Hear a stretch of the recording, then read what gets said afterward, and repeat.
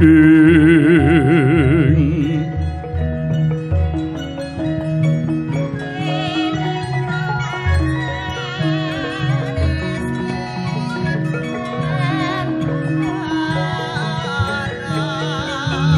langening kalang yuwana klar panda muncar tinon lekekomeng. Surum soro tetan padang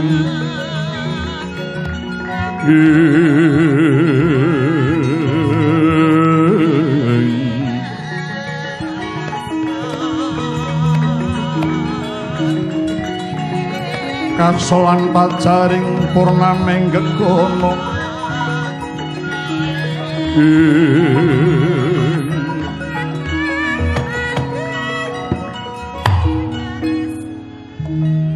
Hanenggi Morawakani gancaring carita.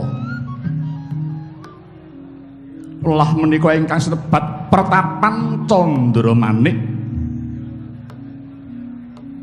Pertapan gununganing lengkeng wukir. Kinepeng wana ing laladan negari Singgelapura. Nalika semana ing madyaning sanggar pamujan Candramanik wonten tejeman Rahanyada lanang. Duh menika tejaning pandhita kang wis gentur tapani. Ing ngene tilasing Nalendra Singgela. samangke wis lengse prabon tumuli ngarasuk kabrahmanan peparap sang begawan gunawan kuntawi bisana nalika semono sang gunawan sampun kelampahan ngedalaken hawa nafsu catur prakara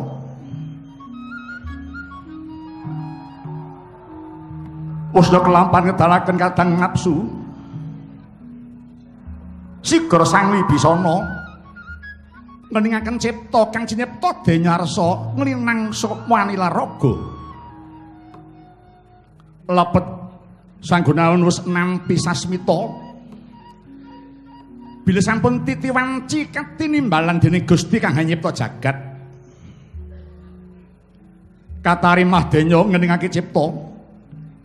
Ana tuduh kang tinampi. sakana kanang suksma medal saking hanggo ing mangke dereng ngantos mesat ing ngawiyat wonten swara kang hanguwuh Yekti iku swantening sang kumba karena kang wis abadan suksma. Sambat karantan ngupadi marang Kang Rayi Gunawan.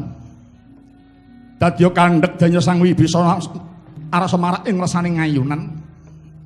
Mangkono pangucaping Sang Kumbakarna.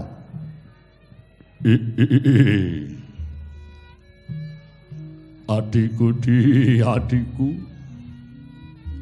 Si adi ana ngendi pun Kakang tulungono Yayi. yen ora tok tulungi tangeh pun kakang enggal untuk pangapura gunawan gunawan lho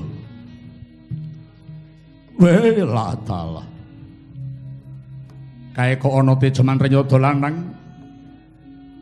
ora pangling kae tejane adikku gunawan? Oh adikku di adikku. Gusti kanyipta jagat nuntun lakuku ketitik bisa pinanggih marang Sira Yayi Gunawan.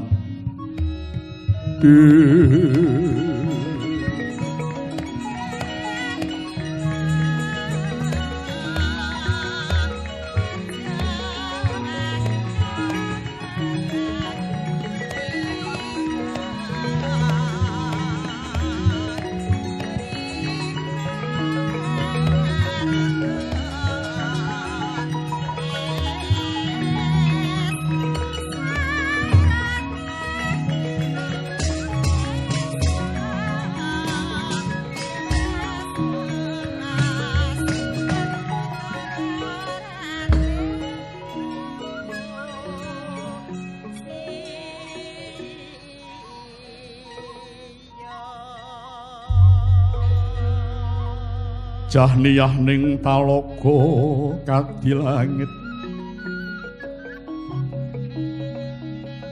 mambang tang pas hulan upamaneka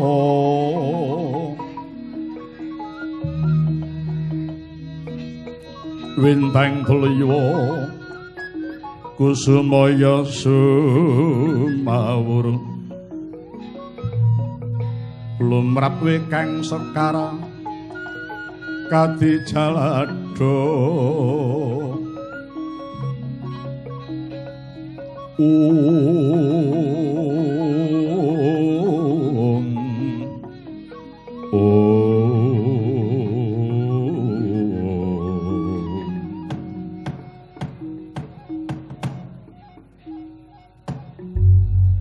Oh, oh, oh. Adikku di adikku Gunawan. Wis suwe nggonku ngupaya marang kadang para yayi. Nanging bareng wis ketemu kena apa arep tak rangkul kok kowe ora gelem to, Di?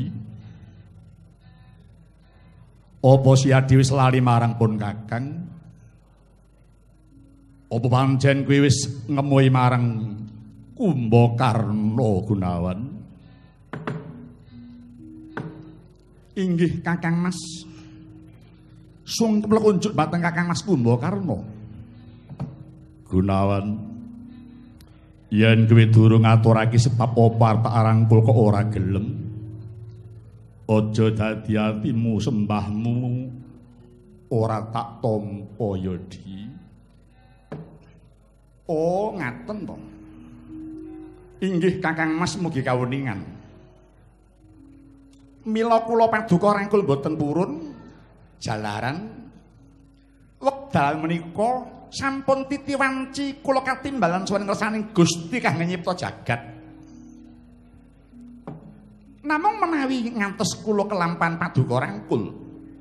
Ing mongkon nuwun sewu jengandika tasih nyandang ing reget. Kula kinten malah saged dados pepalang badhe wangsul kula kanggo Karma. Oh, oh, oh. Iya, iya, Di. yen pancen kuwi kang dadi watonmu ya ndak tampa pangabektimu gunawan. Yai kados pundi? Wisipun kakang nampa kabeh ngaturmu. Malah saya keronto-ronto atiku gunawan Ke ana ngendi ya di? Mapaning dosa lan kleputanku dene pun kakang nganti nyandang lakon kaya ngene. Mongko nalika jaman aku urip ana madyapada biyen rumangsaku kaya wis ora kurang ing pengati-atiku. Ewadene kok ya kepeksa isih kesandung ing ngrata kebentu sing tawang kaya mengkene to Gunawan Gunawan Kakang Mas Kumbakarna Syukur bagi sewu dene sampun kraos dumateng penandang ingkang jengandika sandang. Nuwun sewu. Menawi Kakang Kumbakarna kepengin pirsa dosa tuwi lepat panjenengan lepat paduka karana kala semanten Kakang Kumbakarna wani lumawan tanding kaliyan Prabu Rama sak wadya Kakang Mas. Lho lho. Menggo dhisik. Apa ora kliru atumu kowe Gunawan? Kados pundi? Moro kage pikiran. Pon kakang iki ala-ala jejering satriya. Aku dilairake ana praja Ngalengka. Aku digedhekake kanthi mangan wulu metu bumi Ngalengka. yen aku mati uga dipetak ning bumi ngalengka lan maneh di nalika aku magut ing palagan biyen ujubku ora mbela kakang rahwana kang pancen watake angkara murka pun kakang magut pupuh. Mung mligi mbela bumi kelahiranku sing dienggo jag-jagan Prabu Rama sak balani. Lho coba.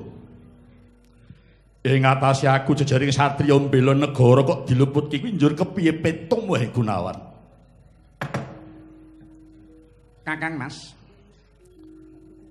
perkawis paduka labuh negari kula mboten maiben namung kakang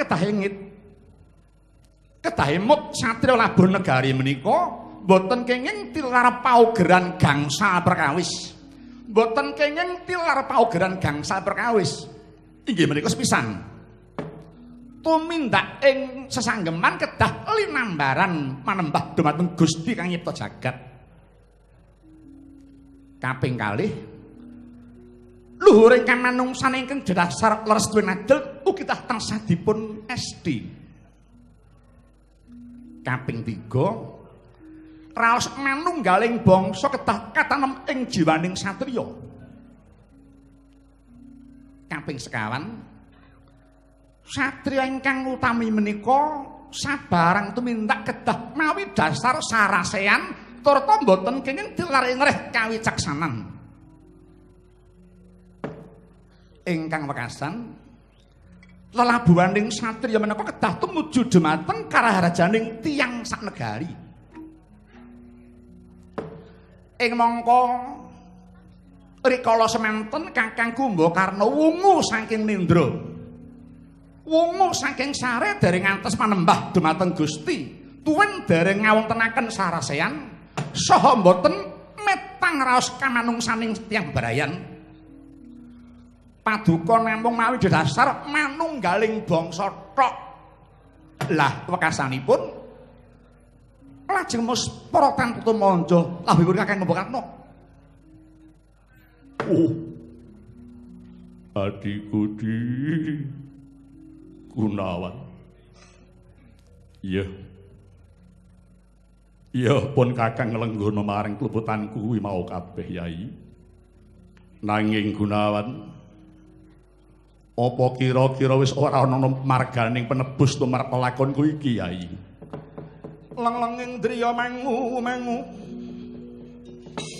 Mangun kum kanduhan rimang lir-lirno tanpa kanin. Yen tang tuluso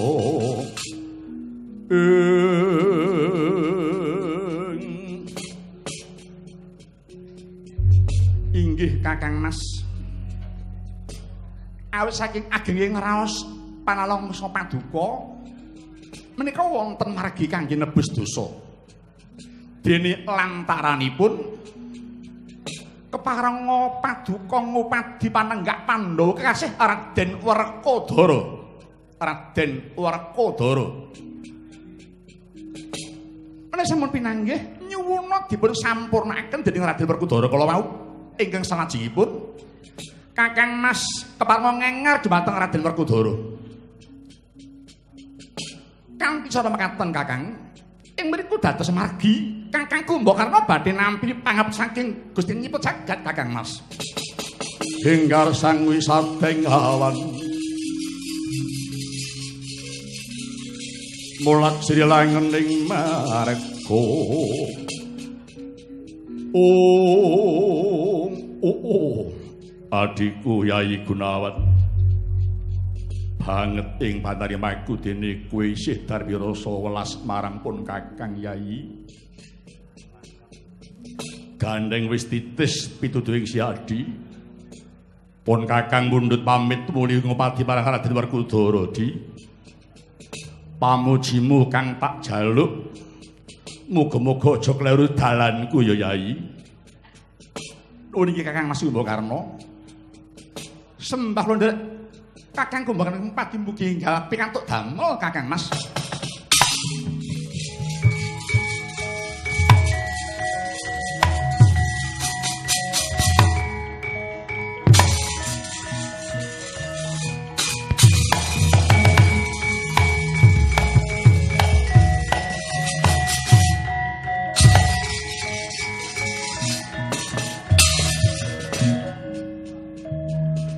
Jengkar Sang Kumba Karna Sukma. Ing mangke Sigara Sang Gunawan ngunturake tekad ingkang cinipta mung tulasa genya arek rasaning pangeran. Bawanipun ditengah wis ketrima tapane amung sak biari tatit pun nang saka wis pilaraga. Mula sangya sewa sugata sigra ngurukti marang layoning sang gunawan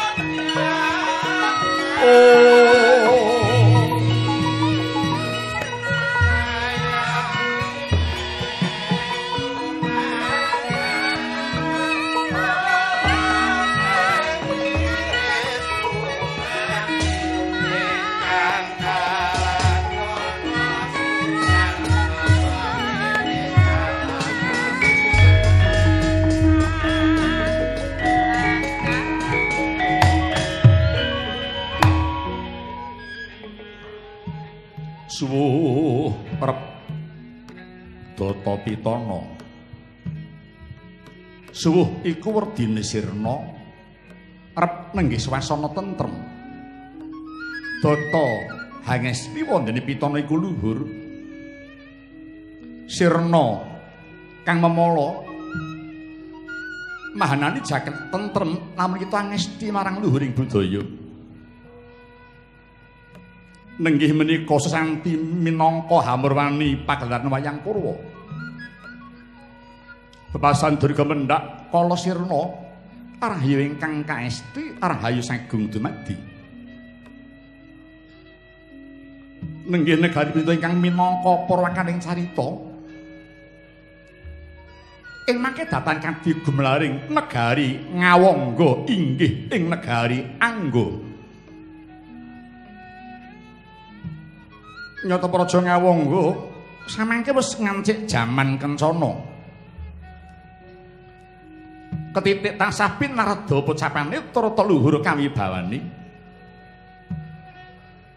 dasar nagari rembong jalodri pinasaharga mila datan mokal yen to negari ngawangga kebegan ing sungapan supitan tuwin mangku bandar pelabuhan.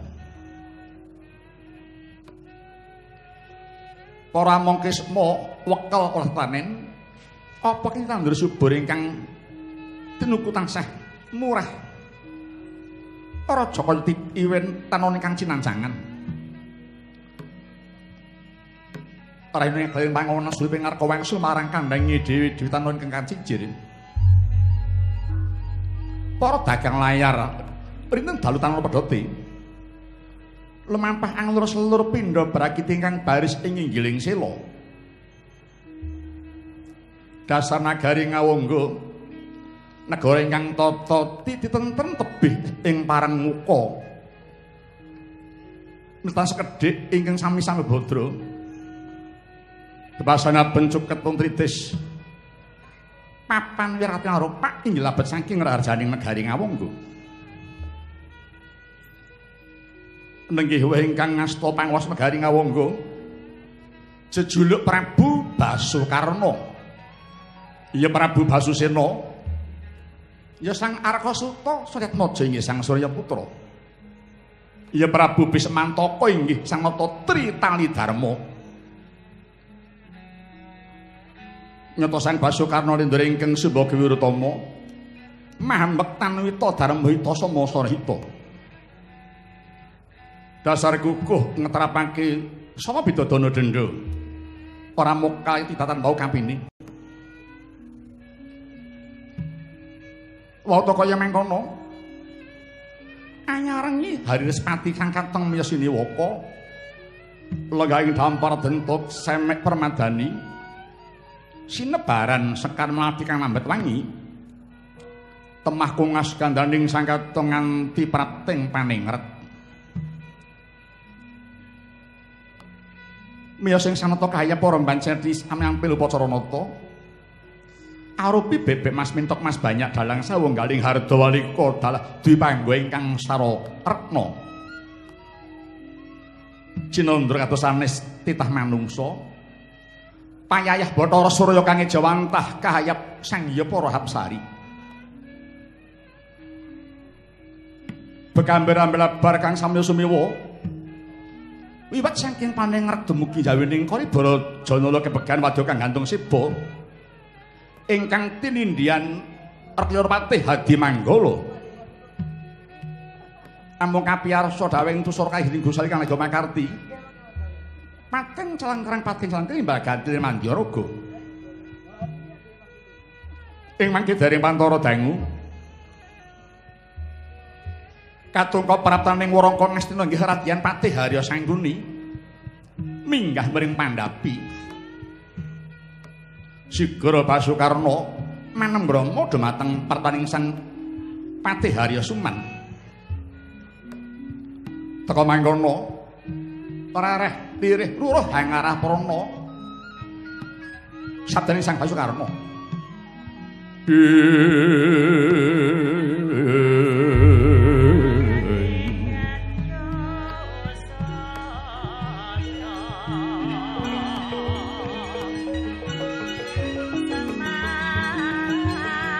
dan sembah lireng ulun.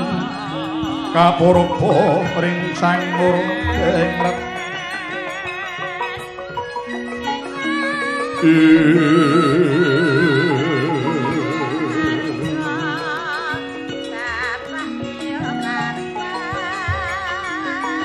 sahana nikang nikanang sing dasih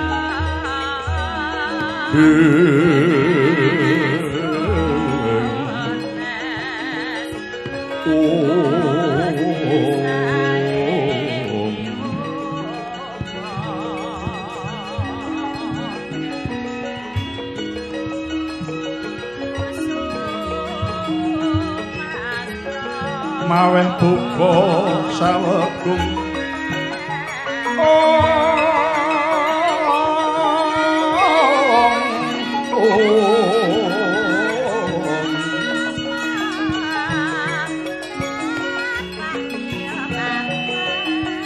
yen kaneng mamuju ing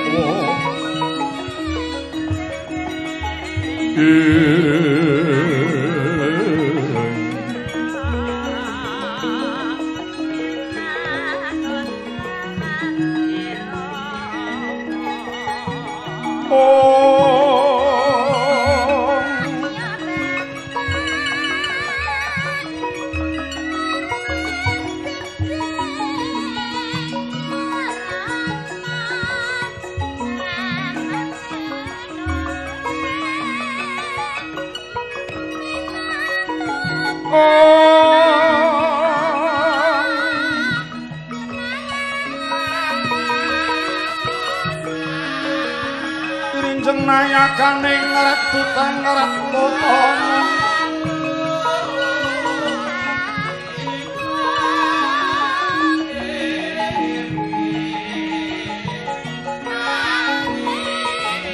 Mangguwa manugrah ing lan sewa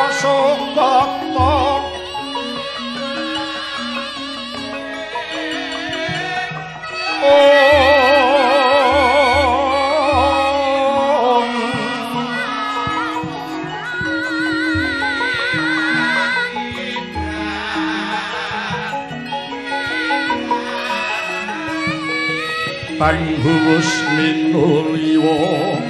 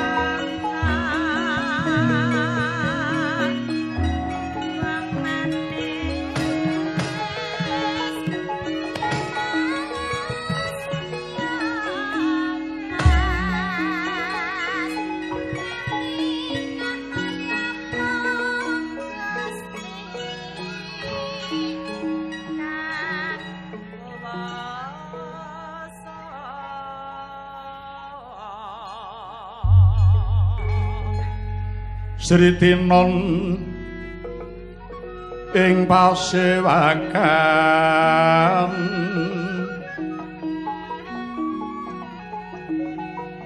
Busana maneka warna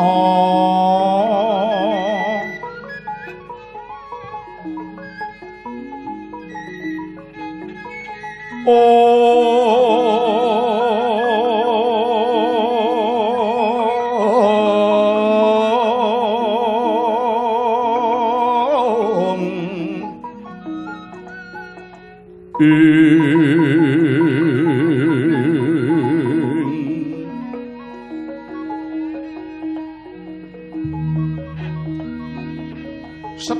puspiteng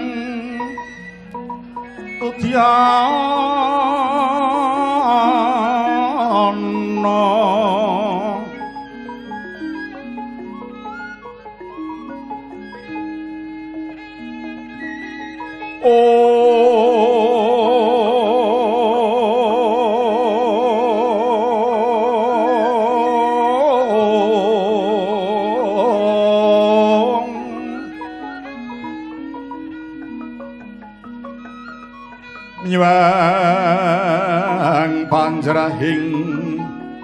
sarwa rukma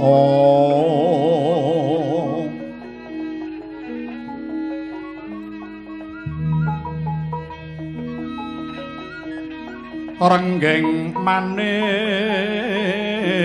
mawa retna.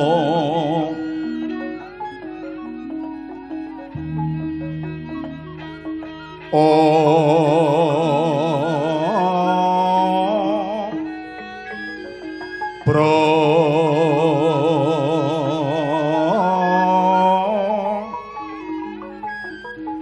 Prabanyo sumirat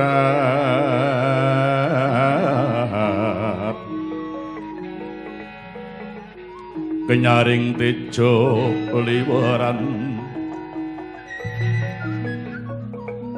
Lir kilat sisiring tatit Wibek gondo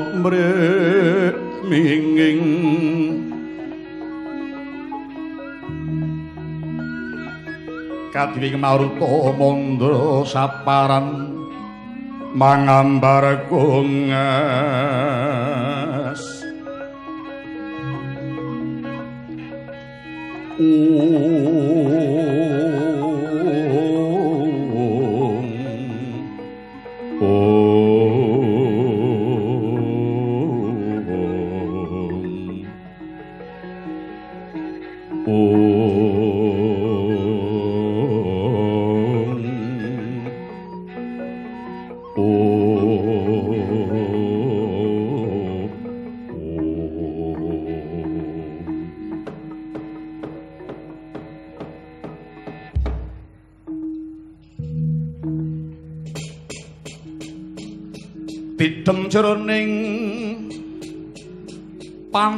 panangkilan semune kawuryan.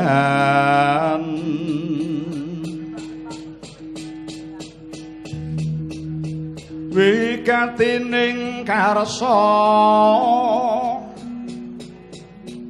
kepareng nata Basukarna Prabu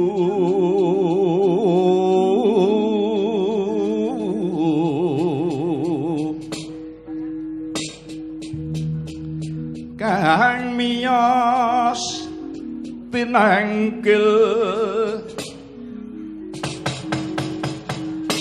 Bedolan saban-saban aganti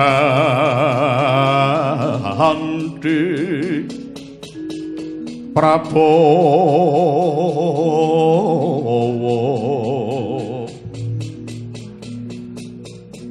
Kakas ketaring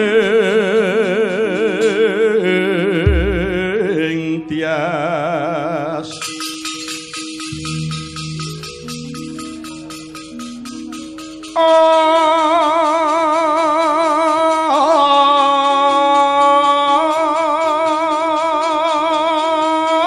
Om Kang sami sumewo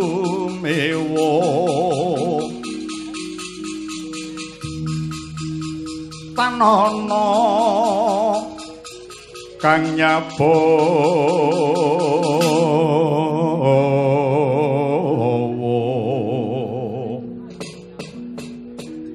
Yo.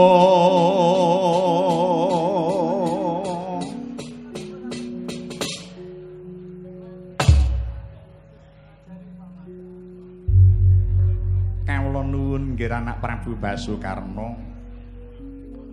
Pun bawing kepatian ingkang sowan nggih anak Prabu. Paman Patih Sengkuni. Saro paduka Paman Haryo. Kula ngaturaken pambagya Panakrami katur Paman Patih Haryosuman kawula nuwun. Nyuwun inggih nggih anak Prabu.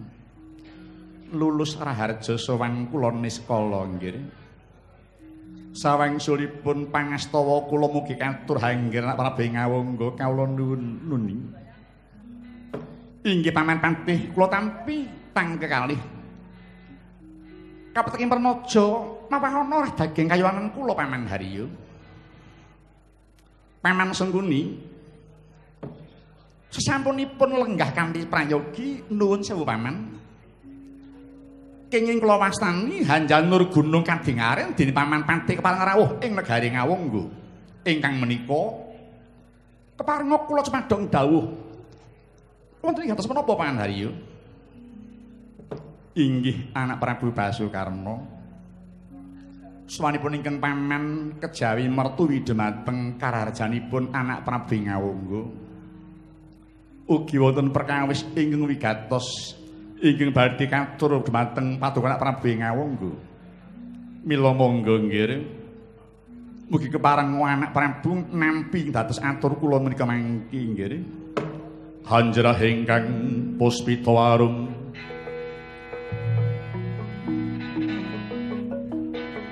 kasliring samirana mrih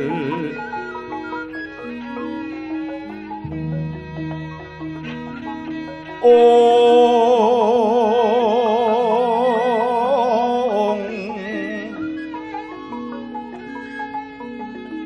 sekar gadung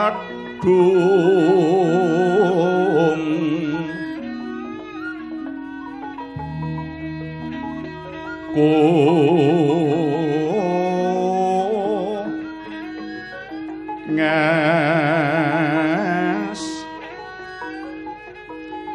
kandanya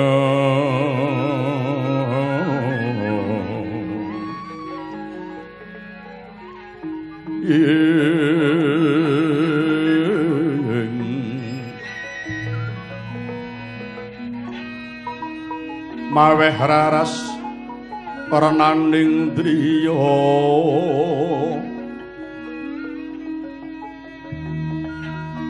Monggo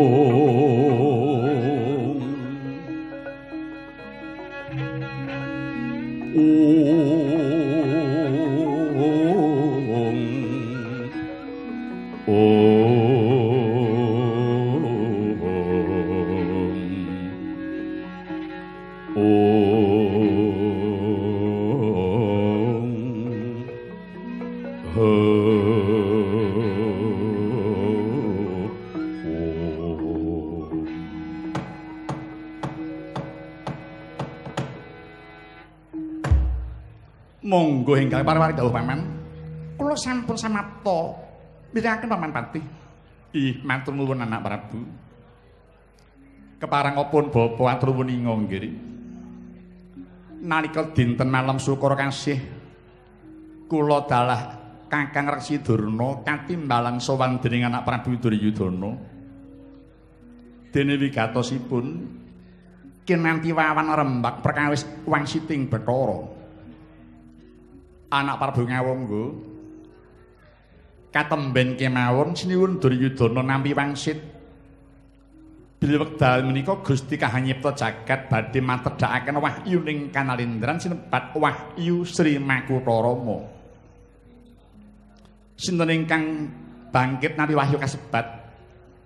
Ing benjang badhe kuwawi nurunaken wijining aran tutedhak pituturun pitutu mangkar tangkar babaring tumuh ing tanah Jawi Dene Wahyu Makutara Makala wau miturut wangsit badhe tumurun ing pucaking harga Suwelagiri. Anak Prabu Sinuwun Duryudana kepengin sanget nggayuh Wahyu Makutara sebat. Mila anak Prabu Kurupati ngersakaken badhe tindak piyambak dhateng pucaking harga Suwelagiri. Namung kula sanget mboten sarujuk nggih. Sebab menapa? Sepisan tiang menika nembe dapur wangsit dereng kinanten kasunyatanipun. Kaping kalih anak Prabu Duryudana menika nalindregung binetara ing mangka kagungan piyandel ingkang saged ngintasi sedaya paridamel mila kula ngaturi pamaryogi menawi nglampahaken duta kemawon duta kula kadhawana minggah dhumateng harga Swelogiri nak yenaken menapa leres ing riku badhe kangge tumedhaking Wahyu Makutarama. Menawi leres kepara sang duta kula wau bar bapisan kersa nggayuhaken wahyu kangge anak Prabu Duryudana. Nggih anak Prabu.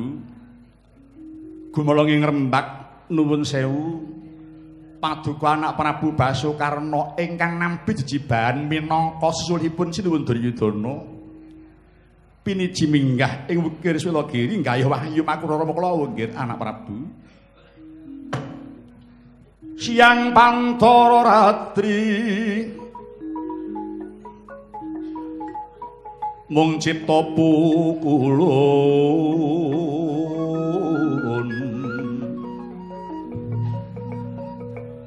ong tanoliwan kaeksi. Mila katur kang jun domane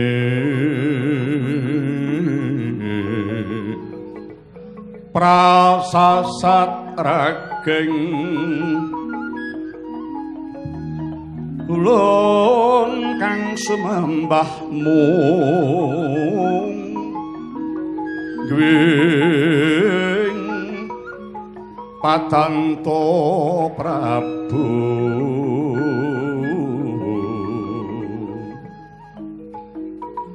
Miwang kagungan to sing sim saksat sampun prabdi katonas topu kulun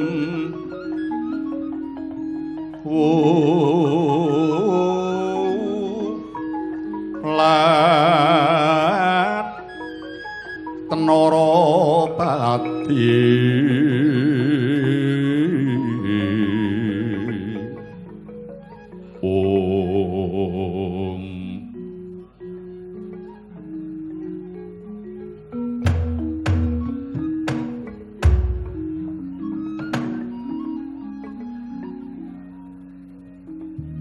Rama dewaning sun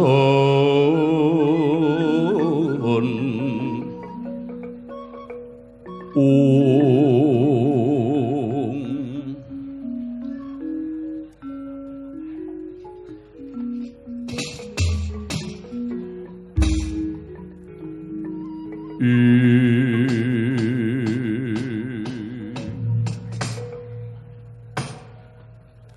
inggih paman sengguni. Dawuh andika paman patih kula tampi samendang boten karempit paman hariyo paman hariyo kados menapa bingen manah kula dene namung sak derajat kula teka nampi pakurmatan ingkang tanpa upami. Ketitik kula piniji dening Kyai Prabu Kurupati gayuh wahyu Makutha Rama Inggih menika paman patih Kula mboten badhe suminggah. Nuwun inggih, sendika nglampahi paman. Waduh, nggih anak Prabu. Syukur bagus kiti jemburung dene anak Prabu kepareng minangkani pemundhut saking Kang Raya anak Prabu Duryudana. Inggih. Sawatur weninga nggih. Awit saking keparipun anak Prabu Kurupati kula dalah anak-anak kula Kurawa sami kadawan nderek tindak patuh anak Prabu Ngawung nggo. Walah dalah. Iya jagat Dewa Bathara. Aduh paman, paman Haryo. Rama sageng manah kula dene paman Haryo dalah para kadang kula badhe sabiyantu. Tetela saged mimbu dumateng sentosane manah kula paman. Ih, matur sembah nuwun anak Prabu. Namung ngaten paman, ides pundi nggih? Mawantu-wantu penyuwun kula dumateng para kadang Kurawa. Selaminipun gayuh wahyu kula suwun sampun ngantos wonten raos srei drengki. Mangke mindak dipun tebi kaliyan nugraning Gusti Paman. Sapa kadang Kurawa kedah saged nyingkiri dhateng begelaning raga dalah begelaning jiwa Paman Haryo. Oh, inggih nggih.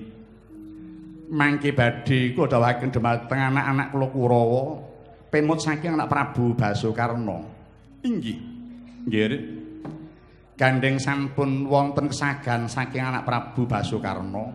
Inggih menika mboten ketang sambet obor colok lintang rambatan pundak.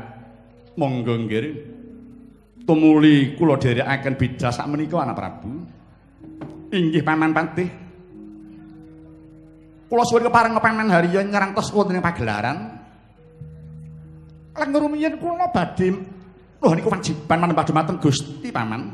Oh inggih, ngestakaken dawuh Prabu. Eh, Patih Hadi Manggala. Ih, wonten dawuh Kanjeng Sinuwun. Ingsun mundhut pamit arsa munggah marang Harga Suwelogiri.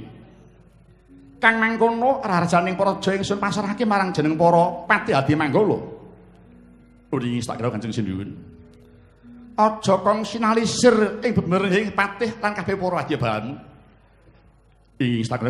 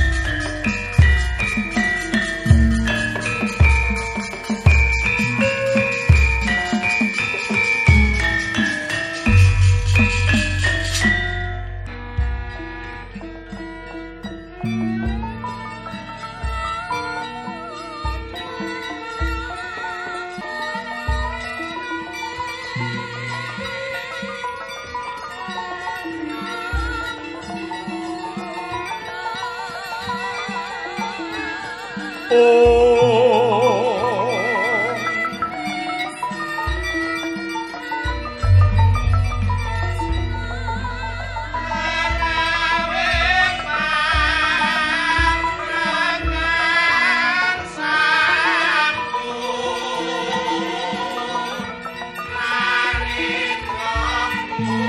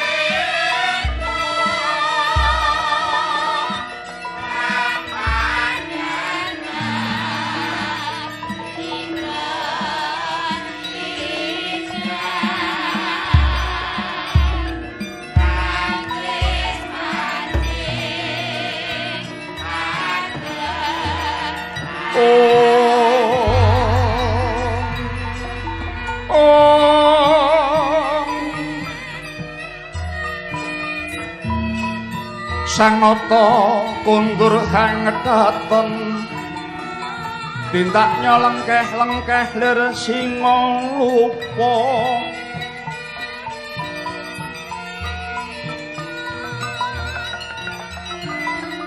Kahaya para badaya simpi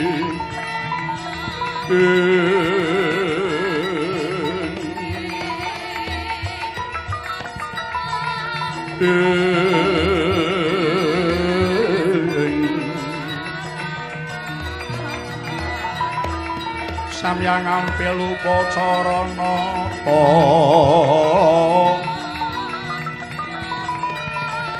Aja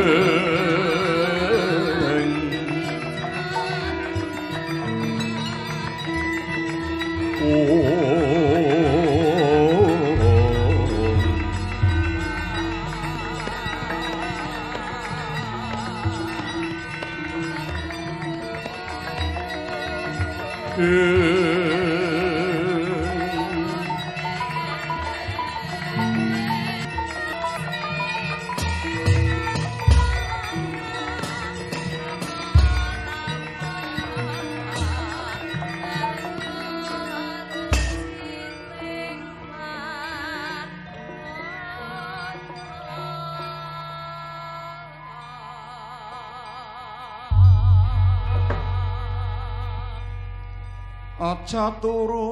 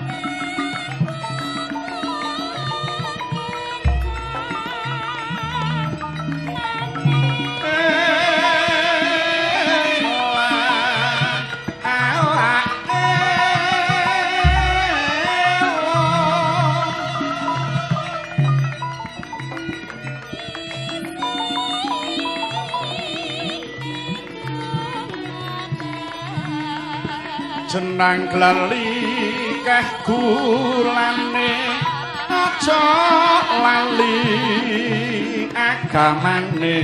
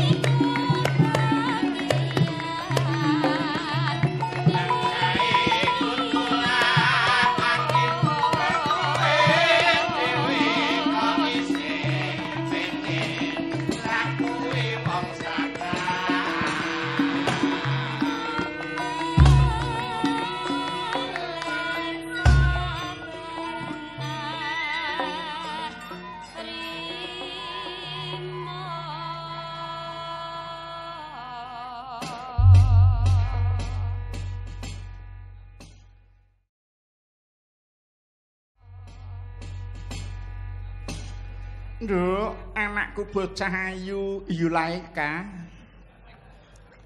Ana apa, Yung, nimbari marang anakmu aku? Ngunjukake syukur ing resaning dalem Gusti Allah ya, Nduk. Awit kita kabeh wektu iki pinaringan karahayon dening pangeran. Pinaringan nikmat saka Gusti. Nikmat sehat, nikmat iman lan nikmat sempat. Mligine awake dhewe sak kanca dikeparengake sowan marang Kadipaten Sidoarjo kene ya, Nduk. Iya, Yung. Sampeyan sowan nyang Kadipaten Sidoarjo iki wis ping pira? Ora iso tak itung, Nduk. Wiwit jaman Bupatine Pak Wandi, Pak Darsono kuwi ben taun.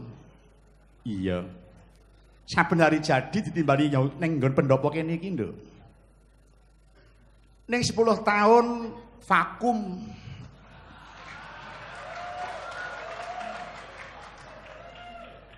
Gak wayangan gak. Apa orang duwe duwe apa pancen?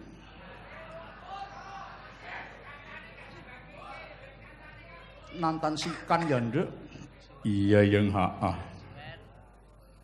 sampeyan wis 10 tahun malah luweh 13 tahun ora sibuk yang pendopo iki kok nduk nganti kangen aku. Iya. Sembah nuwun kula ingkang tanpa pami kunjuk dumateng pepundhen kula Bapak Haji Saiful Ilah SHM Hum Bupati ing Sidoarjo Tuwin. Wakil Bupatinipun Bapak Haji MG Hadi Sucipto SH Magister Manajemen sumarambah para kadang panitia utaminipun para donatur agung. Ing sampun pareng nimbali kula dalah para kanca saking Solo dalam rangka pengertan hari jadi. Ing kaping 150 kalih taun. Iki ujube mengetu utawa ambal warsa kelirane Kadipaten Sidoarjo ya Mak Iya nduk kepara nyata. Iki pengetanan balawarsa Kadipaten Sidoarjo ingkang kaping 152. Ngono ya yung iya. Kejaba mengeti kang sebut ing ngarep. Iki uga ngiras pantes budidaya kepiye supaya Sidoarjo kuwi payu didol nduk. Kok malah didol? Sing tak karepake kene yaitu tegese menjual hasil produksi Kadipaten Sidoarjo untuk meningkatkan pendapatan asli daerah, Nduk. Oh, ngono. Iya. Apa pun yang memiliki nilai sebagai sumber devisa wajib ditingkatake. Termasuk menjual tempat wisata marang para turis lokal maupun turis saka mancanegara bareng kuwi ya, Yung. Bener nggih, heeh. Tak suwun Kadipaten Sidoarjo aja mung dadi penyaji komoditi regional wae ya, Nduk. Aja mung tingkat regional nanging bisa menyajikan produk unggulan komoditas ekspor nggih. Amin Gusti ngijabahi, Mak. Dasare panjenenganing Bapak Bupati Sidoarjo kagungan visi ke depan ngajak marang rakyat Kadipaten Sukoharjo Sidoarjo yaiku tansah mupuk persatuan dan kesatuan kang wigati kanggo saka guru mbangun Kadipaten Sidoarjo iki, Mak. Tidak mungkin bisa mbangun yen kahanan iki ora tentrem. Mula keamanan lan ketentreman kuwi aja mung dipasrahke marang aparat wae. Ning setiap warga yang berKTP Sidoarjo hukumnya wajib untuk menjaga ketentreman dan kalau jenganing daerah dhewe iki ya yung. Iya nduk sing penting warga masyarakat Sidoarjo aja gampang dikompori marang sapa wae kang tumuju marang tumindak anarkis ya nduk. Iya yung heeh. kajaba saka kuwi Bapak Bupati sak jajarane uga ngudi marang pemberdayaan sumber daya manusia sing perlune kanggo ningkatake tumrap perekonomian rakyat kok, Nduk. Ah, iya syukur, yung syukur. Aku melu seneng dene para pamong terus meningkatkan marang pendidikan ingkang tumuju marang ungguling sumber daya manusia mau yung. ning ya ora kalah penting ya mak piye nduk tidak kalah penting kabeh warga Sidoarjo disiwun supaya aja lali marang tembung demokrasi. Demokrasi mono ngergani marang penemuning liyan. Ora duweni sikap otoriter lan ora arogan. Sabab bedaning penemu mau mujudake kanugrahan saka pangeran kok mak. Kanthi bedaning penemu mau malah bisa saling mengisi siji lan sijine satemah sekabeng perkara bisa dirampungi kanthi musyawarah ingkang tumanjane bisa mufakat utawa goleng gilik yung. Demokrasi ini bebas dalam mengeluarkan pendapat ya enggak bener yung oh, oh.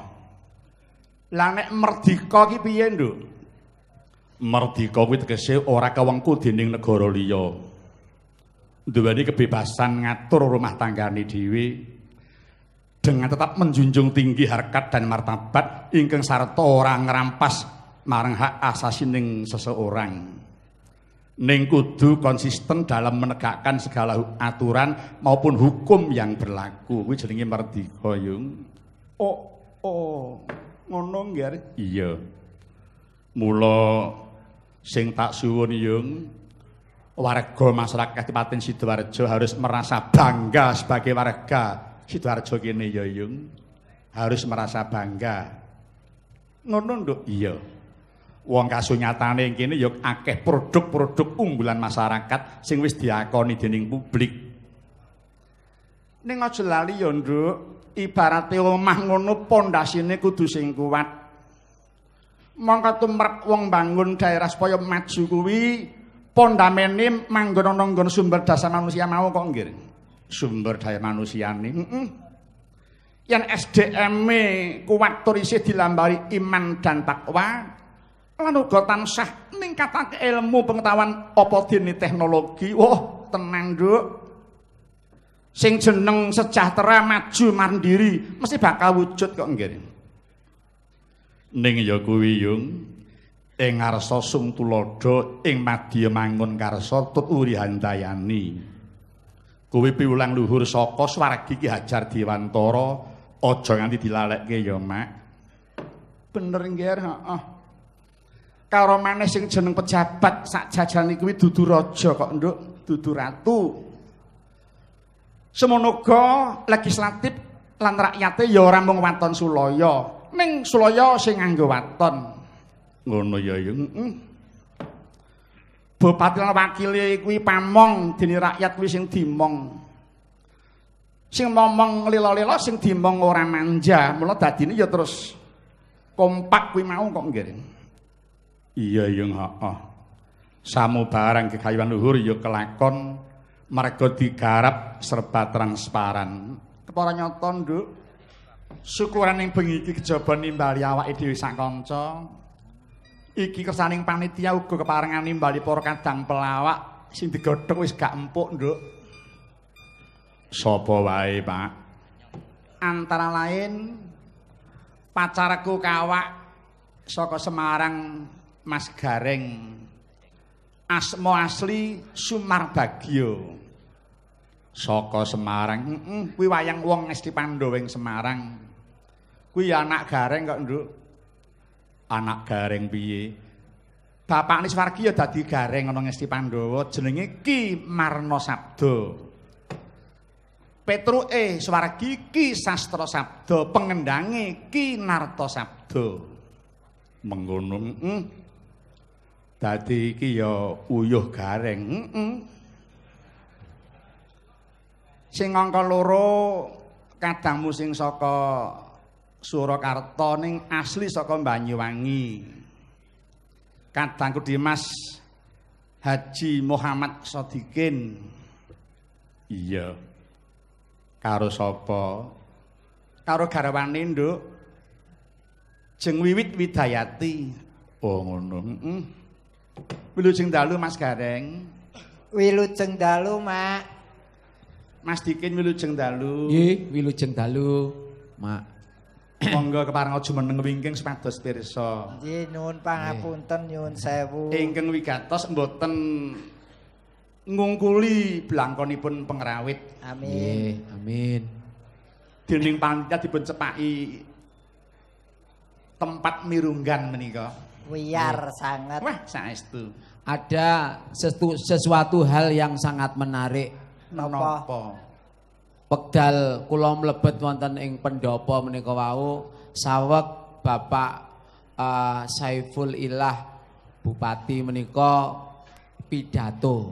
Nggih. Menika menyampaikan bahwa sudah 10 tahun tidak ada wayangan dan insya Allah setiap tahun akan diadakan wayangan di tempat yang sama.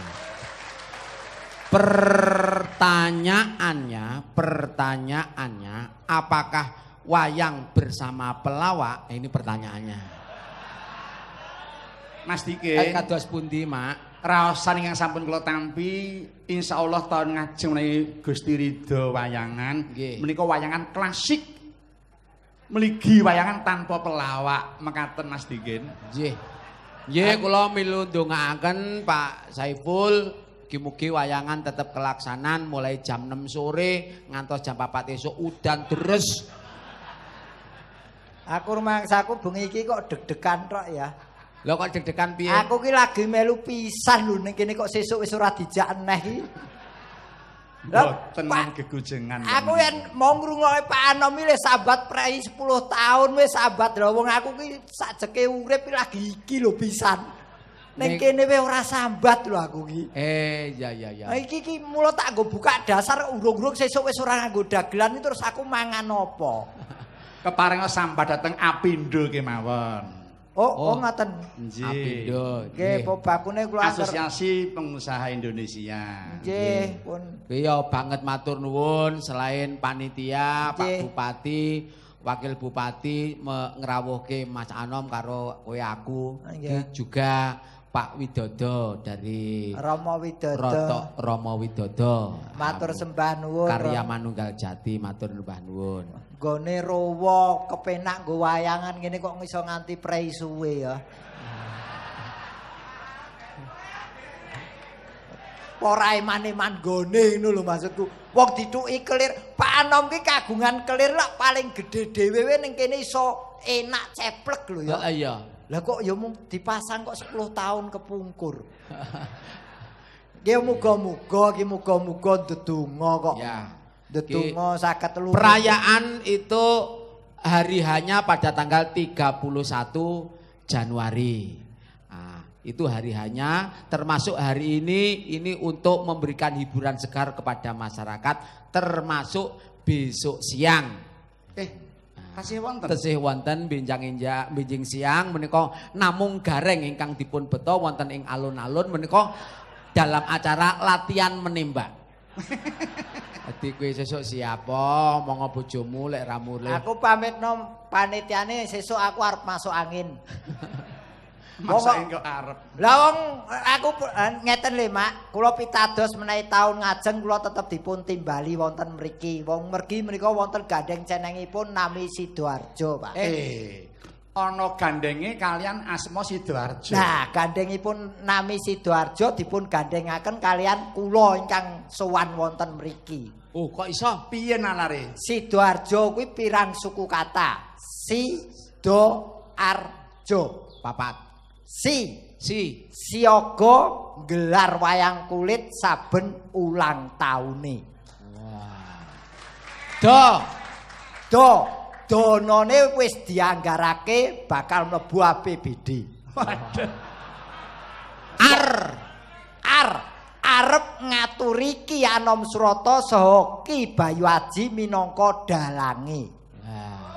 Jo. Jo, jo lali garenge kudu melu pesene Pak Bupati. Lah lah aku ora mbok katutne. Rak. Urip dhewe-dhewe pokoke.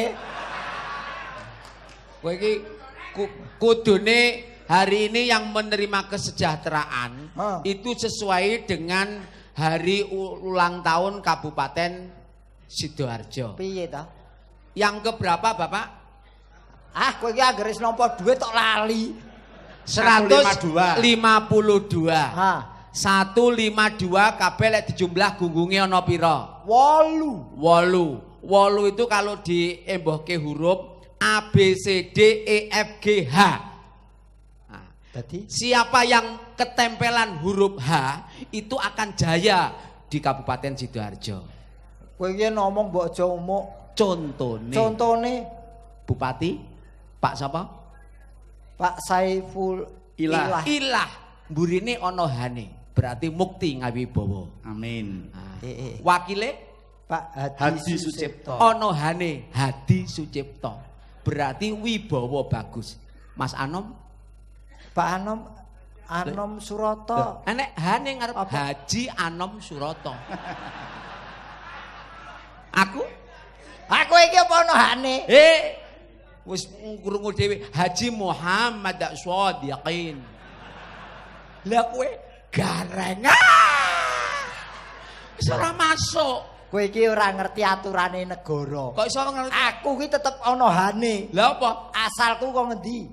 Semarang. Semarang ki plate mobil apa? Ha. Melu le. Pokoke aku kudu melu aku. Ah saiki kan kaya saiki kan kowe lah yen wiwit, wiwit ki apa ono hane? Bojoku. Heeh. Enak. Wiwit ki apa? Wiwit Hidayati. Ono hane. Sik tak ralat nek kuwi. Wiwit widayati ora hidayati. Lah sekarepku Ana hane ya, ana Ana hane. Ana hane, Mas. Napa, Pak? Hamil. Iki yoga-yoga do deg-degan.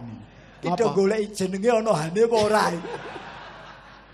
Isro iki ya. Ya mengucap syukur ora mung perkara ha eh, delapan ki bukan bukan totalnya terus ha kaitane ha ki ora. Mas Bayu, Bayu Haji kuwi genah ora ana. enak. Bayu Haji hanake Anom Suroto. Wong kita tuh bersyukur Iya. Sidoarjo sekarang sudah berumur 152. Ya. Itu ada artinya nun sewu mak. Bukan Apa? ami guroni non otak atik gatuk. Piye artine? Satu itu dari kata persatuan. Persatuan dan kesatuan dadi modale membangun Sidoarjo. Oh, ya ya ya. Lima, lima sila Pancasila dadi pondasine bangun Sidoarjo. Eh, dua. Dua kuwi loro, loro pucuk pimpinan Kabupaten Sidoarjo, Bapak Bupati dan wakilnya sebagai komandan pembangunan Sidoarjo. Ah. Eh, Ngene kok tahun sesuk ora katut ya iki. katut katut. Ah. Katut angin. Lah iya. Termasuk tenan lho, kalau ngotangane jan mletik tenan. Lah aku ki piye ora tau tak wong bojoku tak tak wis dadi loro ngono kok. Mas Dikin. Pripun, Mak? Pundi Mbak Wiwit? Nggih. Kene, Bu. Kene, Mbok. Monggo Mataraman pelok, Cok.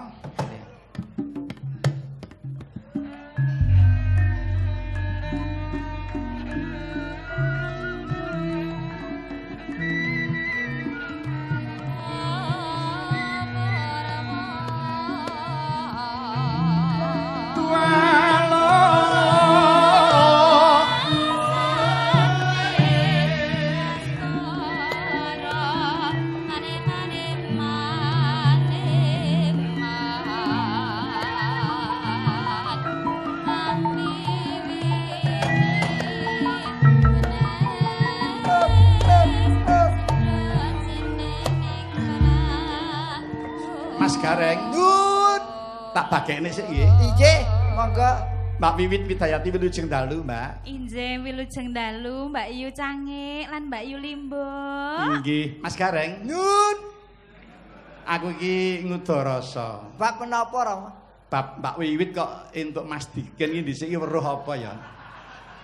Nek upama nganu upama niki mboten selak batine nggih gelone setengah mati. Mbak Wiwit. Kok- Gelo. Kok gelo pripun to, wektu Mas? kuwi mbok menawa kowe iki ketutupan mendung sapitu. Dadi pas nyawang ngono kuwi ketutupan mendung. Dadi kowe iki klebu wanita sing paling cilaka sak donya ya kowe iki. Lho, ah, kowe nyuwun pirsa Pak Anom, kowe iki klebu wanita sing sulistya wing Oh, warna. saestu Mbak iki seorang guwak samubarang. Lho. Dedek entuk pasuryan nggih kaya ngono. Kepinteran ya Pengalaman nggih sampun memadai. Sulistya ing Lah warna. ya kok mung trima entuk Diken lho coba ta. Iya. Kowe iki ibarate Wara Sembadra kok entuk Bathara Eh, eh. Kala. Arep nyang ndi Eh, eh. Eh, Ken, Ken, Ken. Ken. Kowe iki arep nyang ndi? Nggon pangan ora ning kene tok. Sik to Mas, jenengan ki sing sabar. Jenengan neng- kan ngandani aku kon sabar to Eh, Mas. kok sik sik kowe arep arep mulih lunga. Kuwi sandale sapa kok mbok nggo? Mas Diken, Pripun? pelawake aja sok mutungan aten. Ah. Enten lho, pelawak dilokke terus putung atine mulih stroke. Enten iku. Am, amin, amin. Amin amin Mas Gareng. dase amin. Kamangka stroke kuwi mau kesenenganku kamangka. Wih, lho lho. Kok stroke strawberry?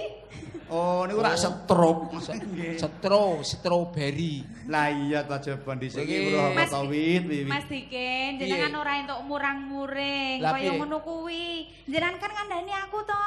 Piye? Dek wiwit kuwi kudu dadi wong sing sabar. Wong sabar kuwi kekasih Gusti Allah. Nenggon bahasa Arabe ana lho, Dek. Apa? Innalillahi wa inna ilaihi rajiun. Loh, Ya ampun piye. lah piye to? Jenengan kan ngandani aku. Innalillahi ndongane modar bojone piye? Hehehe. Wong Eh, sabar kekasih Gusti Allah innallaha ma'asabirin. Kok sing- Innalillahi lho. Kosek kosek. Kowe dionekke ngono kok nesu ki. Lah kowe iki mati apa ora? Ora. Ora ya wis. Santai wae to. Ning yo tak benerke nek sak diken nesu, Mas. Ngapa? Mergo ngene sak diken yo wis mati. Oh, nggih nggih nggih nggih nggih. Apa? Kowe ngomong. Kok delok-delok ngene ngapa? Jare kok wis ana sing mati. Ya ngomong Wiwit. bojomu. Oh, mboten kok Mas, kula meng gojek kok Mas nyuwun pamunten nggih. Itu artinya apa? Artinya kamu itu tidak bisa menghargai harkat dan martabat seorang lelaki. Loh. Terus Kudune lek bojone dielek-elek ngono kudune muring apa malah kowe guyang-guyu ki. lho. Jarene nek nenggon panggung ora entuk murah-muring kula. Ah. Iya- lho, ya bagaimanapun kamu istri kowe, kamu itu harus menjaga harkat martabat seorang Kosek, suami. Bojomu ki penyanyi apa satpam mbok kok jaga? Penyanyi apa kok jaga ki lho?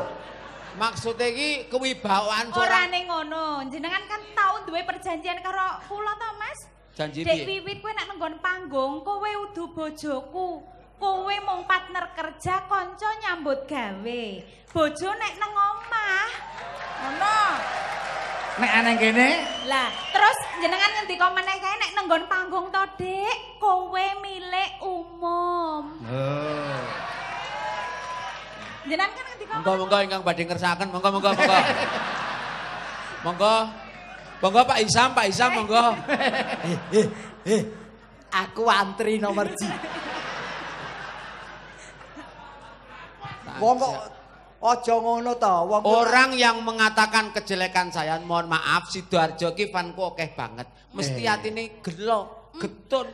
Nga- Ketun ngapa piye? ketun apa? Wong jenengan karo aku nyun pamunten bapak-bapak ibu-ibu saiki di voting lho ya Mas. Iya. Kula Di-voting, kula kalian Cak Dikin cocok napa mboten?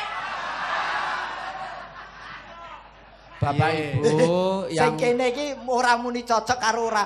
Ijolke, ijolke ngono ki. Sapa ora bacok bisa. Mak cange Terus pundi? masalah berjodohan oke lah mereka mengatakan saya tidak cocok tetapi ingat perjodohan itu bukan urusan manusia. Perjodohan itu hanya urusan Allah. Hanya urusan Allah. Dudu urusan menungso. Silakan orang mengatakan tidak jodoh tapi kata Allah jodoh kenapa tidak Why not? Terus wae enak. Allah sudah berfirman dalam surat Ar-Rum ayat 21 kata Allah demikian. Dengarkan saudara Gareng, dengarkan saudara Kuanom Suroto. A'udzu billahi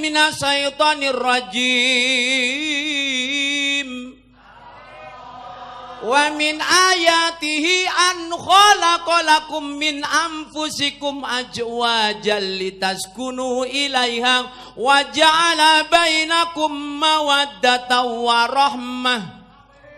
Inna fi dzalika laayatil liqaumin yatafakkarun. Yang artinya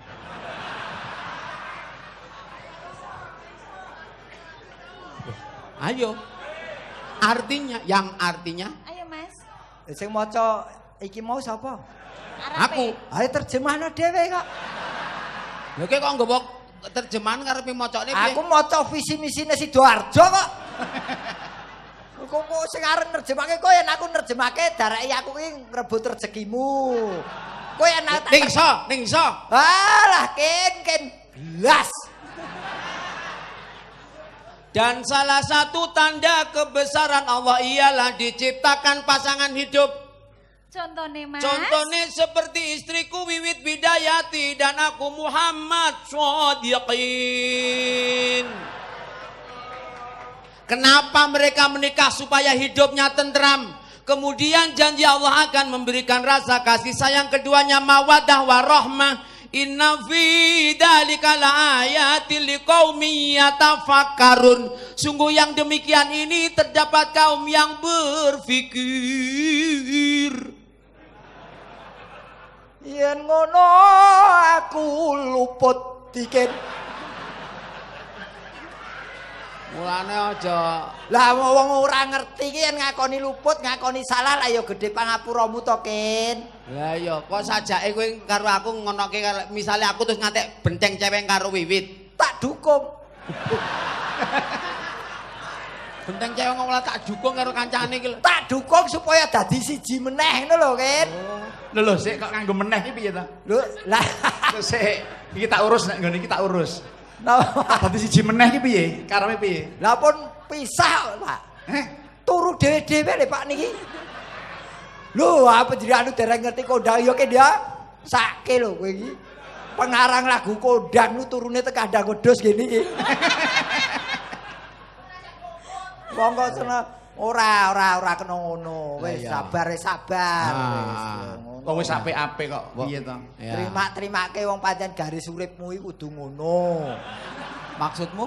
Maksud orang itu tidak bisa melawan takdir. Kalau yang maha kuasa itu mentakdirkan kamu harus begitu ya ke- jalani saja. Toh akhirnya nanti menuju ke, ke- ke kebaikan. Oh iya Wis iya. toh percaya percaya. Ya, ya, Wis toh. ya. Delok aku karo wiwit gur delok kok. Apa to Mas? Kene. Nggih yang nganti pisan ya mesake anake. Lah yang anake wis pun mandiri Pak gemesake niki. Niki niku mboten menungso niki niku UGD. Apa? Unit gawat darurat isine penyakit tok nih. Aja nggo emosi nggih. Mak Cange, Terus pundi? sebagaimana yang saya pernah mendengar apa yang disampaikan oleh eh, Pak Hisam, apa yang disampaikan oleh Pak Cip dan panitia lainnya bahwa di sini ini sudah membiasakan diri dengan kegiatan-kegiatan yang ritual. Ning saestu kok. Nggih. Kula acung jempol kok. Nyatanipun kajaba budaya diurip-urip nggih dilestarikan inggih boten supe nggih to. Nggih. Boten supe dumateng Gusti Maha. Leres istighosah nggih asring. Istighosah Nah. nggih to. Nggih, Oh, mumpung ini di bumi Sidoarjo, Ah, ah. kita solawat. Solawat rumiyin nggih Pak nggih. Monggo. Kados, ayo solawat iki bagiamu. Yang artinya Kowe iki le omong ngecipris ndakne terus tiba aku iki. Lah iya gentenan to. Pembagian kerja. Pembagian kerja. Monggo solawatan. Oh alah ken ken. Percuma kowe iki le nganggo haji selawat awake aku. Ya wong iki satunda sabilik-bilik to ora bagiane dhewe-dhewe. Ah, ket biyen aku bilik terus bilik suara tok. Neng neng neng no. Na ne ne ne ne na na na ne na ne ne na. Kuwi buta galak no kuwi. Iya. Padang rembulan rembulane tanggal-tanggal siji yen pengen urip lumayan sregep ana anggonmu ngaji outside.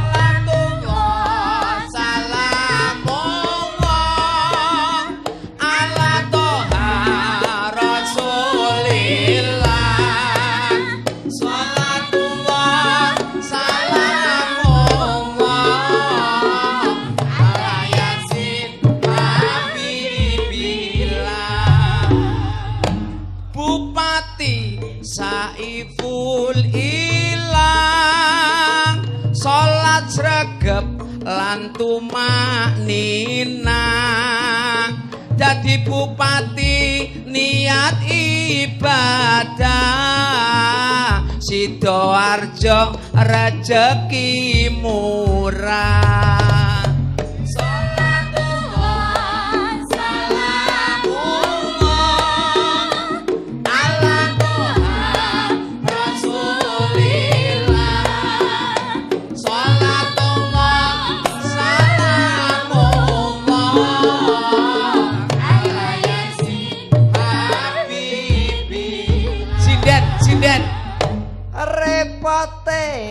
dadi pesinden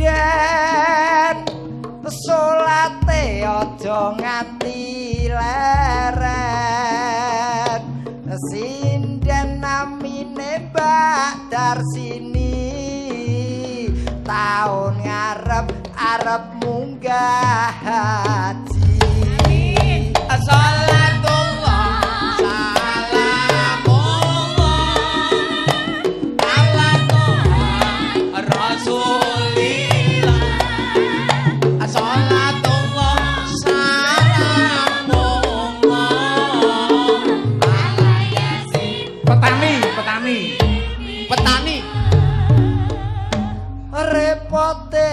dadi petani. Salate aja nganti lali. Apa maneh yen wayah tandur? Salate aja diundur-undur. Salatullah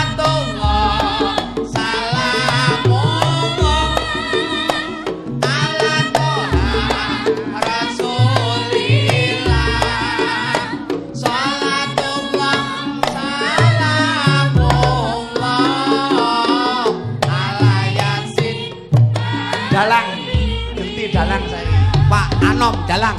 Repote ayen dadi dalang. Eh, salat tansah sregep gone sembahyang. Cocok. Dalang kianom surata anggone salat mesti genep lima Salatullah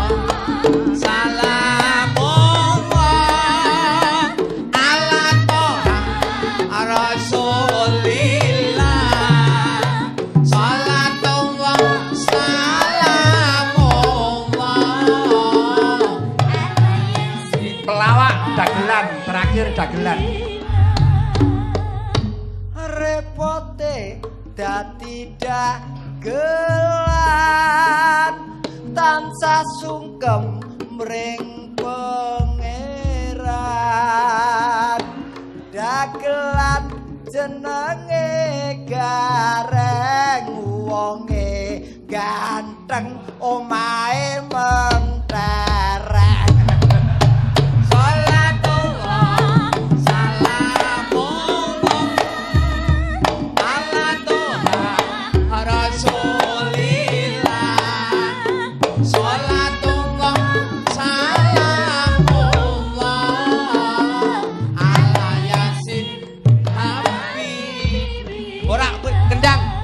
pengendang, pengendang. repote yen dadi yoga. Oh, yoga. salate blas ora ana.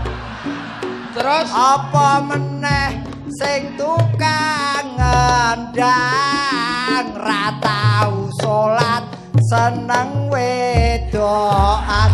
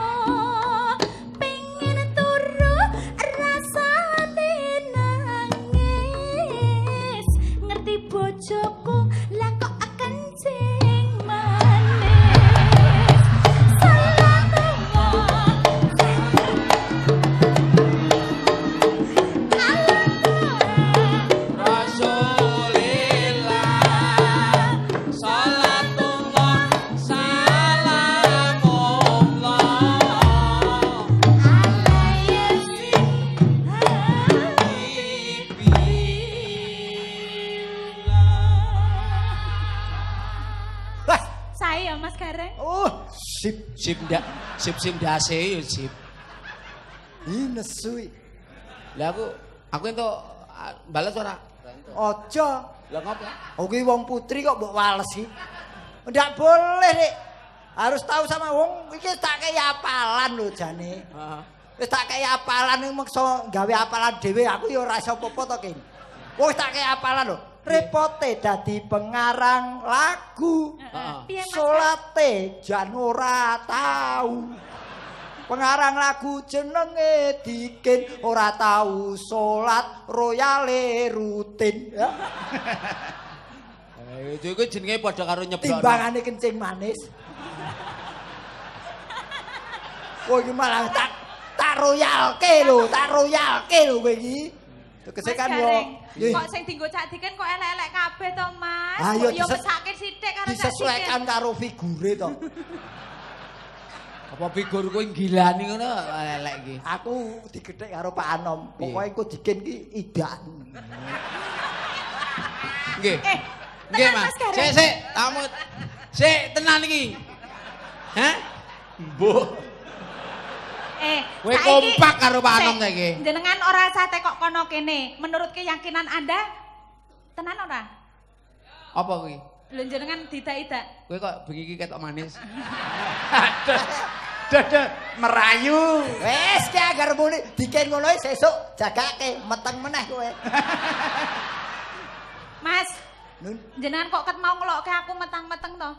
Mau wis ngunekne hamil, ya to? Sing Lah kok ngendika hamil Pak Lah Anom. iya, aku rungune jenengan lek ngomong lho. Kok aku to- Dudu, Pak Anom. Ayo kono. balik? Omongan karo Pak Anom. Iku mau diurus. Nyuwun pangapunten, in- injih Mbak Limbo, jenengan kok ngunekne kula hamil. Niku mboten mungkin, mau cak dikin niku pun mboten saged napa-napa. eh, lah piye? Ya ampun. Eh, eh, bojomu ki lokno programe Pak Mantri ya. Apa? Kawin suntik. Kate kaya sapi. Oh, ora weh. Ngene lho, Nduk. Kowe dadi wong wedok, paribasane wong lanang, bojomu ki kaya dengkul diketi-keti. Bener, Tegese ora pokro, upamane bojomu ki ibarate kaya kuburan kere. bener, Ya ta? Heeh. Paribasane kaya grobok kobong. bener. Tak kandhani. Mikir, mikir. Iki ora ngandani malah nyetak keleke kanca. Ben menghormati kowe lho, Kin. Ngene lho, Dik. Omong. Kowe iki wanine mung karo anyaran tok. Karo sing lawas rawani.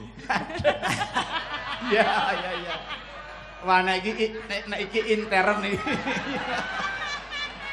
Eh, ngene lho. Nek dadi kaya ngopo iki iki bojomu. Nggih. eleke kaya ngopo ki tetep bojomu ajenono nadyan iki ora ana ajine. Leres. Iki Ah, sapa kok kleru? Yo kleru. Eh, Reng, nganggo tembung upama. Upama. upama ora ning ajine. Upama ora ana ajine iki ya dolen. Kowe iki ora ngrukunke wong malah ngisruhke wong. Lho ak- wong-wong memberi solusi, memberi wejangan atau nggathukke wong pepadon ki ora perlu nganggo serius, nganggo gegojekan biar dirasakan. Oh. Ngono lho. Mas Gareng, ning jenengan cedak aku ngene iki aku wis krasa lho, Mas. Eh, piye? Pengakuan lho. krasa apa? Lho, Krasa krasa piye? Aku cedak karo Mas Gareng ngono ku mau dicedak iren aku wis krasa lho. Krasa apane? Domongi mbuh eneng magnete ngono ya eh. Iki lho, Kin. Bojomu ki lak kompas to, Kin.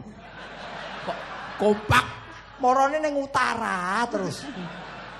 Iya. Dadi lah aku aku ngene kowe ora krasa. Ora i, Mas. Sing aja. Lho, iya ra Mas Gareng. Piye? Piye? Hau pemancar kok. Mergane apa Mas Gareng kok cedak karo aku kok Apa? kaya eneng magnete? Deloken kupluke Mas Gareng kuwi lak jengat to. Oh. Mula iki aja kulinake diklengsrehke.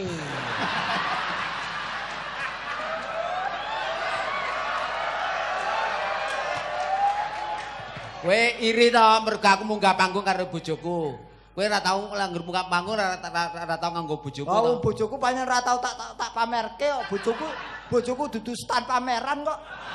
Masalah aku ngerti kowe iki ora iso milih wong wedok ayu apa ora kuwi ora iso. Aku- Mata kira. Aku yang golek bojo ora penting ayu, ora penting pen- pinter, sing penting wedok urip kok. Ngapain bojo Oh, ayu? dadi penting wedok urip. Ah. Lah kae nek mburi omahku apa? wedhus Wedhus mburi omahe? Hah? Wegah tilasmu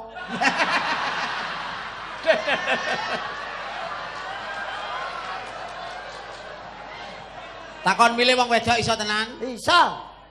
Pilih endi reng mangan sego apa mangan ketan gareng? Yen kon milih cak, yen kon milih mangan ketan. Pilih endi reng rabi rondo apa rabi prawana gareng? Yen kon milih yen kon milih rabi prawan.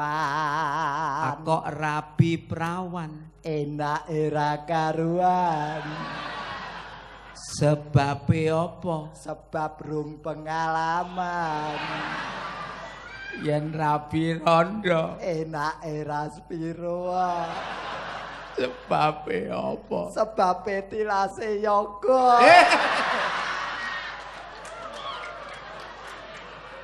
Ayo yoga liyane ra apa-apa yoga tak bokong kae. Mas Gareng, Mas Dikin, Nggih, wonten pamendul Mantarnawala. kados Nggih, Rama. pundi, Mak? Kula pun gayus saking Blitar. Weh, weh, weh. Wah, njaluk komisi ya aku. Padha. Nyuwun uler kambang bojange matur sembah nuwun. Monggo Mbak Wiwit pun aturaken uler kambang slendro. Wah, mat-matan. Monggo. Selindro. Selindro apa pelak, Dok? Manut. Ya pelok selindro panganan kabeh. Loh, dikit. Mati, Ken. Lunga ora omong ngomong bocah iki. Monggo. Monggo, Mbak.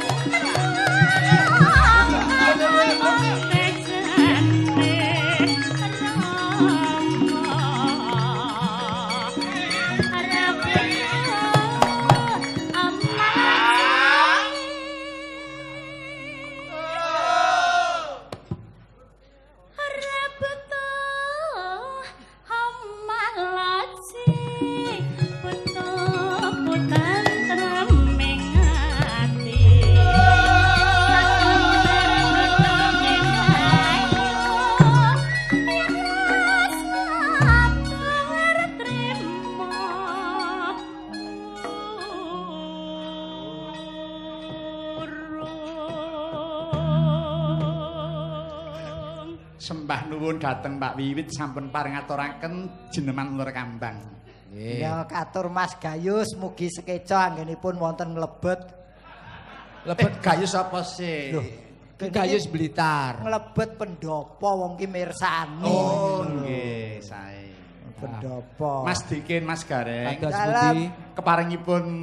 Rama Widodo menika anak kula Bayu dipun dawuh nderek sowan mriki. leres Nggih. Selama Bayu saged ndalang nembe menika Eh, wis sowan diketokke. dhateng Sidoarjo. Kedah dalu menika Mas Bayu ngetokaken sabetipun. Wis tokno karo sanule. Yen perlu nganti tugel tangane.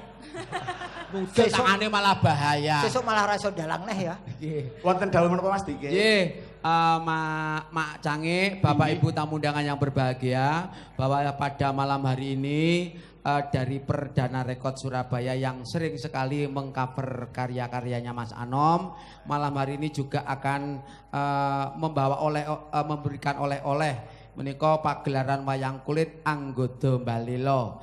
Menika bintang tamunipun kula eh, kalih wiwit kalih rumah tamu Lagi ning kene gambare guru moto muntok kok. Aku melu iki Iya. 10% lho. Jadi bagi Bapak Ibu yang berminat, mangke ada yang melayani untuk gratis. Eh ya, nggih. Kados kalau wingi hanya kami gratiskan saja di Surabaya gratis, wonten ing eh, Malang nggih menika namung gratis tetapi Bapak Ibu kemarin malam terjadi perkelahian yang sungguh luar biasa. Barangnya tidak cukup sehingga ngantek berantem kesan urusan polisi dan rumah sakit. Untuk meminimalisir eh, percekcokan ini maka malam hari ini dijual. Oh, alah. Kere, kere. Nggih. Menika wonten 6 dis ya, perdana rekod Iki kuwi wayang kulit. wayang kulit. Ki yo gambare nganggo tentara wah, iki dudu panglima iki. Apa? Apa? Pang pelem iki. Kok gambare kok iki lagu ya niki. Iki lagu album Campur Sari Center Indonesia wonten Gulu Pedot. Nanti Bapak Ibu Oke. bisa eh, membeli ada yang melayani di hadapan Bapak Ibu. Matur nembah nuwun Mas Anom iki. sami-sami. Iki iki. Apa? Iki ana sing pesen kaset 100.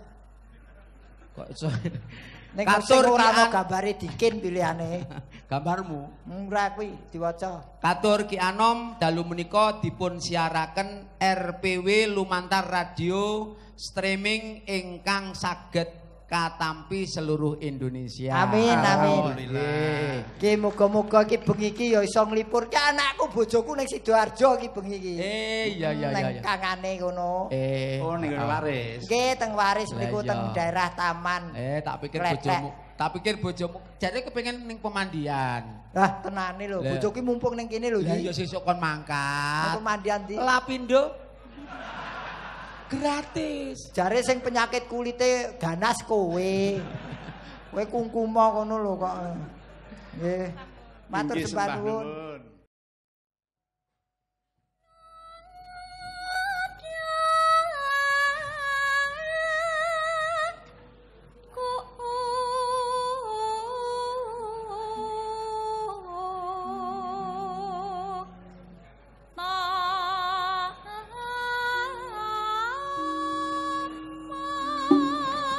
Kakung haji sing putri sregep ngaji. Pancen ya ngono.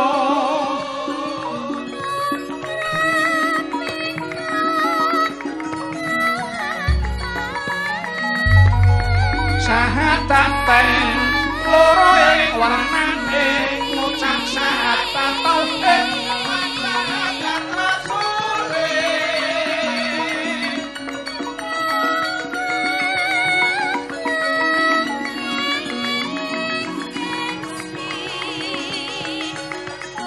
salat lima waktu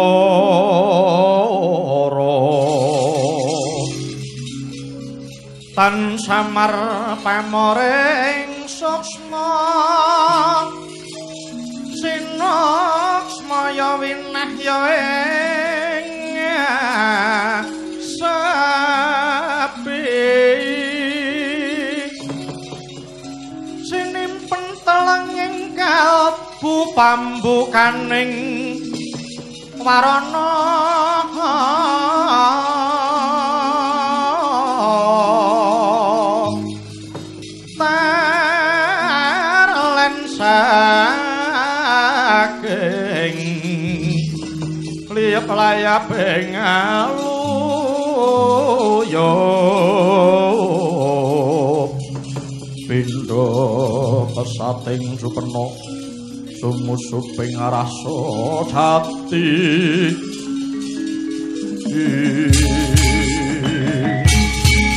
Lahing kono ta wau?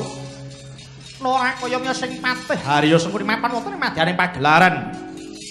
Nagari ngawangga ngawe sangya para putra Kurawa gambar ambelap paryayah roping Jalaniti Bahni palwaka siking guna tahana lena.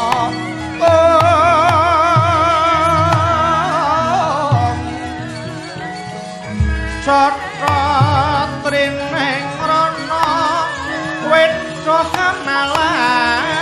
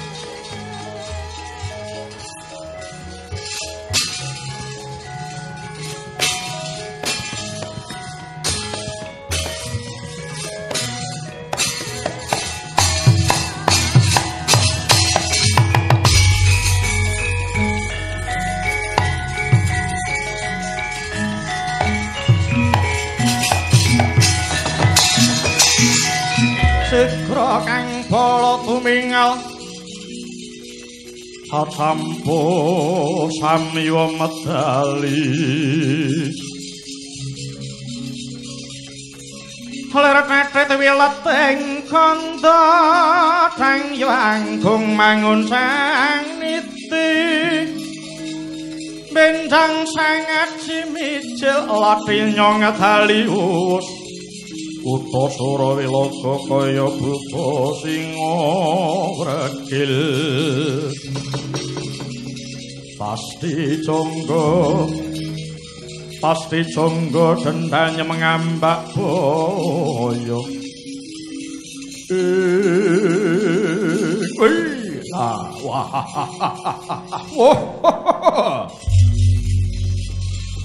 Paman Sengguni ingkang sampun miyos saking pendhapi Ngastina man kados pundi pawartane man dawuh saking Kakang Prabu Basukarno Kula keng putra Banjar Junut pun Dursasana cumadeng dawuh Kulup anakku Kurawa kabeh wae ora perlu aku ndumuk mbaka siji bakune sapa sing padha ngadhep ing pengarepanku ya kuwi sing wajib nampa dawuhku. Ih, Mas. Ora susah padha sarwana oleh matur cukup ngrungokno ngrasakno terus mengko doh nglakonono apa kang tak dawuhake.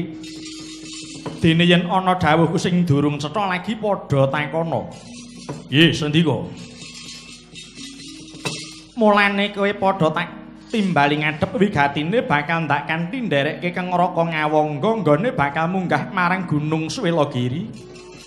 Saperlu nggayuh wahyu Makutarama. Awewaton lelakon sing wis-wis uger Kurawa nggayuh wahyu mesti ora tau entuk gawe. Mula kang saka iku sepisan iki tak jaluk aja nganti gagal. Kowe kabeh tak perintah wiwit dina iki Gunung Swelogiri padha pagerana dengkul mubeng.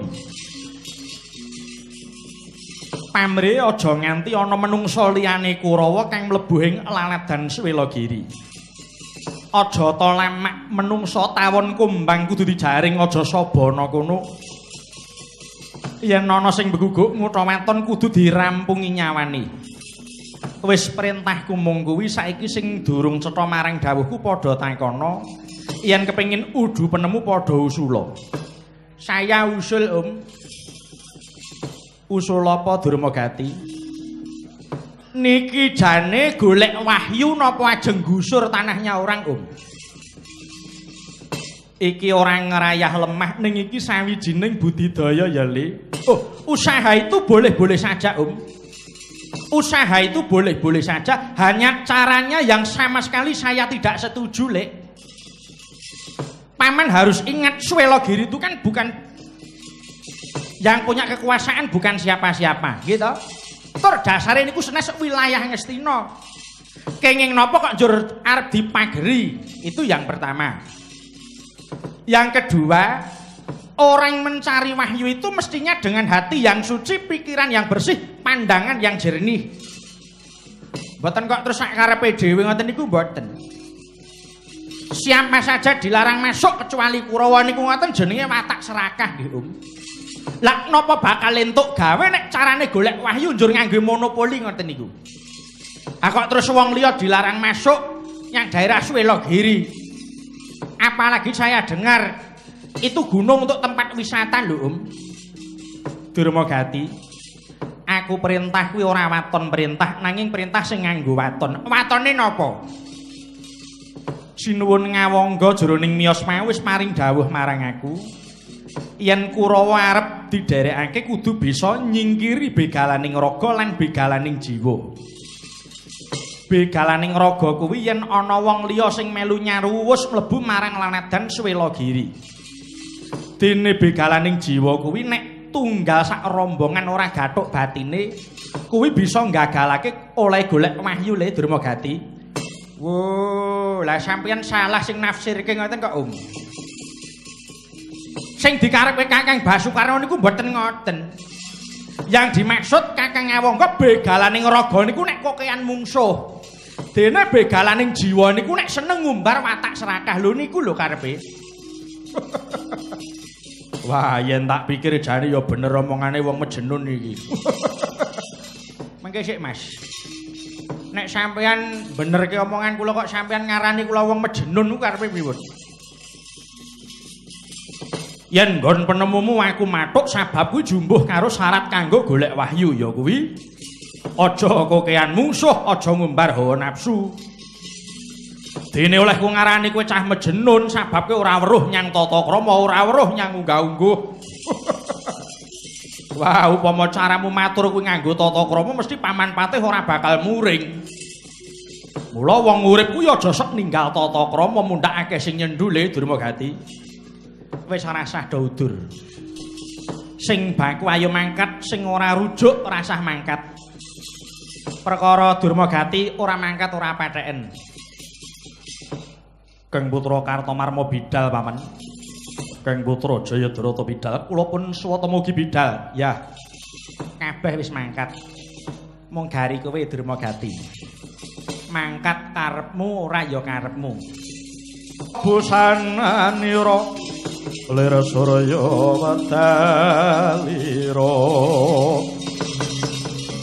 Saka ing jalane diarasa madhangi jagat Tuk mungup-mungup aneng Sabocah ing bukir merbaba bang sumirat.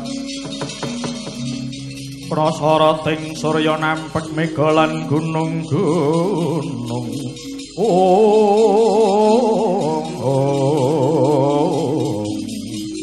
Foto kowe mangkono. Wes ketingal lumaris bidaling para Kurawa.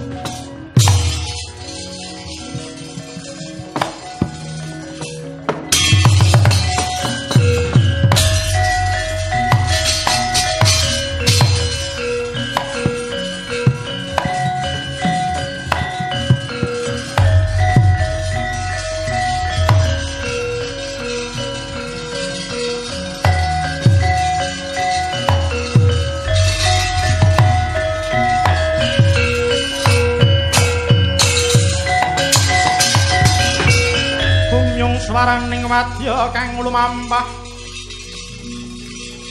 Kumpul saduru-duru hatototan jaruk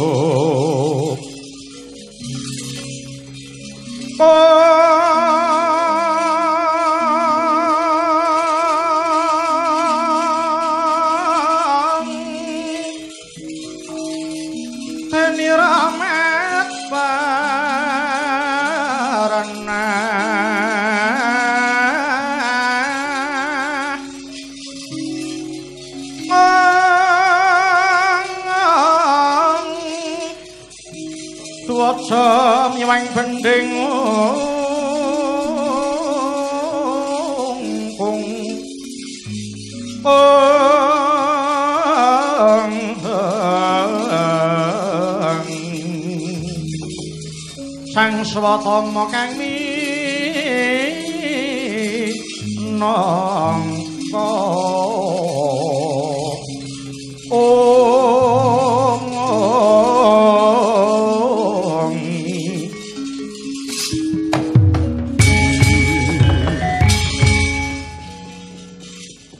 Ya jagat dewa Bathara. Wis sawetara wektu nggonku mapan ana ing lengkahing wukir Swelagiri. Wigati nuhoni dawuh timbalane Sang Resi Kesawa Sidi. Kinen rumeksa karaharjaning pertapan kutha Runggu kang mapan ana pucak ing harga Swelagiri. Manut dawuh kang tak tampa, Sang penemban ngenteni marang salah sawijining satriya kang ing tembe kuat kesinungan nugrahaning Gusti. Wektu iki penemban durung kersa nampa marang tekane sapa wae. Labet panjenengane lagi mesu cipta ana madyaning sanggar pamujan. Lho. Anoman malumpat sampun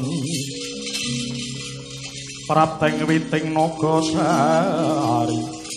ing nedenge aku ngudarasa kayana barisan segelar papan tur miranti senjata katone oleh mlaku kok ngener lengkeng wukir iki.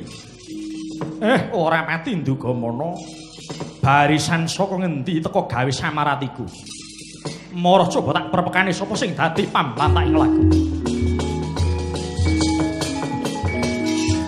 niat langening kalang nyewana gelar banten muncar. Tinon lir kekoneng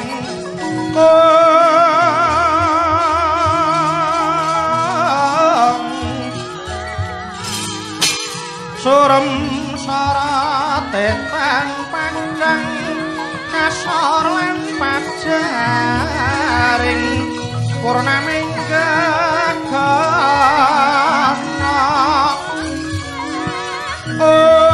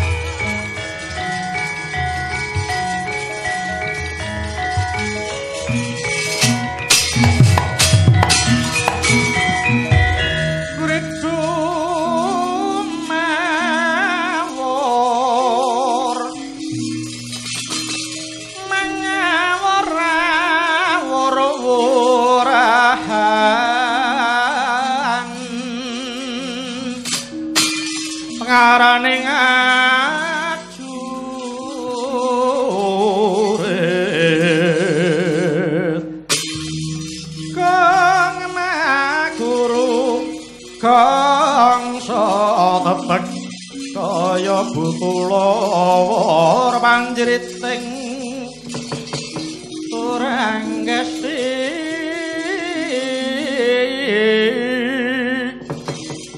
perkata ingkang tuwa lelayu sapi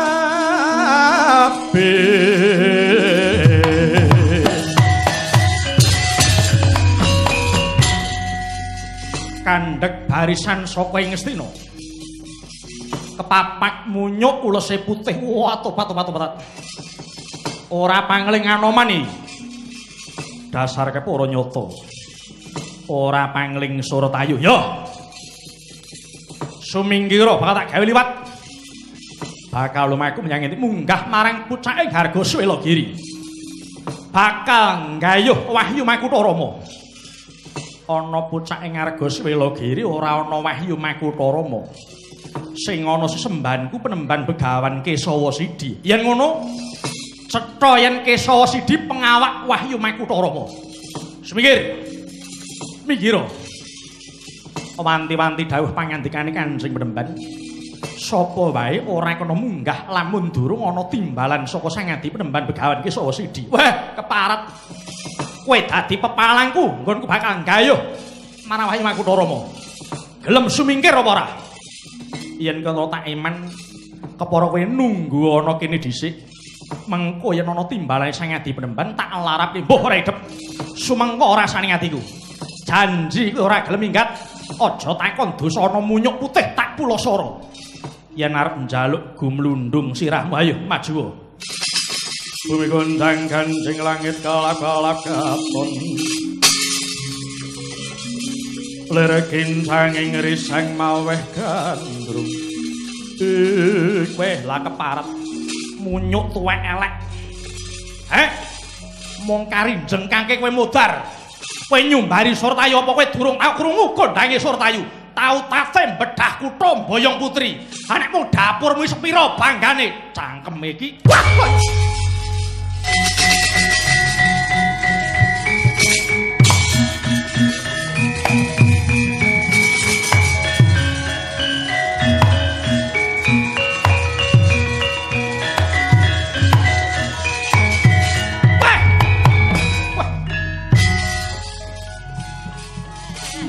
karepe dhewe ngantem ra omong-omong. Oh.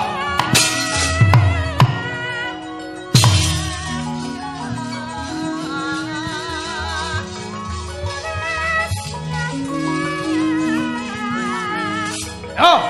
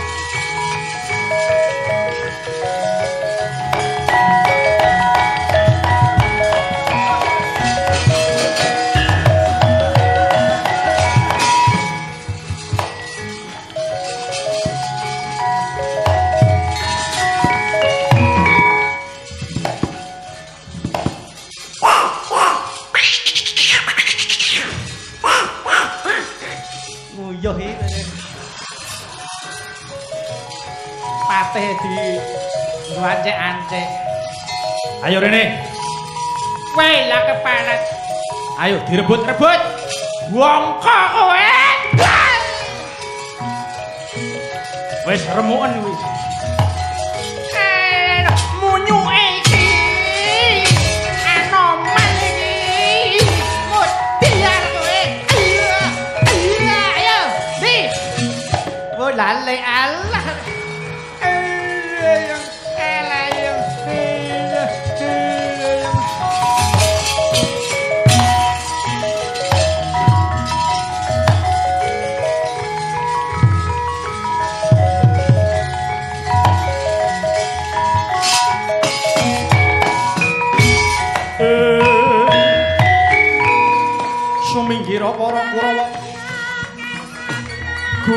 Genderamu bongkokno gamanmu. Aja ngaling-alingi pandulung iki narmati ngawunggo. Hasu karno. Ayo. Anoman pancen ora kena digawe becik ngajurene. Rangket ilang nyawamu parah.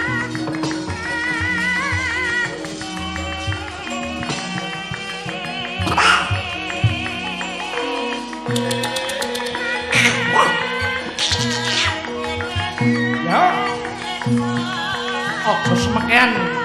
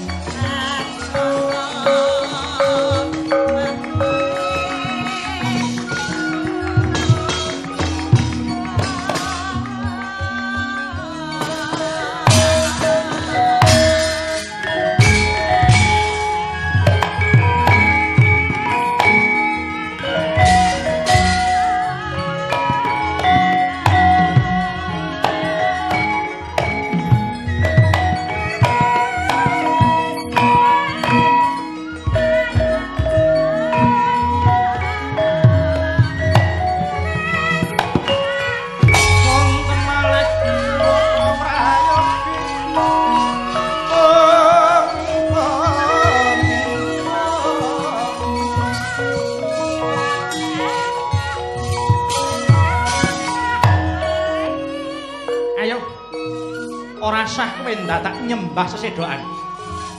Ketokno jiwa kesatriamu. Ayo. Ngadeg. Ungalno dadamu. Ayo adu dodo. Iki Narpati ngawangga Prabu Basukarno. Aja tolamak Anoman siji, Anoman sewu.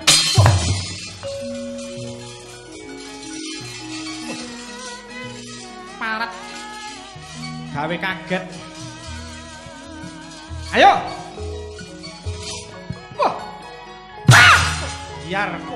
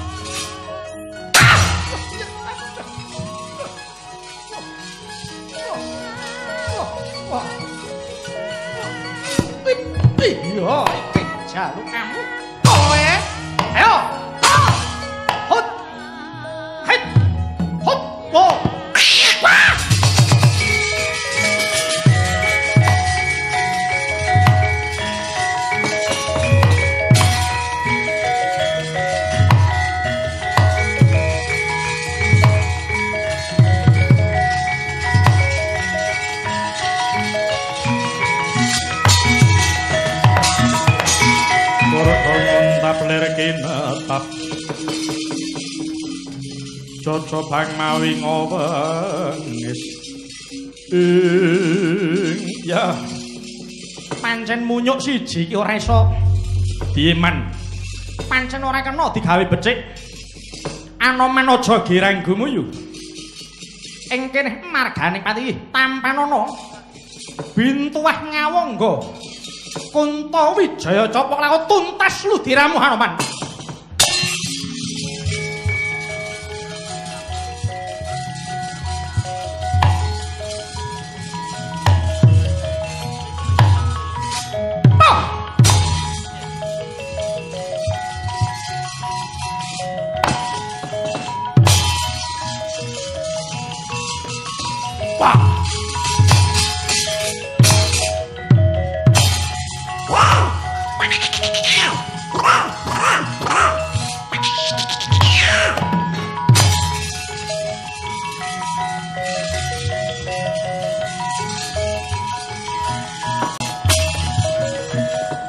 Narpati ngawangga Prabu Basukarno. Iki sawangen pusaka Wijaya Capa Ratu Mama ana dadane Anoman. Kepara bisa tak saut bakal tak gawa lunga jaluk kelangan Prabu Ngawangga.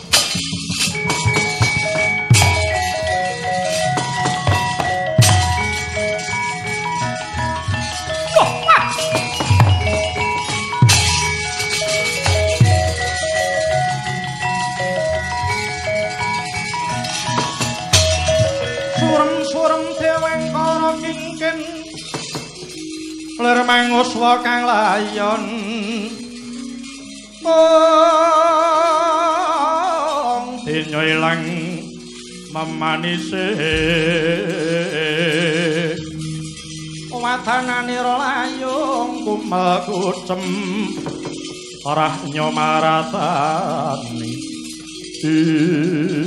ya jagat dewa bathara teka semene pacoban kang tak tampa saka pangeran.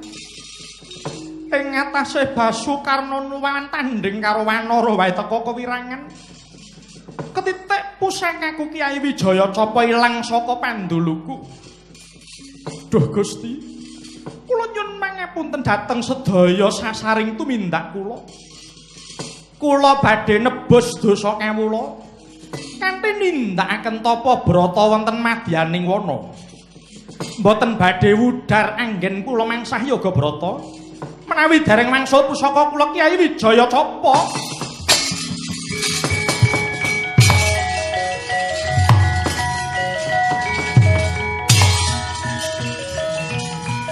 Eh, mundur para Kurawa nyimpang dalan.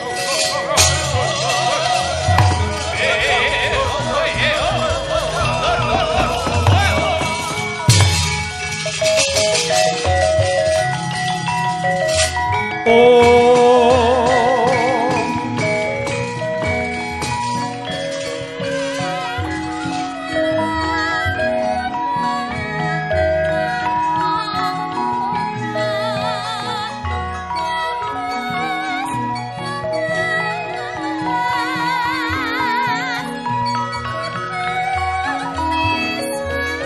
Wiyat langening kalang yuwana klara bangga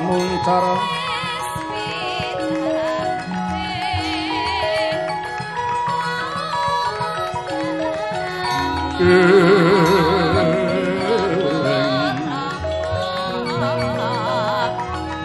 soro tetan padang kasolan pacaring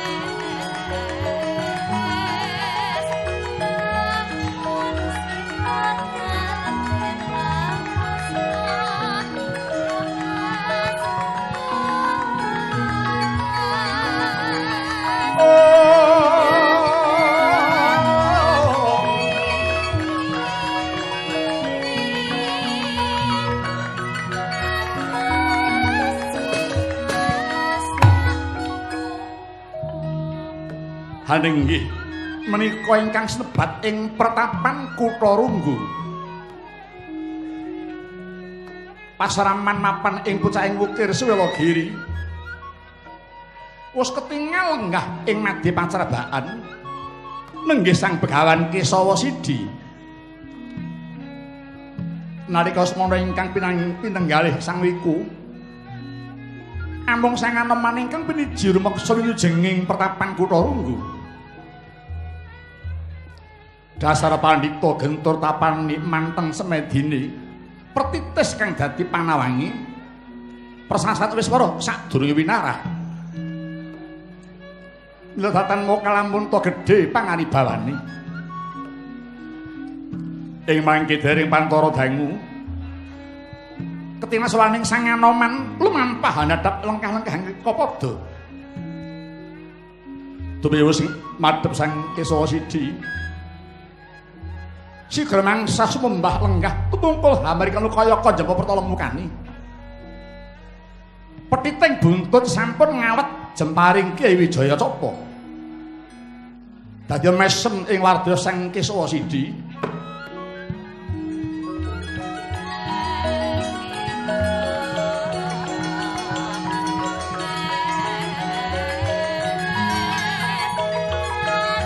Leng-lengar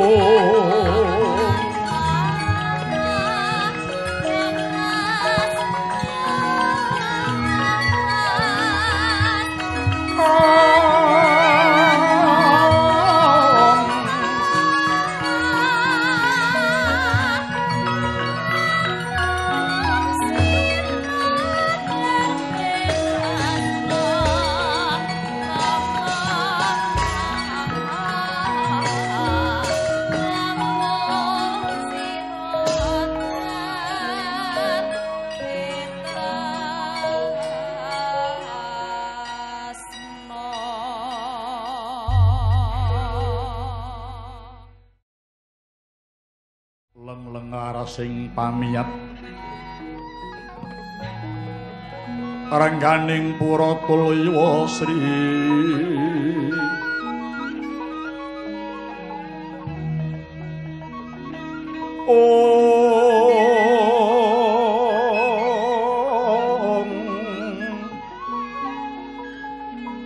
Cinawis Satya Manik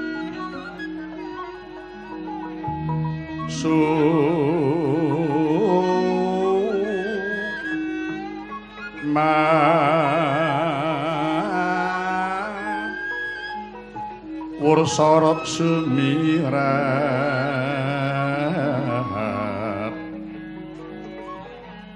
Sirate mangilat tadit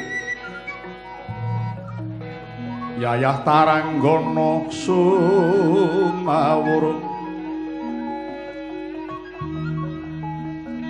ujwalanira sumunu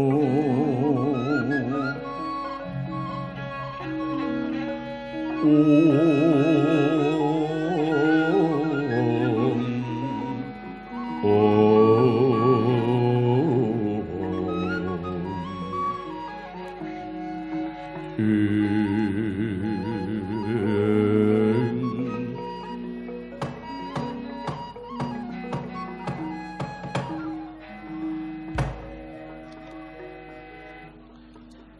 Hongilahing masidam sekaring bawana langgeng. Ndak waspadakake yang noman kang wis bali ngadhep ing ngarsaning sun. Eh senggono. Kepriye pawartane nggonmu ndak utus rumeksa marang kaharajaning petapan kutha Rungguh Anoman. Nuh inggih, pareng muncul atur sangat dipenemban. nalika kula nengga wonten ing lengkeng ukir Swalagiri kedadak wonten barisan saking negari Ngastina badhe minggah ing pucaking ukir. Kula wangsulaken boten purun satemah dados Bandayuda. Penemban pangestu paduka sanget penemban. Kula kelampan lumawan tanding mengsah kalian Kurawa kula mimpang. Kalebet Prabu Basokarno nglepasaken pusaka Wijaya Capa saged kula saut. Ingkang menika monggo penemban pusaka Kyai Wijaya Capa. Kula gunjang sangat dipenemban kepareng lang nampi. Menika mujudaken pisungsung saking Anoman kunjuk dhateng sangat dipenemban. Leng-leng ramyaning kang driya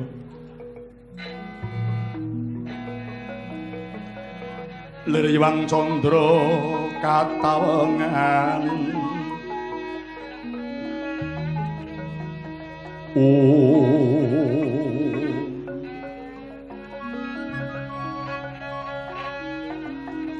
Anoman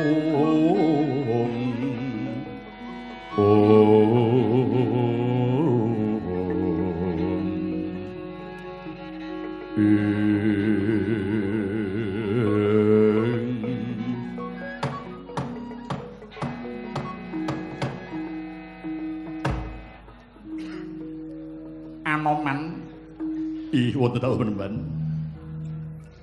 wis tak tampa ing astaku aja dadi atimu ora tak tampa pisungsung wanoman.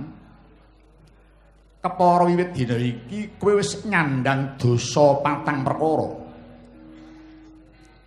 Kang sepisan sira dosa marang Prabu Basokarna sabab gawe gelo lan rusak ing pikiring Ratu Ngawungga ing mangka pandhita iku darbe hambek pitung prakara yaiku hambek hanuraga. Tresna wasih bersesama tanduk haris ulat manis. Ing cipta demen tetulung.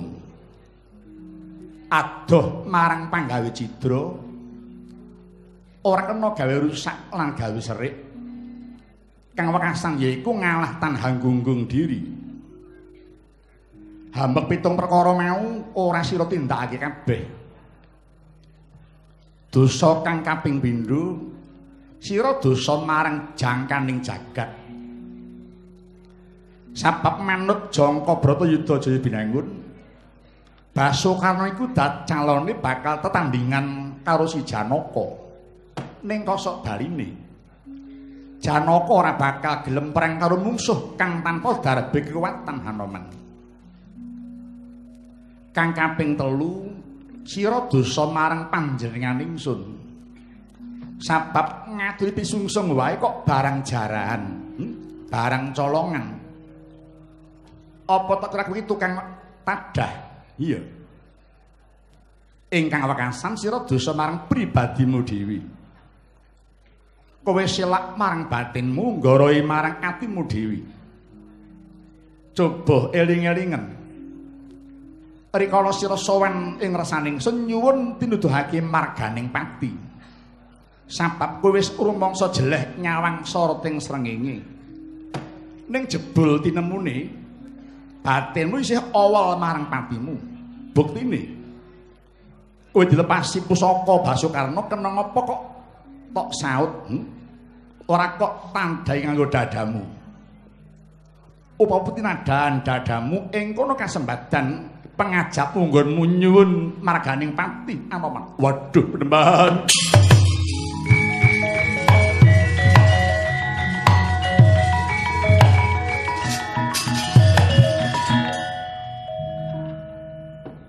Duh sangat di bocah nyono bilih lekas kula menika wau nguwuhaken dedosan ingkang kedah kula sandang penemban mula wajib dieling-eling ya anoman tumindak sing dianggap bener mau durung karo nyen pener kok senggono. Inggih. Penemban mugi paduka kestu hambedah samudraning pangaksami. Toyaning pangak samiwa dadosa srana. Hangresi dosa tuwin klepatan kula penemban. Senggono wonten dawuh. Sira bakalan tuk pangapura nanging kanthi syarat menapa syaratipun penemban. Syarate rawuhna Raden Janaka ana pengarapanku kene nanging kowe ora kena lunga saka panggonanmu yen sira bisa ngujudi ing krutumuli kowe entuk pangapura Hanoman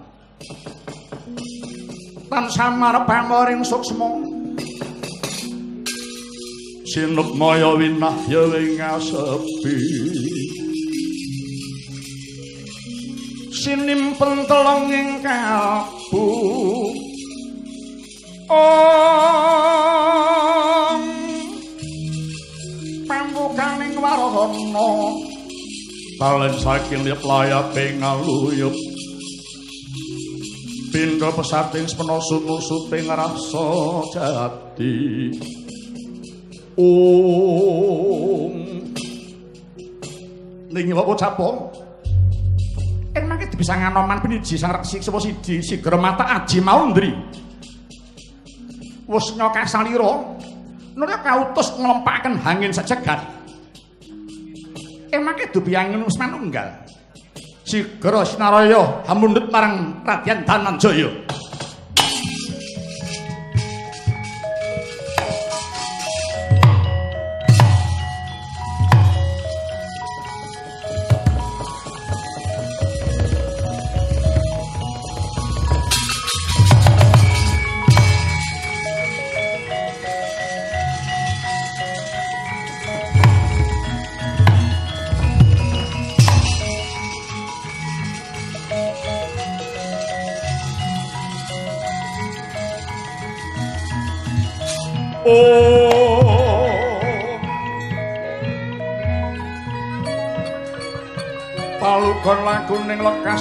Lukita linuting kidung.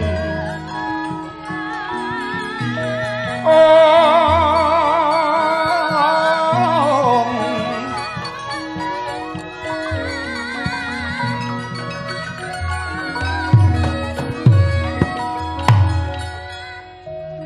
Wau to kaya mangkono.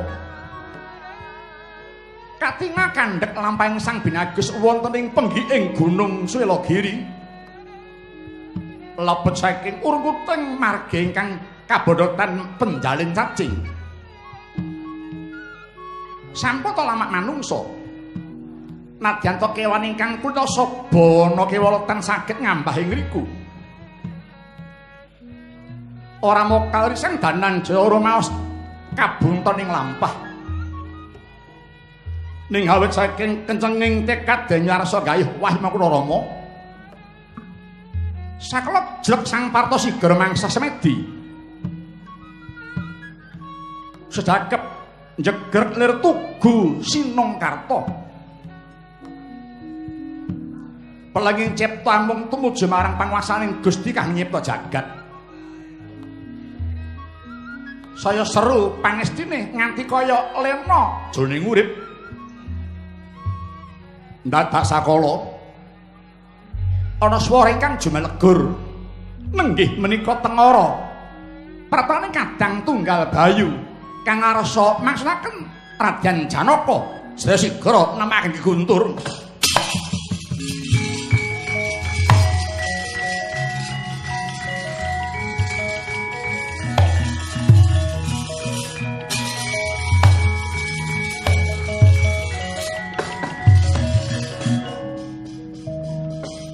to kadang bayu.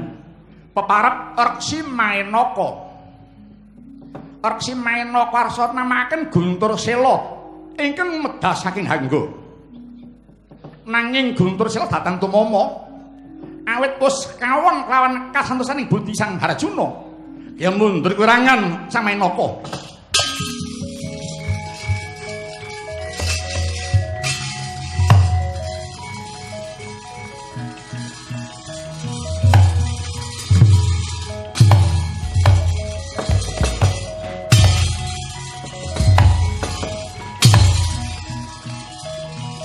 kewirangan nek kon mundur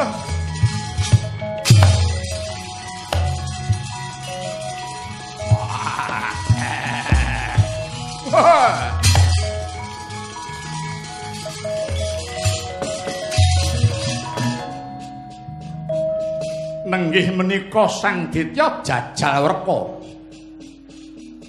Kala jajal werka rasane namaken Guntur Geni Guntur Geni medhas saking Hanggur. Arsana marang Sang Arjuna. Nyata datang tumama labet us kawon kelawan nafsu ning Sang Datan Sigar mundur Sang Jajal Werka.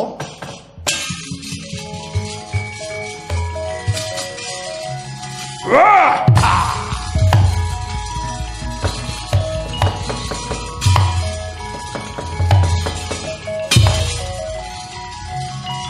Wah, lah salah. Wah, ora temomo kewirangan aku.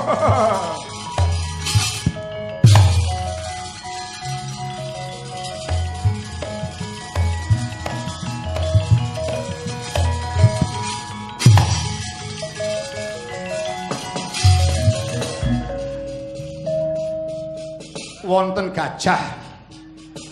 Gayah, gayah lumampah. nama Kyai Situ Bondo. Ing makrasa namaken Guntur Lemah. Ning Guntur Lemah datan tumama hawit wis kalah kelawan karasaning Radyan Dananjaya. Wah. Wah.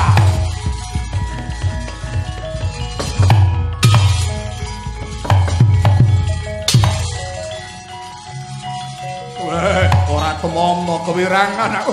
Mundur.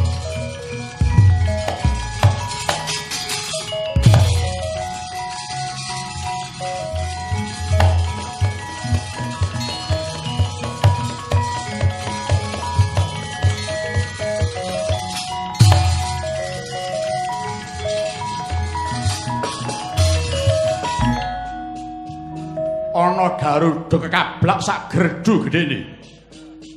nama Garuda Mahambira. Sang Mahambira so namaaken Guntur Angin. Ila ing kahanan Guntur Angin datang tumanduk. Labet wis kawon Prabawa kelawan napase ngregan jarok sing mundur sang Garuda.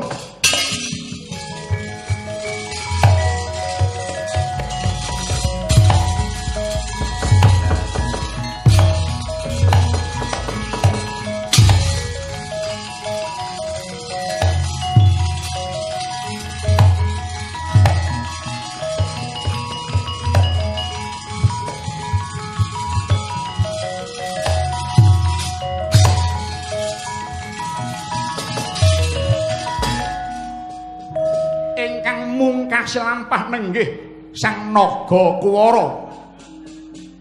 Siger ndalaken guntur toya marang Radyan Janaka.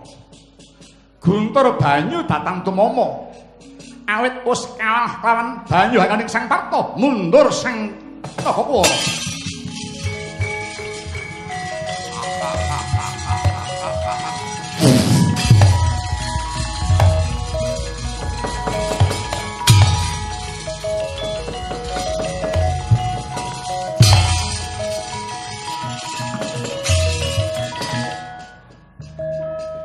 wis sami mundur para kadang bayu. Ing mangke wonten kaelokan.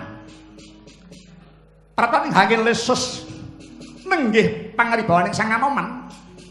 Sigra nyaut radyan janaka binetos wonten sang kesawa sidi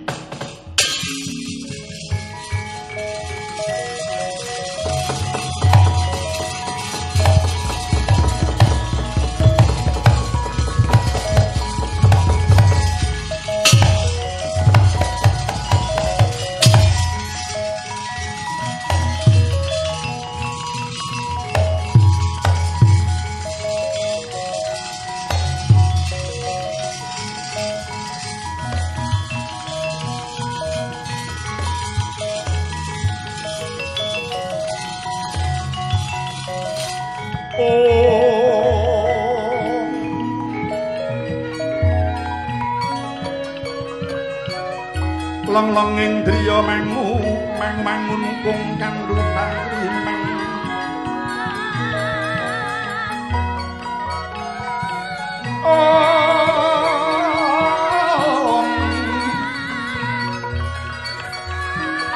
lerlen mo tanpa kanin Mm-hmm.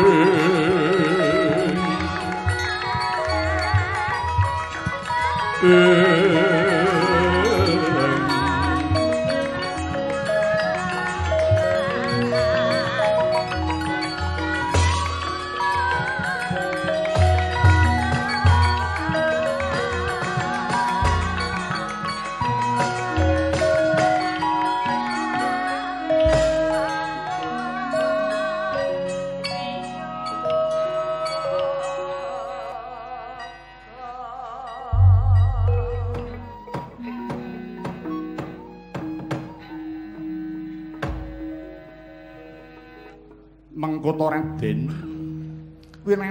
Winantu Kararejan pratawing kene Raden. Inggih sanget dipenemban. Lulus Raharja sowan kula niskala. Sawangsulipun sembah sungkem mugi kunjuk sangat dipenemban. Ya Raden tak tampa kanjeng negane atiku Raden. Nadyan boten kantun sembah kula kunjuk Raden. Iya ya Kakang Anoman tak tampa tipes padha-padha Kakang Senggono. Apa sira iku kekasih Raden Janaka panengah Pandhawa saka Madukara Raden? Inggih kaluhuran santi penemban kula pun Harjuna. Sawangsulipun menika pertapan pundi? So sinten peparipun padu sangat penemban? Sumurupa Raden, iki sinebut ing pertapan kutha Runggu kang mapan eneng pucaking harga Suwilagiri ingsun kang mangasmana kene peparapku begawan Kesawa Sidi ya Kesawa Widi Raden. Dosa penemban ora maos gawok manah kula. Dene menapa? Karana kula mboten semet sangkan paranipun teko kula sampun dumugi ngarsa andika sangadi penemban. Ing mangka nalika semanten kula nedheng tapa brata wonten penggi ing harga Swilagiri. Wikados enggayuh wahyu makutha Rama penemban. Raden Arjuna kula wonten dawuh. Nalika sira munggah marang Gunung Swilagiri apa ora ana pepalang lakumu Raden? inggih penemban estonipun kathah geguntur ingkang dados pepalang badhe mangsulak lampah kula. Namung sedaya geguntur kalawa saged sirna. Hawit saking daya pirantosing gesang kula penemban oh, ya ya Raden syukur bagi sewu. Semburu Raden Harjuna. Mulane jeneng para kaya wong nyupena temeka ing pangarapanku kene. Ya sebab saka budidayane si Anoman ing ingsun utus ngrawuhake jeneng para Raden Harjuna. Mulane Raden tak rawuhake ing pertapan kene ingsun mau kepengin mundhut pirsa marang Raden Janaka. Apa Raden wis santuk wahyu makutha Rama? Kang sira gayuh Raden. Penemban nyuwun pangapunten kula dereng pikantuk wahyu makutha rama. Durung entuk wahyu kula nyuwun inggih lah ngerti Raden Janaka ngulat ana sejagat ora ana titah kang sinung wahyu makutha rama mung kejaba jeneng ingsun pribadi Raden duh penemban bilih mekaten keparenga kula suwun penemban Oh. Iya ya Raden Janaka. Gandeng nggonmu nggayuh wis tinebus kanthi tapa brata. Ingsun ora bakal kabotan maringake wahyu marang jeneng Raden Harjuna. Inggih. Mriki tampan Raden. Iki wujuding wahyu makutha Rama Raden. Oh. Oh.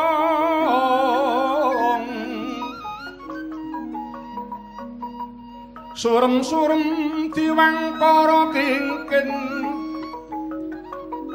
lara mangoswa kang layon.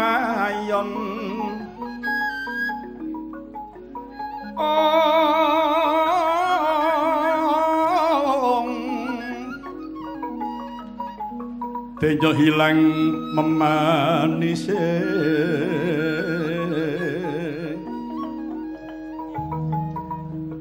Wadananira layung kumo kucem rahnya maratani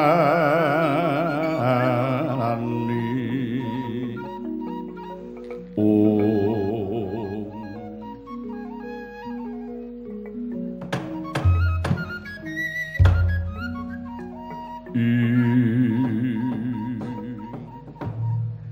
Raden Janaka wis tak paringake malah susah ki ana apa Raden? Duh penemban. Kula njerik. Kula mangertos menika sanes Wahyu Makutha Rama. Namung menika pusaka ngawungga agemipun Kakang Basukarna. Kyai Kuntawijaya Capa penemban. Mlayu dipun paring dhateng Canaka. Pedah menapa kula rencangi tapa brata. Jebul namung pikantuk pusaka sanes gadahan kula. Sanes jiwanipun Janaka milik dhateng darbeke ngasanes sang penemban. Bae ladalah. Raden, Raden Janaka jebul resik lahir batin Raden, moh milik duweke liyan. Kepara sira nyuwun mati. Ya ya. Muga-muga lekas miku kena kanggo tuladha kelawan para satri liyane ya Raden tanpa milik marang duweke liyan. Nggih. Lah iya to. Sing satriya wae ora milik duweke liyan. Kena ngapa sing jeneng pendhita kok milik duweke liyan? Kuwi pendhita kepiye ngono kuwi. Oh anoman modar wae kuwi pendhita kok milik ndeke wong goyang ngantor ngidul. Kaya nggo eka wae. Mati ya anoman nyuwun pangapunten penemban. Iya, ora dadi apa. Satriya kena kanggo patuladan ngiring marang pendhita sing kleru mau. Inggih, kula lepat. Kula lepat penemban. Mboten pari kula wangsul malih. Nek mboten kepepet. Kuwi ora kena. Raden, kula wonten dawuh. Sumurupa. Wahyu Makutha Rama iku mung piwulang Astabrata. Piwulang saka sawarga Prabu Rama Wijaya duk nalikane misuda kadangi taruna kekasih Raden Barata jeneng rata ing negara Ayodya. Saka luhuring piwulang Astabrata mau nganti derajate padha karo Wahyu. Mula sinebut Makutha Rama Raden. Nun inggih remban marah kepara ngarsa lungguh Raden ingsun bakal nirakake piwulanging Prabu Rama Swargi lan eling-elingen dawuh kuwi aja nganti layu Raden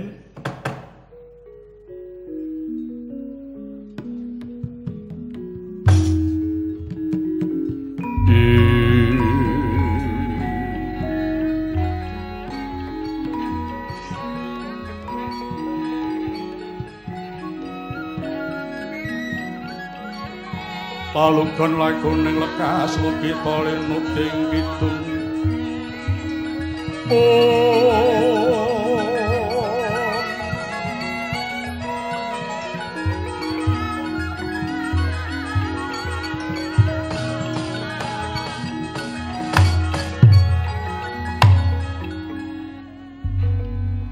Raden Janaka sumurupa.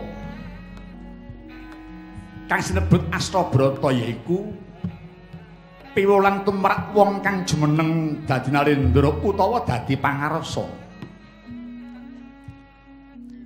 Mula sinebut Astabrata. Asta iku wolu, brata iku laku. Ingkang dikarepake ing kene Narendra utawa pangarsa padha nulada marang lekasing Surya Candra Kartika Himanda Bumi Geni Samudra lan Maruta Raden. Nuninggi Kang sepisan nindakna marang wataking srengenge. Surya iku darbe watak panas nanging uga dadi srana tumraping dumadi. Semono uga wong jumeneng Narendra kudu netepi marang wataking srengenge.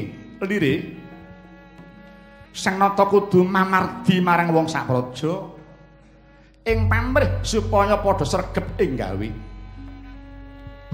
Kang usanane wong sak praja mau padha ngunduh marang kuruping pakarti. Praja kang mengkono isine bakal mahanani tata lan tentrem Raden. Kula nyeninggi. Ingkang kaping pindho ngagempa marang wataking candra utawa rembulan. Rembulan iku pakartine hamadangi ing pepeteng watake neng semake. Mangkono kok jumeneng Nalindra kudu bisa nuhoni marang wataking rembulan. Pangarsa to Nalindra kudu bisa aweh pepadang marang kawula kang lagi ke taman pepeteng. Dene itu minta pangruwi marang wong sak praja dianggep kulawarga. Wusana wong sak praja padha sumuyut sarta sumungke marang Sang Nata. Praja kang mengkono isine bisa nuwuhake kerta lan raharja ya Raden. Kula nyeninggi. Kang kaping telu ngagempa marang wataking Kartika utawa Lintang. Lintang kuwi dadi pepasaning wanci benging mangsa sepi. Lakune dadi panengeraning mangsa kala. Mengkono uga jumeneng Nalindra demen olah kasutapan lan kudu bisa dadi tuntunan. Sekateng tindak sang nata ora kena singlar saka kautaman. Kang usanane wong sak praja padha nepa palupi marang Sang Prabu. Praja kang mengkono mau isine kebegan ing karaharjan Raden. Lho inggih kaluhuran sabdaring sangati penemban. Kados pundi selajengipun penemban. Ingkang kaping papat yaiku nulata marang wataking Himanda utawa mendung. Mendung iku nonton wujude wae wis gawe giris kang padha tumingal. Dene pakartine dadi panguripan sekabeng tetukulan ning uga dadi pangurusaking dumadi. Kuwi mendung. Mengkono uga dadi ratu kudu nuhoni marang wataking mendung. Yen pinuju ngasta bebenering praja kudu nandhokake singit wingit ya mung tumibaning pangandika tansah ngegungna ing para marta ning kosok baline yen wis nibake bebening praja aja nganti hambau kapine. Ora kena ana pangarsa kuwi kulawarga apa kulit daging. Raden lamun Sang Prabu bisa tumindak mengkono wusanane bakal nuhake pangati-atine wong sak praja. Praja kang mengkono isine kena diarani luhur ya Raden. Kula linggih sangat penemban. Ingkang kaping 5 yaiku nindakno marang lakuning maruta utawa angin. Angin kuwi pakartine hanyrambahi kabeh kang gumelar. Nadyan papan kang delik sarta kang rungsit kabeh padha kawaratan dening angin. Semono go jumeneng nata kudu titi marang saliring paniti priksa ora kena nyepelekke marang perkara kang gedhe utawa cilik. Sarta sang nata demena nindakake hanamur kawula. Ing pamrih supaya cetha nggone mirsani marang kahanan kang nyata ingkang dumadoni wewengkone. Yen wis pirsa marang kahanan kang nyata Sang Prabu mengko ora bakal tida-tida nggone bakal ngetrapake marang larasing pernatan. Ing usanane banjur nuwuhake sumungkeming para kawula marang Sang Nata. Dene praja kang mengkono mau isine wong-wonge ora bakal kagiwir saka pamikating liyan. Satemah kena denarani negara ingkang jejeg sentosa tegi Raden. Nuninggi. Kang kaping 6 ngagema marang wataking dahana utawa geni. Geni ku watake jejeg pakartine kuwasa ambrasta kang padha sesenggolan marang dheweke. Semono uga Sang Prabu kudu bisa netepi marang wataking geni Rehning Malindra iku mujudake angger-anggering praja. Mula ora ketang kuwi kulawarga apa sentana, apa wadyabala, apa kawulane pisan. Yang luput kudu dipidana ingkang satimbang kelawan luputane lan pakartine. Satemah ing kono nuwuhake keruntutan miwah kasetyan. Praja kang mengkono Raden, isine iku kena den arani adil Raden. Kula nyeningi. Kang kaping pitu nolata marang wataking samudra utawa segara.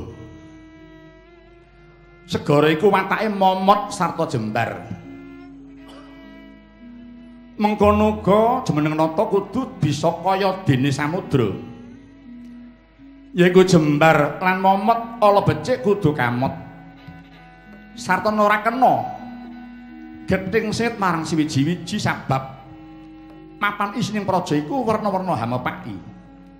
Ning kudu wiling Raden yen to kang ala lan becik kuwi mapan dadi praboting praja.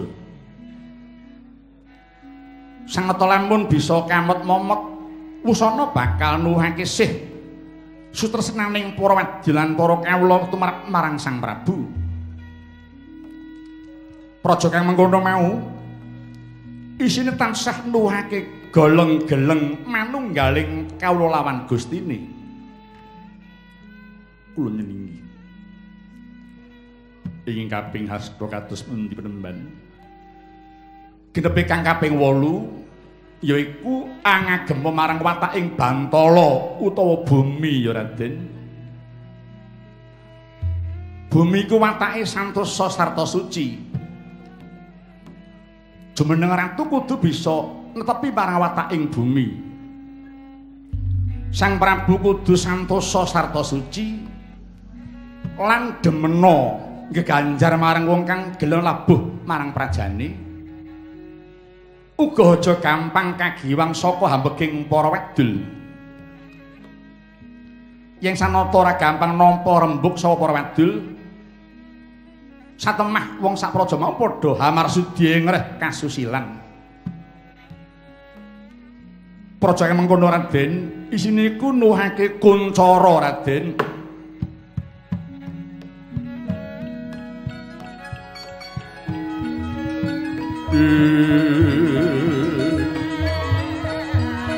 Oh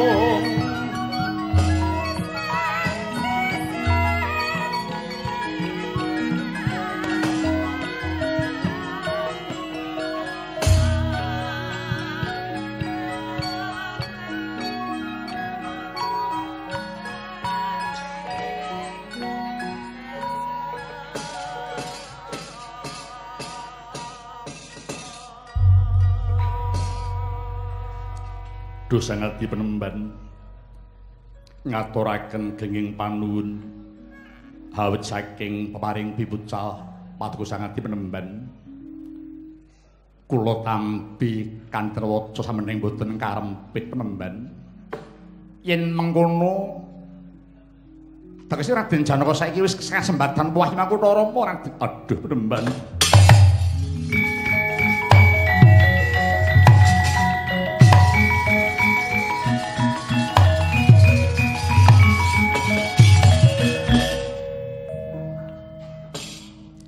unjuk syukur ing lesaning pangeran. Lumantar patuku penemban kula sampun sembodo muni wahyu makutha rama. Muga Gusti kang nyipta jagat ngudaneni wahyu makutha rama lestari krasan mapan marang Raden Harjuna. Inggih ngaturake penuwun sangati penemban kajawi saking menika do penemban mbok bilih keparengaken. Kula nyuwun dawuh menggah sinten benjang turun kula ingkang jumeneng nalindra penemban. Bumi gonjang kanjing langit kelap-kelap katon lirikin sanging sang maweh gandrung. Sabarang katulu lukir moyak mayik Om. Raden Janaka kula wonten dawuh menawa sira kepengin wuni ngosapa turun kang bakal dadi ratu Mara gagi. Raden Janaka mlebu ing gua garbaning sun kene. Yen pangeran ngudaneni mengko sira bakal pirsa sapa to turun kang bakal dadi ratu. Mara gagi tak wangake ragaku iki sang Raden.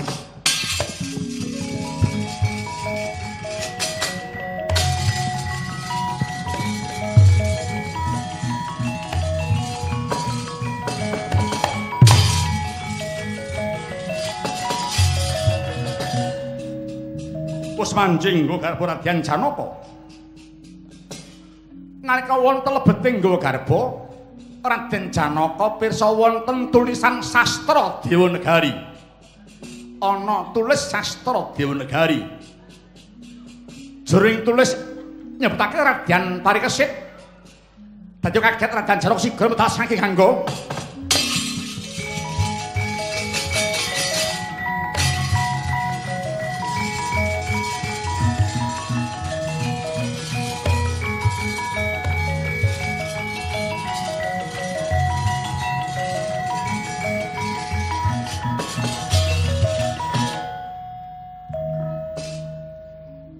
kepriye Raden ana jroning nggo garba Raden pirsa apa inggih sanget penemban ing lebeting nggo garba paduka kula nyemerepi wonten seratan sastra Dewanegari mengku surasa apa duh penemban kula kesupen penemban Oh, oh, ya wis, ya wis. Kudu narima Raden. Awit kersaning kang hangelar jagat sira ora dikeparengake ngiling-iling. Meningi. Gane wis antuk gawe Raden. Luwih prayoga yen to dina iki uga Raden Janaka tumuli kondur marang praja wae. Mengko mundhak dadi pangareparing para kulawarga Raden. Inggih menemban ngestokaken dawuh. Penemban bilih wonten paringipun. Monggo paduka kula dherekaken rawuh dhateng nagari Ngamarta.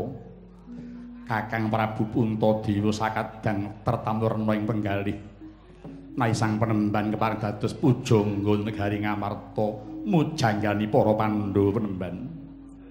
Raden wonten dawuh. Aja dadi atimu.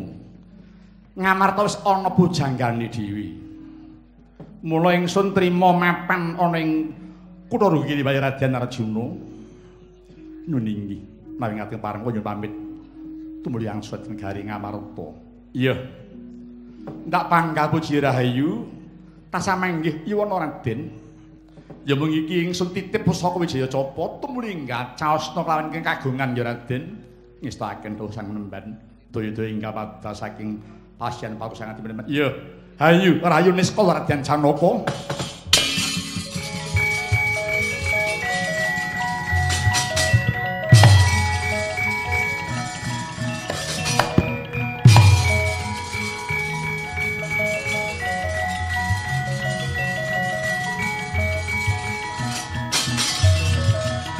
Lang-langing driya mangu-mangu kung kanduhan rimang lirlena tanpa kanin anoman ih dawuh sampun mlan banget ing pangarimangku. Dene sira kadang wis padha sabiyantu marang jeneng ingsun. Jroning aku meh ngasa ning kene anoman. Ih mban dawuh sami-sami. Gandeng wis rampung kang dadi kewajibanku sira sakadang tak keparengke padha bali marang papan sowang-sowang pangestuku tumarap marang Anoman sakadang muga kowe panjang yuswa eh Anoman.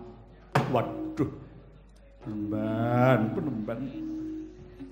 Estonipun kula tasih kraos nderek sanget penemban saha malih kula menika ingkang nyuwun dipun pungkasi gesang kula lajengipun sabda panjang yuswa kados penemban. Kula sampun jeleh ningali dhateng saning jagat. Ora kena mengkono kabeh kudu nganggo tiwanci anoman inggih. Supados kula panjang yuswa kados pundi penemban syaratipun?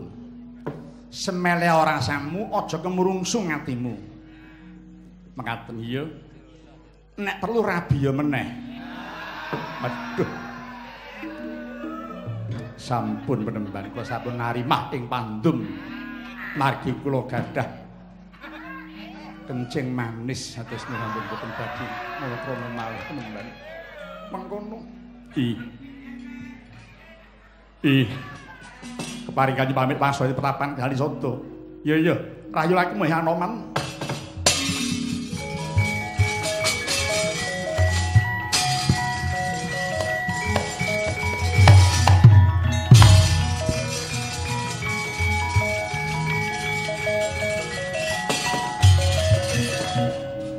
to kaya mangkono. Ing ngarti asing Sang Kisah labet wis paripurna kang dadi kewajibane.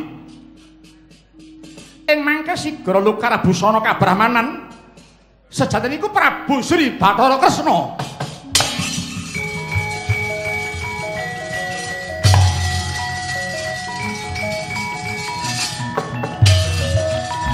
Tatkala naka Kresna tulus anyabra ring Parksiwara Jahnawi Suta Ya jagat Dewa Bathara Adikudi Kading Yayah Arjuna Terus yati temen-temen pangling marang pun kakang kang rasa kabrahmanan ki mau. Iya. Wis lega rasane atiku awit aku wis kasembadan nuhoni dawuh guruku Sang Patmana Basawargi yaiku nglumantarake piulang Astabrata marang Yai Arjuna. Dimas Kaipe aja kurang pangapuramu Yai. Syadi dhewe Praten Perjaya Marta, aku wis disiki laku Arjuna.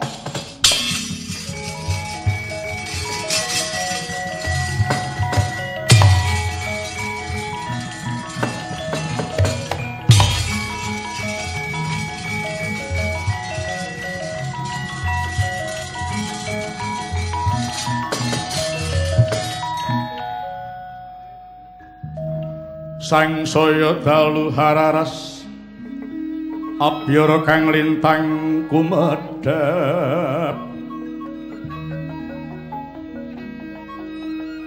Tes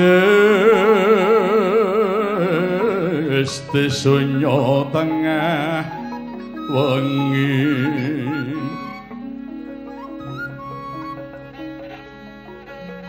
Lumrang kantaning pus pita.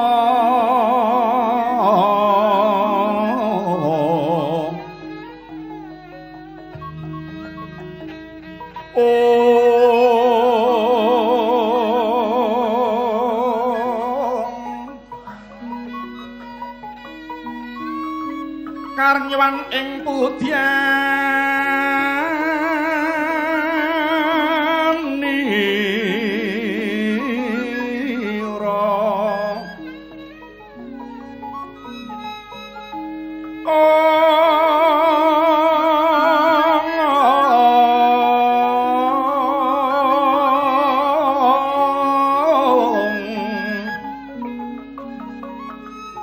Sang Dwijawara mrengeng.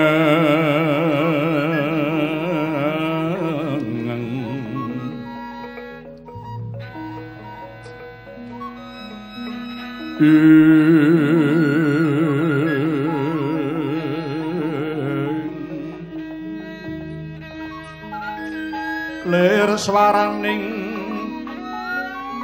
madu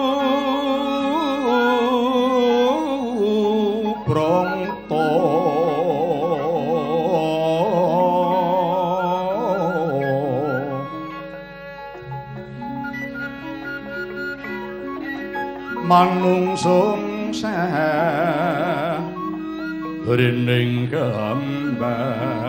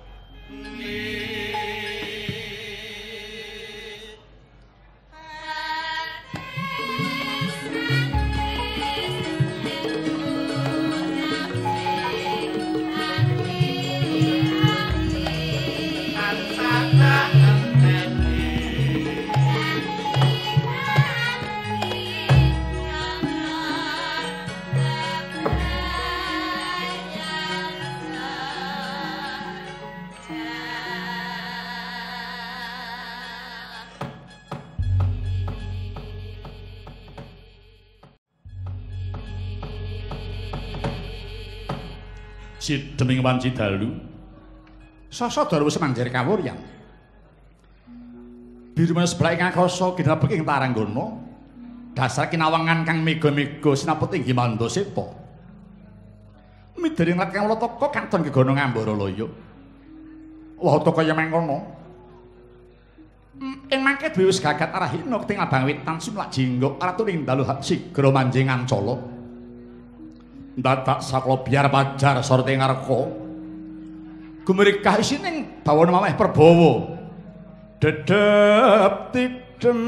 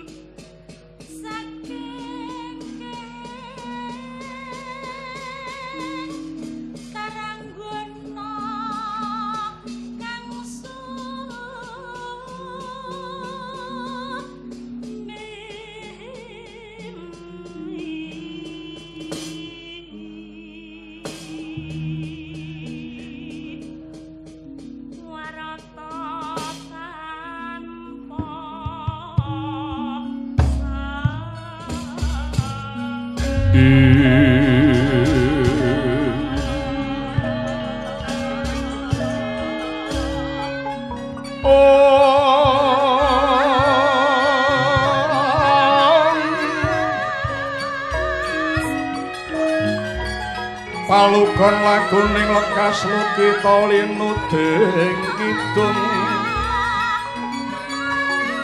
Om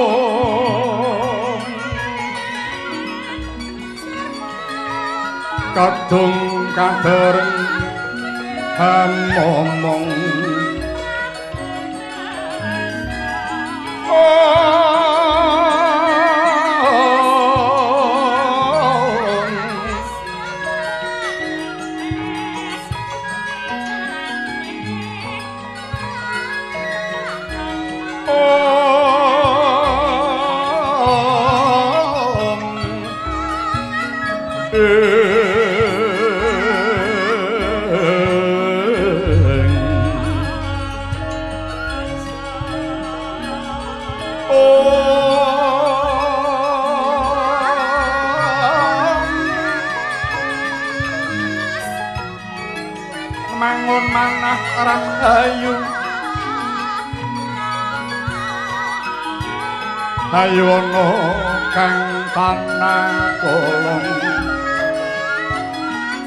Om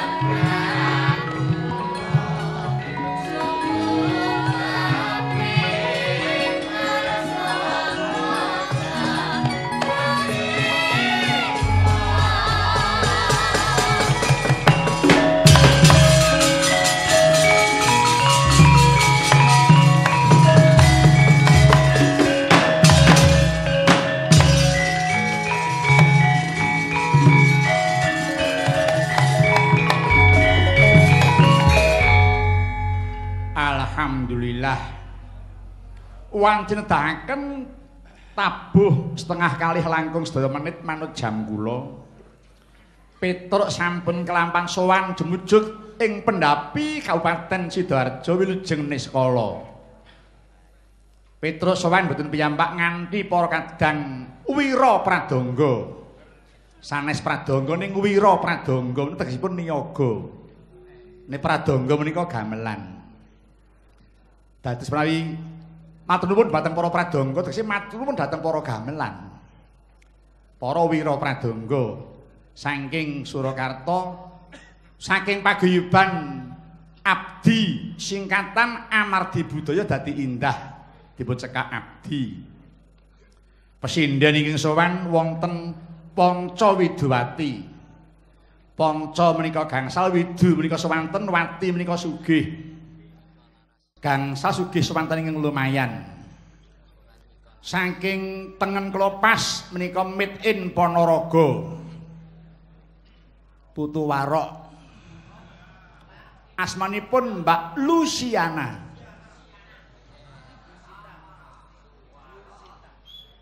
Angka kalih menika asmanipun Mbak Eka Wingking saking Sragen.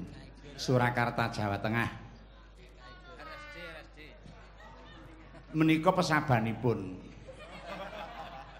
Dene alamat ingkang cetha wonten Kentingan. Sawetanipun kampus UNS Celak Rumah Sakit Jiwa. Menika pasien pertama.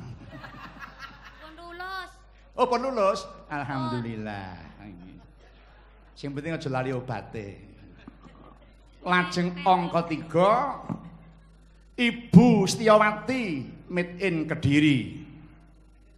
Angka sekawan Ibu kita Darsini wingking saking Sragen sampun kaloka pesinden silep godhong ganyong. Irunge ndelep bathuke nonong. Menika piyantunipun. ning nggih ngangeni. Angka gangsal menika Ibu Rosiati. Lahir ing Purwodadi Nggrobogan Jawa Tengah. Sak menika sampun hijrah dhateng Boyolali tumut jagonipun. Sing putri sinden sing kakung pemborong kontraktor. Wah jan. Kopen ketok ginu-ginu saiki deh jan nganti karuan bongkot pucuke. Dene ingkang wekasan menika baboning para pesinden. Pesinden titelipun hangabei tegese apa-apa iso melawak baut ngetoprak hebat sindan iki elok. Menika Mbak Wiwit Widayati putra dalang saking Lampung. Saking Lampung Sumatera. Kalau semanten sinau utawi kuliah wonten ing Ngayogyakarta Hadiningrat pindah dhateng ing isi Surakarta. Dari ngantos lulus lajengipun dahar kalian Cak Dikin. Sing kuliah terus melenyok wis didahar. Inggih gandeng dangu mboten sowan nggih. Niki dereng dangu nembe 13 tahun atus dereng dangu. Kula ndongaaken Bapak Bupati, Bapak Wakil Bupati sak rakyatipun tasah mangke hidup bahagia. Allahumma amin. Aku diparingi dawuh karo wong winasis sing surasane mengkene. Siapa yang ingin hidup bahagia, syaratnya ada 10 sikap yang harus dilaksanakan. Antara lain, satu, lepaskan rasa khawatir dan ketakutan. Dua, buanglah rasa dendam. Ketiga, berhentilah mengeluh. Keempat, bila ada masalah, selesaikan satu persatu. Gangsal, tidurlah dengan nyenyak. Kaping enam, jauhi urusan orang lain. Kaping pitu, hadapilah pada saat ini bukan masa lalu. Lajeng kaping wolu, jadilah pendengar yang baik kaping songo berpikirlah positif jangkep kaping sedoso bersyukurlah kepada Allah subhanahu wa ta'ala insya Allah bakal bahagia sugengipun Allahumma amin mula aku meling karo gadeng dunya ki werdine mung singkat utawa cekak mula dibarke mampir ngombe dunya ki salah tegali awake dhewe ditanduri kebecikan ditanduri kautaman digedhekke sosiale Iya. Bakali ya diunduh dhewe marga ngelingono. Sok nek kowe iki mati iso ora nggawa apa-apa. Omah ditinggal, mobil ditinggal, bojo dijak ya semoyo. Iya iya. Sing diomong amal jaman uripe ning donya kuwi mulo digedhekke amale reng. Amin. Engko ya pepundhengi Pak Bupati iki jane ngopo to? Arep ngopo coba kowe ngerti dhewe to? Piye to? Pemuda iki Bapak eh, Saifulillah iki upama ora dadi bupati, tambake wis pirang-pirang iki, Iya. Ning kersane Pak Bupati, kersane Pak Saifulillah kuwi jumbuh karo piwulange agama sing tak rasuk sing surasane sak apik-apike wong-wong sing piguna tumrap nyang wong liya. Mula kersa handapuk minangka bupati. Dasare Pak Saifulillah kuwi anu kok, Gong. Birokrat resmi tulen. Iya. Mula ora yen wektu iki minangka Sosong Agung Sidoarjo. Ya ora beda Pak Cip bareng ya ngono. Ning aku seneng kok, Reng. Piye karo Pak Wakil Bupati aku seneng kok. Wakil Bupati yang berjiwa seniman ya Pak Cip kuwi. Iya. Budaya klasik dilestarekke, diurip-urip, diuri-uri. Lho. Kalau mongso dienekke maca patan saben dina napa Pak kok lali aku. Maca pat kuwi kuwi eneng genahana. Iya. Terus dilatih kabeh nabuh gamelan para karyawane. Kuwi jumbuh karo sawijining Profesor Dr. Kit saka Wesleyan Amerika ngendikake sing surasane ngene gong. Saka sapa kulina mirengke gending klasik kuwi bakal bisa ngalusake bebuden. Ngono. Mm Coba tekan semono oleh mengapresiasi nyang gamelan. Iya. Amerika ki ngarani gamelan musik surgawi. Amerika iya. Pengalaman sing tak tindakake nalika semono ana Wesleyan kuwi uyon-uyon ning jero gereja sing rawuh tidak kurang dari 500 piyayi sing mirengke uyon-uyon kuwi. Lho, jebul kanggo terapi jiwa. Wah, coba to kuwi piyayi manca. Mula iki informasi mumpung aku swantrene reng iki informasi. Nek kowe garing ning Amerika rasah nggo yoga. Rasah nggo sinden, kono wis komplit Amerika kuwi. Sekarang tidak kurang dari 220 paguyuban kesenian Jawa kuwi Amerika. Coba. Wah. 220 iya. Coba.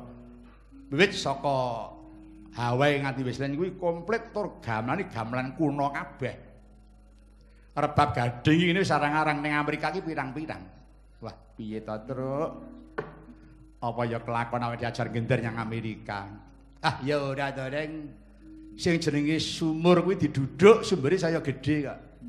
Ditawu kuwi sumbere ora entek malah saya gede. Iya. Mulai sembah nuwun dene iki dalam rangka hari jadi Pak Bupati ngersakake ringgitan ana pendopo kene iki. Iya. Ditambah para kadang pelawak isih to. Isih. Lho isih kontrake tekan rampung kok. Iya. Monggo Cak Dikin Mas Gareng wayang wong tidak mriki. Nah, niki wancine gara-gara menika penuh pangwas datang penjenengan para kadang pelawak. Ini Petruk hanya sebagai koordinator. Ya namung sungguh luar biasa. Ya tapi aku mau yang ngendikane Pak Anom ngono ki ya kepengin kritik iki kru- kritik sosial saja untuk orang-orang Indonesia. Heeh. Ki sing kawogan khususé. Heeh. Yen wong luar negeri gelem belajar budaya kene, tegese Ah. wong luar negeri iki lak kepengin jikuk apike kene. Iya. Lah yen wong Indonesia kepengin jikuk sesuatu dari luar negeri, oke-oke saja. Heeh. Boleh-boleh saja tapi yang bisa sesuai dengan budaya dan karaktere wong Indonesia. Ah. Ana sing sok modern, sok luar negeri ning gawe kapitununane wong akeh. Contone Aku mlaku-mlaku ki mbok menawa ana pengelolane, aku Ah. kritik iki. apa? Tunjungan plaza ke tak kritik. Kritikmu piye? Kamar kecil kok ora ana banyune iki piye? Oh. Wis kowe kamangka pas wetengku lara. Heeh. Apa iso budaya Indonesia belum bisa untuk begitu? Oh. Kayak sire ngono modern, kamar mandi kering. Heeh. Kamar kecil kering, WC kering. Ha Indonesia apa iso? Peper tok iki. Ha Iya, itu kudu maju ya maju ning ya miturut budaya sing ana ning Indonesia. Eh, iki muga-muga sesuk digaeke pancuran iki. Iya iya. Khusus digo Kang Gareng. Lah. Walah si lantai siji ngantos 6 niku mboten ngangge banyu kabeh entek-entekane kula nu teng tempat parkir, Pak. Heeh. Malah gone jatahe sopir enten banyune. Rek enten kertasé to. Napa iso? Entek-entekane malah kaya nganggo pampers ki. Rek, Iki pengalaman kula teng Jepang. Nggih. Seksine sing nabuh slentem nih Pak Sudar niku.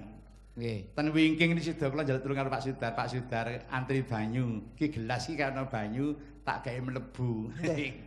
Nek sak gelas kurang rong gelas telung gelas. Nggih niki kali Pak Sudar niku. Lung-lungan gelas mung mergo dienggo ngresiki nggih bokong niku. Lah niki perkara kertas. Iki perkara kertas. Lumrahe iki mesti gulungan ki dikeke kene. Heeh. Lah aku ki wis kadung terjun bebas to, Ken. Ah. Lah kok lah kertasnya ning ndi iki? Eh, eh, Jebul terus? kertas iki ning gulungan gede ning jaba. Ah. Jaba lawang iki dadi ngenteni selone wong iki kaya maling ka lho. Bareng sepi iki ya metu. Heeh. Iya. Lah aku astagfirullahaladzim aku urip ning Indonesia kok kaya urip ning jagat liya iki kepiye? Lah, iya, iya, iya, Ini kritik semoga nanti kalau Sidoarjo ada bangunan besar, bangunan modern silakan, tapi dalam hal yang Budaya kecil-kecil Indonesia. itu disesuaikan dengan budaya, Indonesia. setempat. Iya, iya. Ngono. Iki mau Aja lali budaya bersih, Reng. Bersih. Niku lak mboten budaya bersih, Pak. Wong teng omah nggih sik kula grujuki kok. Nggih. Tegese niku anu napa niku ngemutke warga Nggih, niki- Sidoarjo kudu di budaya bersih di masyarakatke. Niki mboten jorok, cuma saya memberi contoh saja salah Terus, satunya menika. terus budaya disiplin nggih kudu di pakai masyarakatke. Ah, nggih leres niku. Budaya malu ya aja nganti dilalekke. Leres. Umpamane harus malu mlebu nyang kantor kok telat gitu. Nggih, nggih. Harus malu jam kerja kalau jajan ning jaba gitu. Nggih, Makane- u- urusane Satpol PP niku. Makanya niku diarani disiplin mergo enten artine. Apa Bela disiplin? Loh, disiplin ki pertama hurufnya apa? D. Dedikasi harus tinggi. I. I istilah absen secara teratur. S. S. S apa ki? oh? Es. S. S. S kok Iya, S. iya. Zaman dhisik. S siapkan sarana kerja dengan baik. I. I ikuti perintah atasan. Up. P kok Lah up. iya dhisik. P patuhilah peraturan yang berlaku. L. L lakukan pekerjaan dengan baik dan benar. I. I izinlah bila mau keluar dari kantor. N. N nek mulih nunut. aku numpak taksi yo, Gen. Aku nunut kowe yo, Gen. Disiplin itu juga terlihat pada malam hari ini, Mas Petro. Nggih. Dari semula, dari pergelaran Anda pertama kali sampai sekarang, penonton tidak bergeser pun satu pun. Tepuk tangan untuk Sidoarjo. Sidoarjo. Lah niki wong kangen kok Mas. Nggih. Kangen. Dan yang diundang ini juga tidak pernah bergeser. Biasanya pejabat itu kalau diundang itu nopo lagi nonton wayang, bar limbuk mesti kundur. Ini nyatanya tidak. Amin. Ini termasuk disiplin yang baik. Niku tuh Termasuk- saya lumayan. Nggih. Gitu. Bar limbuk lagi kundur. Enten lho. Bareng lu anu wayang terus kundur enten. Lah nggih niku paling dilungkas korupsi lek ngoten niku. Ini termasuk disiplin Bapak Ibu, saya kok sombong sih tidak. Mas Gareng atau Mas Anom ini kok sombong tidak. Untuk masalah disiplin, insya Allah saya Mas Gareng, Mas Anom ini adalah contoh disiplin yang paling baik dalam sebuah eh, peperhelatan seperti ini. Aku aku ra melu lho, ki enggak ngerti Umpamane. Mas Gareng, Kulo, Mas Anom tidak mungkin akan pulang sebelum administrasi selesai. Oh, semprul iki. Edan Dan kok. lambene dikin nek omong. Kowe Kamu kok wis lunas. Ah yang wis diparingi sore mau kok. kere kok sombong. Nah iya ta. Oh, kowe iki sak pinter-pinter kowe nerjemahke disiplin. Kowe mau tak tekoni gur gur sak apa bedane lek kowe iso mbedhek. Apa? Apa bedane? Nah, antarane semut, gajah, Mbah Putri. Weh. Apa susate? Semut, gajah, Mbah Putri. Mbah Putri. Niki bocah niki telat ngombe obat, Pak niki. Loh, Semut itu kewan kecil, gajah itu kewan besar. hmm? Mbah Putri itu manungso. Tidak perlu golong- saya pertanyakan kepada Anda, anak kecil pun bisa menjawab dengan begitu. Lah kenapa wong tua mbok takoni? Artinya kowe iso jawab eh, Ah, dengan- Jawabane ya kuwi. Iya, iya, tidak. Tidak. Lho. Apa bedane semut, gajah karo Mbah Putri? Bedane apa ya? Nah, tenan ra iso? Semut iso numpak gajah, gajah ora iso numpak semut. Semut iso Pak. Gajah, gajah ora iso numpak Lah Mbah Putri. tumpak ono. Aku ora melu-melu urusan. Reng, No Pak, golek watu to, Reng. kula niku nggih jane yen kepepet nggih mboten masalah. Weh. Ning lho bayange giur-giur lho, Pak. Ah, eh, eh, kuwi Eh. plesetan dul. Plesetan. Memberi pertanyaan seseorang tuh disesuaikan dengan yang rawuh malam hari ini. Beliau-beliau itu ya termasuk orang yang wasis pinter. Eh. Menyesuaikan memberi pertanyaan tuh yang mem- membawa berkah, membawa ilmu. Eh, contohnya, Loh, kowe wis tahu sekolah? ya wis tahu to. Oh, ya genep. Oh, genep lho. Tegese urip sekolah ki Ya, genep. ha-ha. Kowe iso gawe kalimat Bisa? dari empat kata saja lah. Apa? Mangan, suket, ya ta? Sapi, telek. Mangan, suket, sapi, telek. Telek. Sapi, mangan, suket, terus nelek. kupingmu bosok. Kok bosok? Endi aku nganggo kata-kata terus? Lak gur papat yen mbok tambahi terus lima iki. Sapi mangan suket telek. Cetek le. Woi cetek. Ayo kok apa lek iso? Ayo wis genah to mang apa sapi mangan suket. Lah teleke. Panganen kok.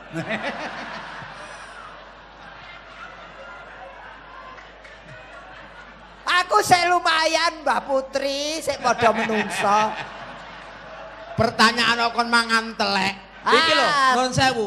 Paling tidak pejabat-pejabat ini eh, ada yang eselon 2, eselon 3. Minimal itu yang sekolahnya itu S2, S3 cukup banyak. Loh, tekok itu jangan begitu. Negara sudah mulai maju. Berapakah kecepatan rudal Amerika dalam satu detik? Hampir 1500 km.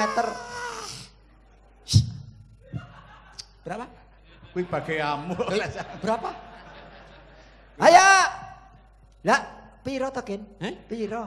Le, berapakah kecepatan rudal Amerika dalam satu detik? Berapa? Piro, Gen? Lah iya berapa? Lah iki hitungane aku urung tau mempelajari. Lah kuwi berapa? Aku ora ngerti kok, Gen. Iya. Lah awakmu Ya berapa? ana sing nggawa bendora, Mas. Go bacok dikin. Ah, ramutu. Pertanyaan kok mulek kaya entut. Amerika sungguh luar biasa yang diceritakan uh, Mas Anom. Itu sudah ada 220 20. gamelan. Anda bisa membayangkan Amerika itu Anu bendino. paguyuban pengrawit niku. Bendino iso Nek gamelane pirang-pirang. Lah iya bendino iku iso kerawitan, bendi- bendino meh iso wayangan. Lah kok kene wis 10 tahun ra wayangan-wayangan. Iki- mulai.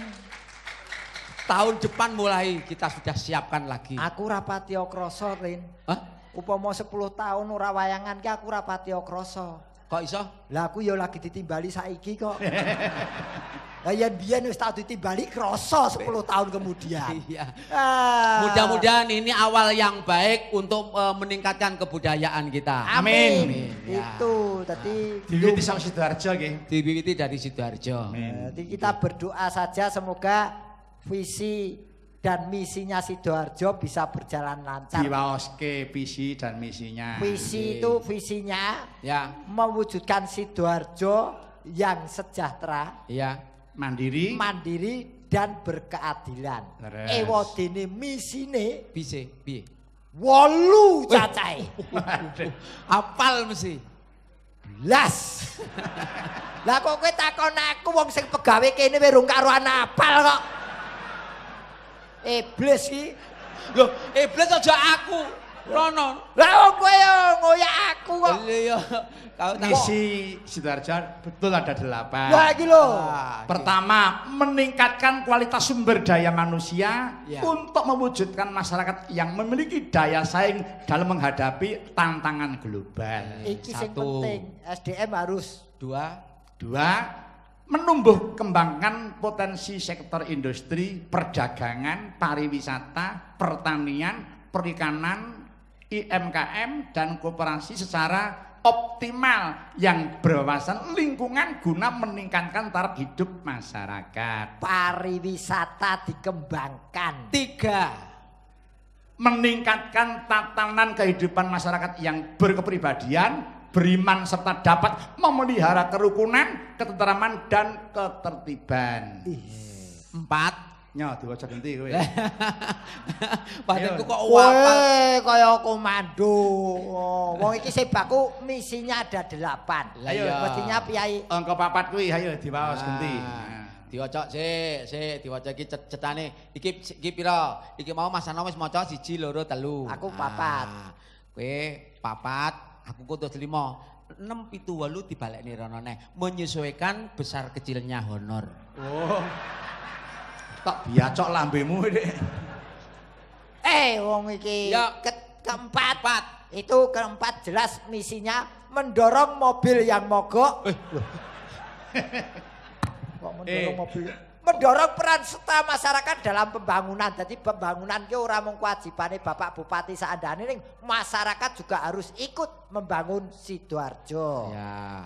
Dah iki Lima. meningkatkan profesionalisme aparatur Aparatur. pegawai dengan pelayanan yang prima, mendorong tumbuh kembangnya iklim investasi. Iya. Jangan lupa, dulu krisis moneter Sidoarjo itu banyak pabrik yang gulung tikar. Heeh. Itu juga mempengaruhi pemasukan warganya karena yang dulu buka kos-kosan saiki yo ora payu mergo pabrik tutup. Gurung tikar. Gurung Ah, tikar. Dan setelah gurung tikar ada penjarahan di mana-mana. kan. Nah. Alhamdulillah setelah Sekarang- penjarahnya itu jadi gareng sudah aman. Biar lah karo kowe to, Ge. Meneng wae kanca. mare Ini kono. Terus? Ini ora tak ora tak pangan dhewe, tak setorke. Sapa? Ayo. meningkatkan kualitas dan pelestarian lingkungan hidup. Eh. Jangan lupa kita hidup itu di dunia atau di bumi. Iya. Bumi itu kalau disewenang-wenangkan juga akan murka, Ha-ha. timbul bencana. Yang berkelanjutan. menumpuk kuwi maca kowe, kowe ndak kene ora ketok yen buta huruf ngono lho maca. Lah iya. Delapan, mengadakan pentas wayang kulit setiap tahun sekali. Mohon maaf itu hanya cangkeme dikit. wow, iki udah Yang boleh delapan, delapan. yang Itu penting. menumbuhkan iklim demokrasi yang sehat, santun serta menjunjung tinggi norma dan etika masyarakat. Betul, betul. Memang yang kue omong bakal kue harus ditimbali Pak Bupati itu memang rencananya ini dua bulan lagi Oh, iya, kamu iya. mau ditimbali Pak Bupati khusus Betul. pentas solo karier. Solo karier. Maksudnya? Namung dikin Pak Tok. neng tengah-tengah lumpur lapindo. Gon pas blekutuke kae. Kowe ning kono. Ya kowe bales to, kowe arep ditembaki wong sak Sidoarjo. Ah, wong senengane kae cilokane wong kok. Oh. Nyuwun kintunan lelagon pepeling Pak Petro. Nggih. Kunjuk Bapak Janom Surata Bapak-bapak saha Ibu-ibu abdi. Matur sembah nuwun awit donga pangestunipun anggen kula nampi ganjaran sakit Gusti Allah sampun mantun sampun Amin, sehat. amin. Dawa saking dokter kedah istirahat. Nggih. Matur nuwun saking Bapak Didit Kediri. Waduh, Nggih. Mas Didik kula nderek muji mugi-mugi enggak senggang. Nggih. Saged pulih kekiyatanipun malih. Allahumma Amin. Pepeling. Monggo Mas Dikin dipun bawani dandang gula. Eh. Nanu nanu aduh. Rukun Islam.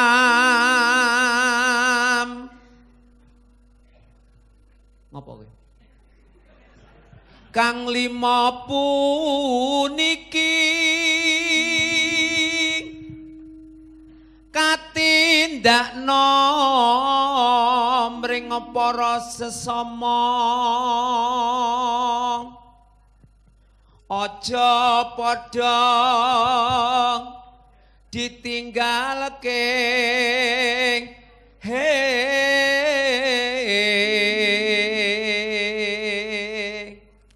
Kowe kowe nembang aku ring satu. Wah, Pengaman kowe ring satu. Mbok menawa kowe sewanci-wanci ditembak wong kan aku endo. kok endo. Tetep kowe mati. Rukun Islam puniku sahadate kang angka siji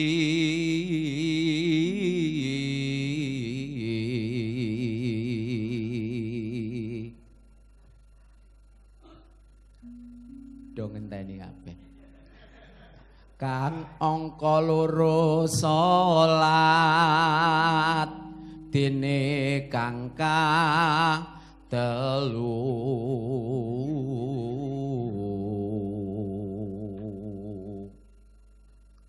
Ramadan nindakno poso kapat zakat ping lima ibadah haji rukun Islam sam sampurna. Monggo para kadang pepiling. Ayo. Ya. Pur.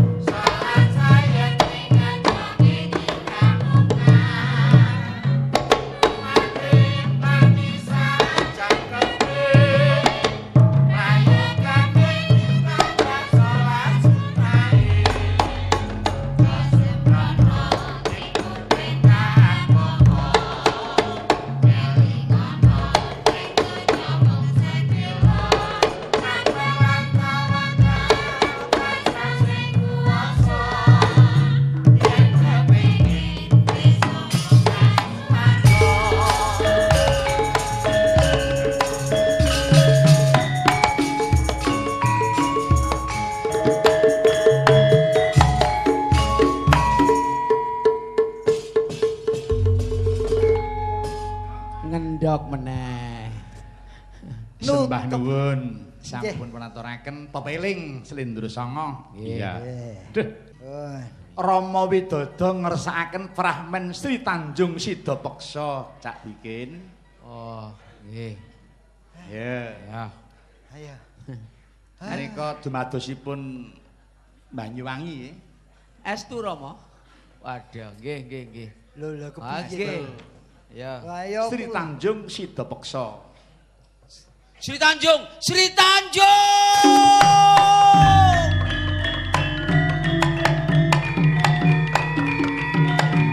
Sur. Iki pemain ketoprak apa satpam mentelang beli. Kang Mas. Kok satpam Kok mentelang mentel. muring? Monggo. Malah Lah ya aku ki ora menggak silakan. Wong wadon ora bisa dadi teput tuladan ning kaum putri ing Sukodono. Tanjung, Wonten dawuh Kang Mas. kowe ning ndi? Hmm, picek iki. Apa ngene kene kok takoni kowe nang ndi? Ya ketoke drama iki ben diwangsuli terus aku macet Saya rono. drama kebangetan ning panggunge jebar panggunge cilik kowe kok kowe nang ndi? Ah! Ya diarani picek ra gelem. Aja. Eh, Sitanjung, Wonten dawuh Kang Mas. bojomu patih sida peksa. Injil leres. Wis ngupati tumbaling praja Mas pitung gelung gembala pitung plengkung kabar sing ndak trima. Yen kowe demenan karo Ratu Kusila dikrama bener. Walah dan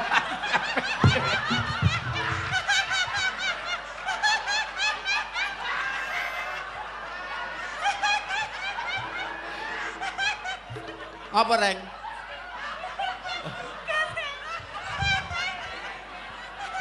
Kenapa? Sampeyan iki ya ora melu-melu ketoprak, melu bengok iki lho. penontonnya ya melu anu mendorong.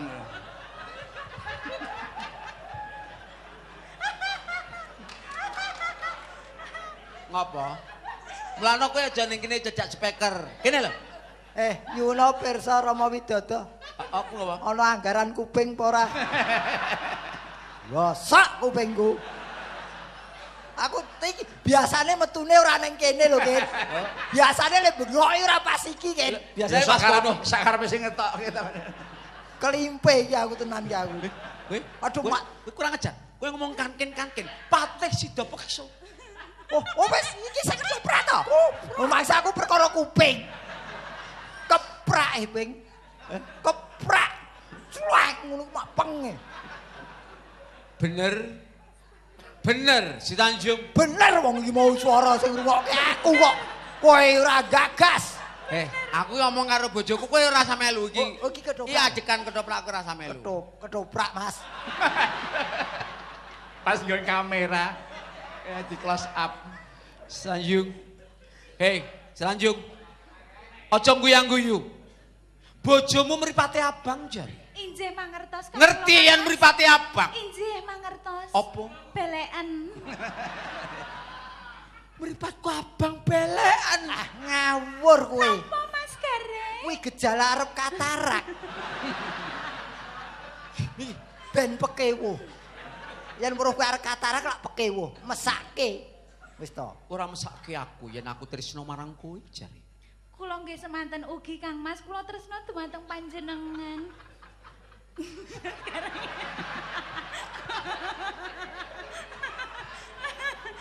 Wis wis ora tau nonton ketoprak. Ora diomong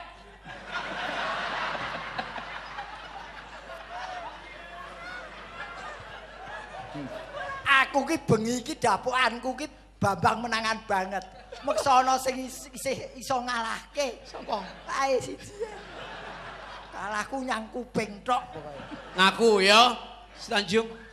Ngaku.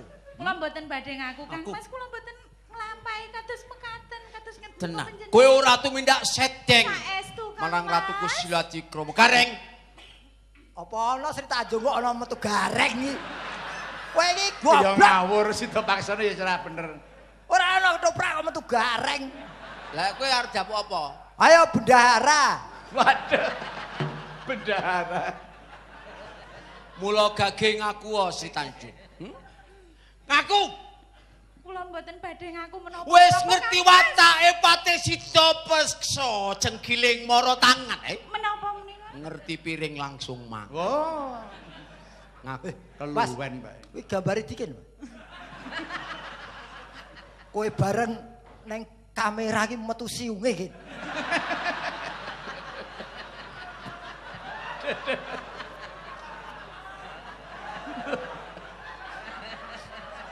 Duh, Jan. Nek iki jero iki. Malah kaya kirik metu siunge.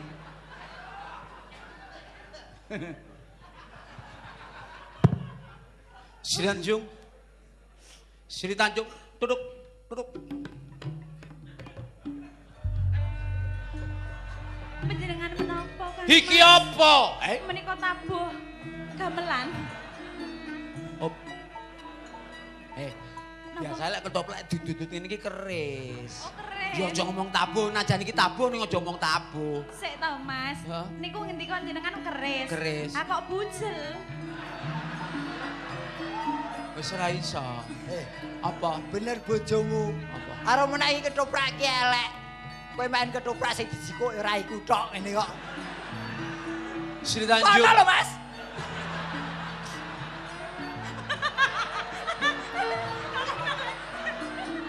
Kowe ngrusak acara Eh, ketoprak. ora ngrusak. Nyoting-nyoting kok tetane njaluk nomor HP aku kuwi. Monggo, monggo. Owal saka warangkare keris sapa iki? eh? Menika sak mangertos kawula menika keris lembu sekilan. Keris lembu sekilan. Ngerti katiasaning lembu sekilan genduk. Mboten mangertos, Kang Mas. Patih Sida Peksa ditembak wong 2000 paribasane ketoke kena ning kurang sekilan. Dibedil wong 200 paribasane ketoke kena ning kurang sekilan. Si Tanjung, Injih, Kang. sepirang taun kowe omah-omah karo aku, eh? Sedasa taun. 10 Kang Mas. taun kenapa ora enggal duwe momongan? Amergi kirang sekilan, Kang Mas.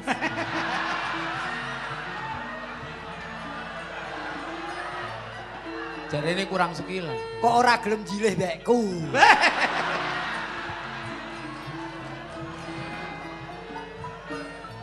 Sri Kang. keris lembu sekilan owal saka warangkane sing tegese bakal tak rangkake ana ing weteng. Panjenengan tega saestu dumateng kawula, Kang Mas. Kawula saestu mboten sedhing dhateng Duwe weling apa sadurunge kuwe mati? Eh?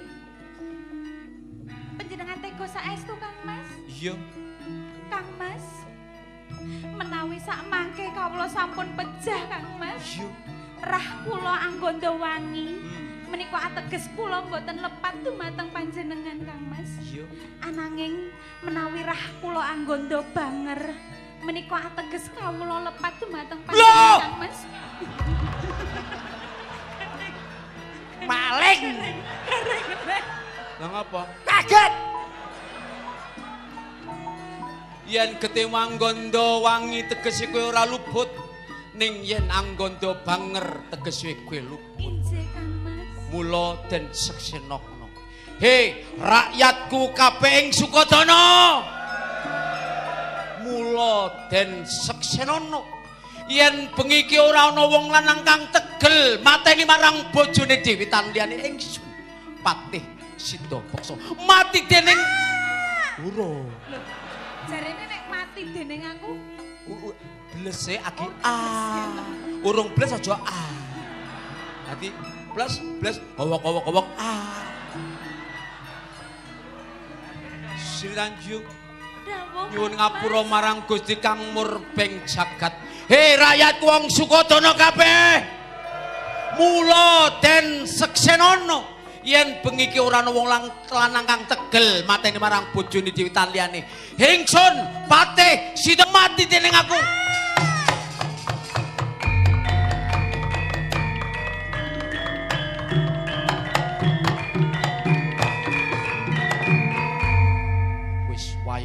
Ditambah ketoprak yen honorer tambah piye.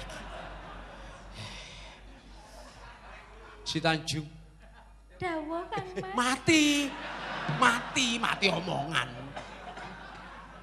Kowe duweni weling yen getih manggondo wangi kowe ora luput, yen anggondo banger tegese luput. Tak tontone dhisik. Eh, dikai mak sereng. Nah, kuwi gendere ditabung nganggo kreng ya. Baleni, baleni. Nah, rada ngempitmu rada rada ngempitmu sing rada kuat. Iya, ah, iya. Tak tontone dhisik.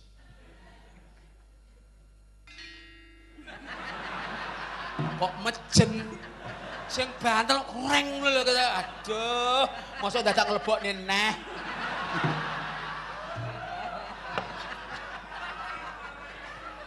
Yen wangi kowe ora luput, yen banger tegese kowe sing luput tak tontone dhisik. Kowe lereno ae dadi pengrawit ra sampe lu. Sesuk ketoprak bar. Loh, si Tanju. Kowe ora luput, aku sing luput. cerita.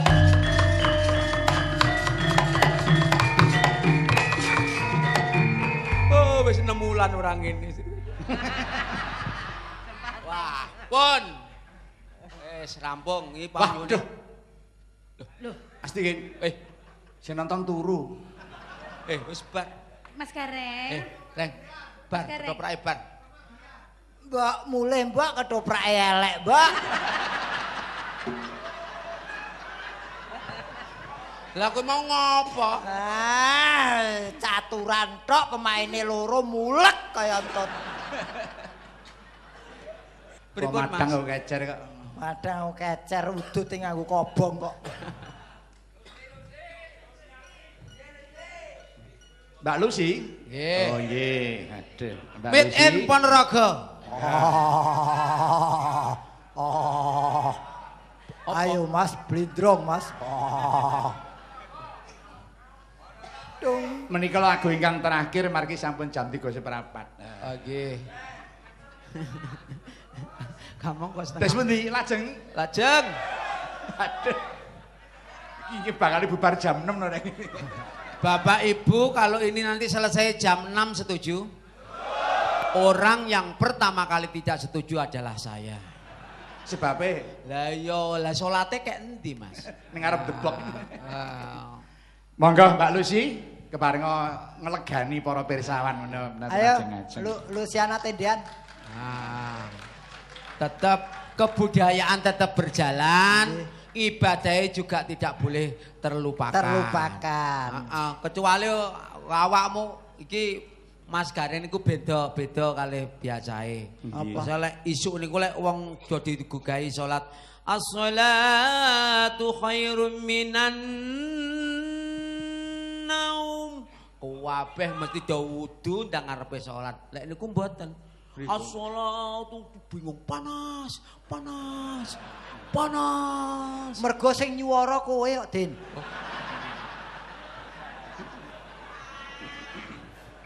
Pun Mbak Lucy Mbak ngadeg. menika wonten pamundhut saking Pak Cipto panitia. Nggih. Ngersakaken Sri Huning. Ah, Iya, cocok. Nyuwun pangapunten ingkang asma Pak Slamet saking Caruban wekdal menika dereng saged ngaduri panjenengan margi wekdalipun sampun. Iki nga- bijang ngaturi Pak Anom piyambak. Kaya api-api. oh. Wonten malih pemundhut menika saking Ibu Kepala Desa ing Sawetratap nang ngersakaken lho. Caping gunung, weh. Kang pundi menika, monggo. Nggih, Sri Uning. Sri nggih, monggo. Caping gunung apa Sri Uning, Pak? Sri Uning. Eh, Sri Uning. Sing arti cengleng ratapan. Monggo. Ah, Nggih.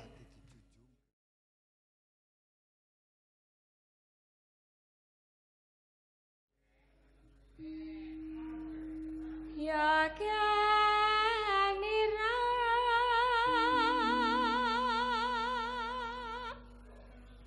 Selamat. Gareng kok selamat.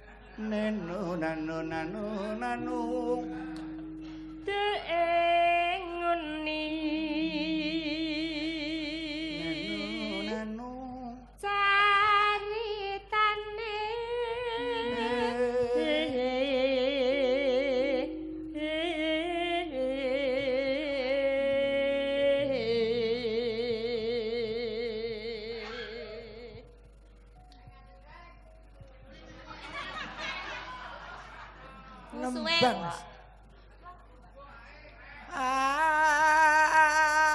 Andi, andi lumut. Andi rasa Prabu.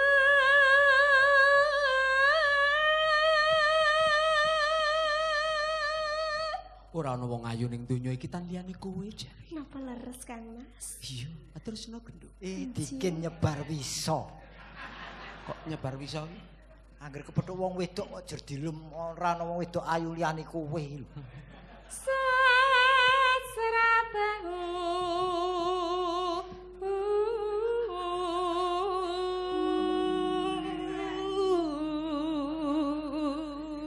Jan ngerti ora ana wong wedok gedhi liyane kowe. Iku jujuk gitok kula mengkorok lho Mas. Wong samu Dracula apa piye aku? Ing mes pati. Lucy, sing apik-apik nyambut gawe ning kene iki sing apik ya, Bu. Di tanganmu. Ah, sing tengen ya. ah. Ambun mesti mambu soto. Nggih. Ambu apa soto ya, Bu? Niki to. Soto ya. Niki lekake gareng.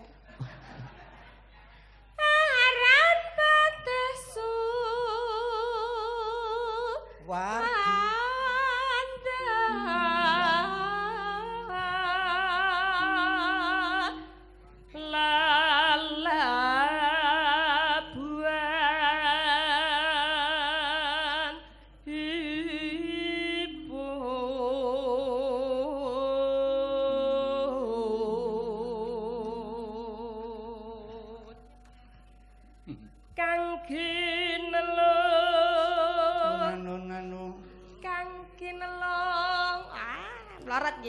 Nggih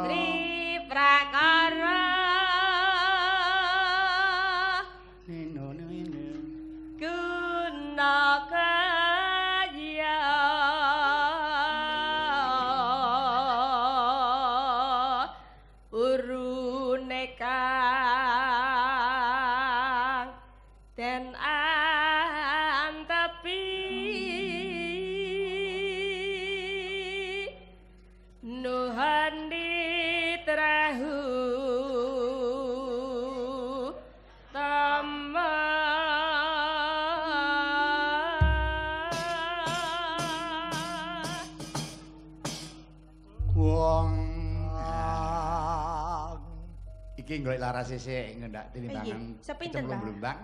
Mbak niki cemplung gareng.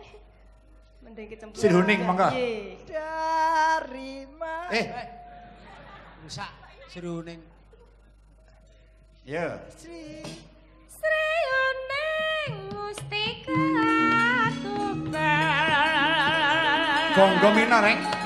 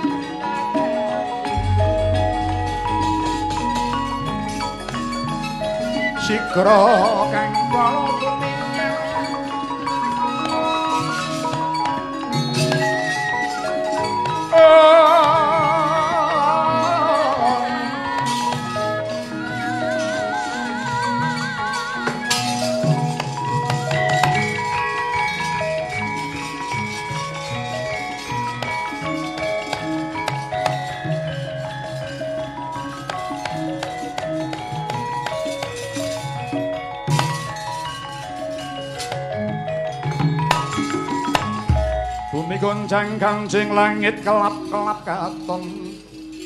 Lirikin sanging sang maweh gandrung. Sabarang katulu germoyak mayik. Ing. Eh menika Ndara Harjuna sampun mandhap saking wukir Gus.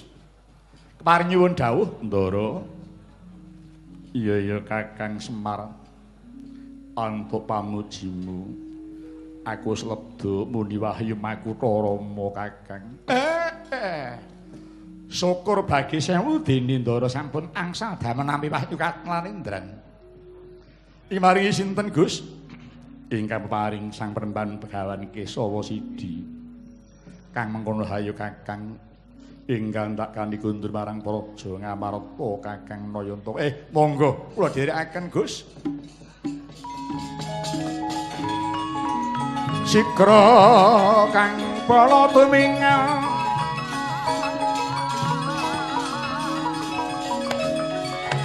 Oh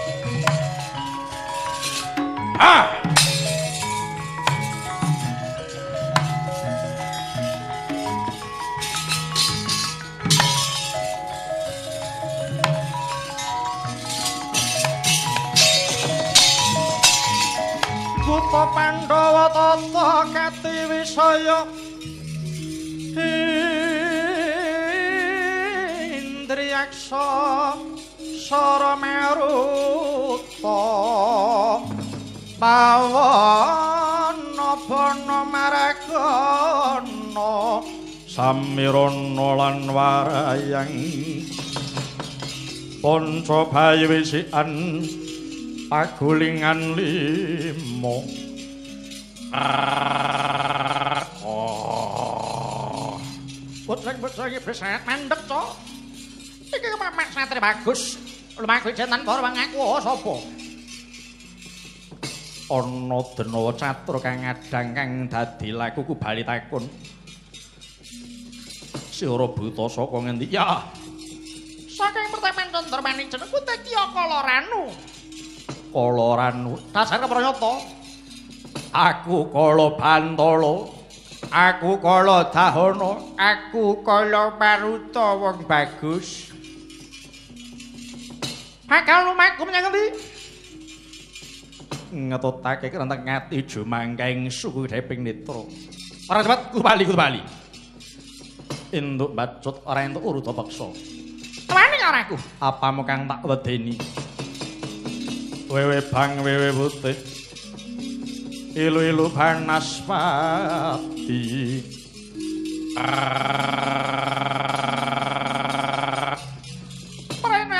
ati Gusena panginten orang sang kemudajar wus.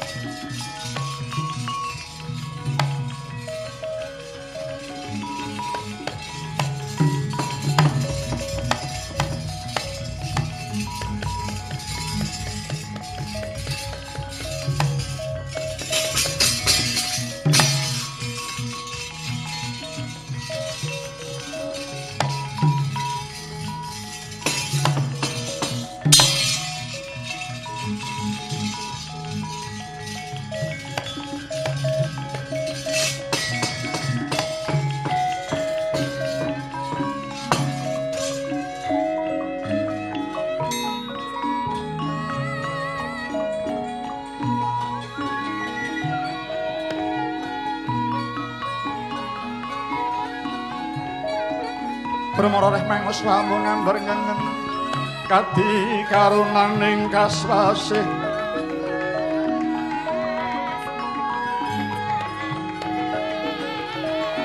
Oh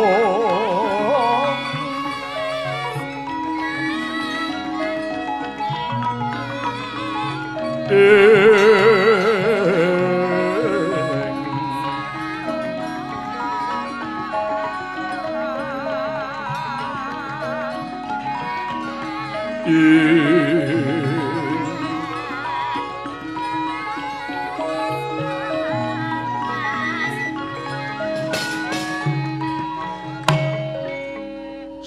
sirna para denawa Gus. Kakang Semar Hiyo Ateges Ndara Janaka sampun saged nyampurnaken dhateng napsunipun Sang Begawan Gunawan. Awit menika wau sanes sakbarening yaksa Namung kedadosan saking napsunipun Sang Begawan Gunawan Gus mengkono Kakang inggih. Kakang Semar wis padha mati Drawa catur. Ora pangling katon saka kene kae Kakang Ngawangga ing lagi yuga Brata eh ngroko Ngawangga? Iya aku dititipan pusaka Kuntawijaya Capa muga katur bali marang Kakang Ngawangga monggo dipun perpeki den. Ayo Kakang Semar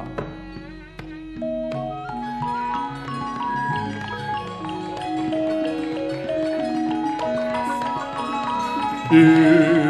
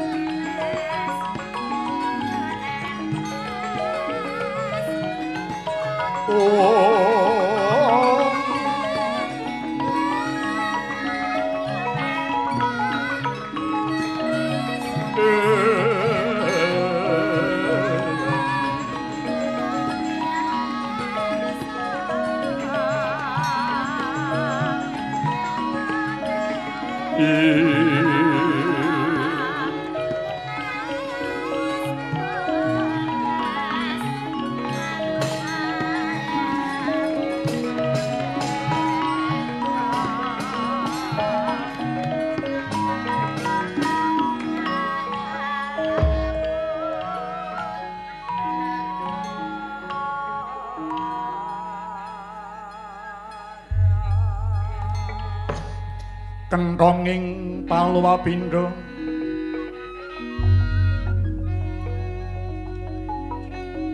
wang siting kagung karagan.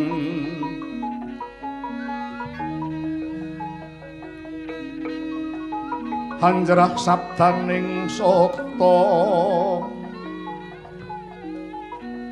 kakuluruk asahuran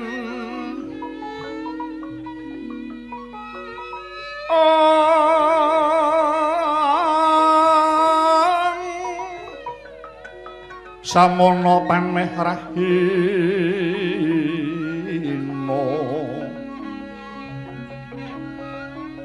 meko pangkaton sumirat.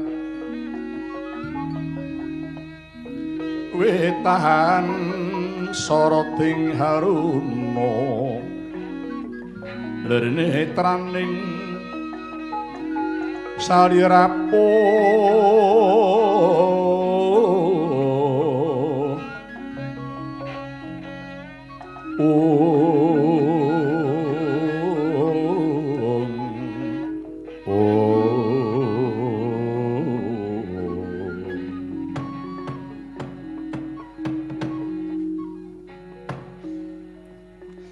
Iki Dimas Arjuna ingkang gugah nggonku semedi.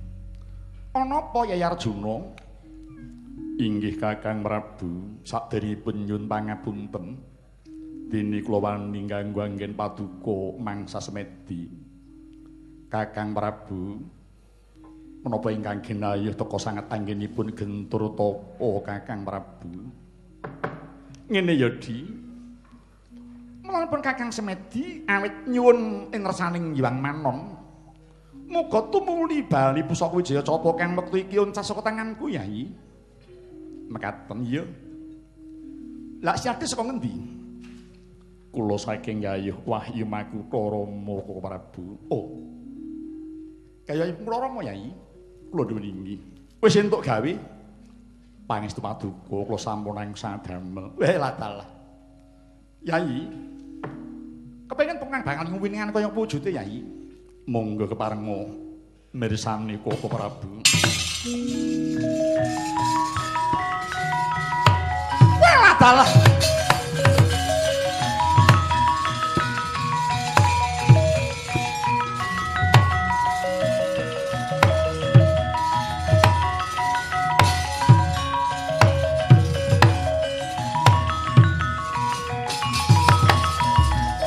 Enggar sang wisating hawan mulat sri melangening arga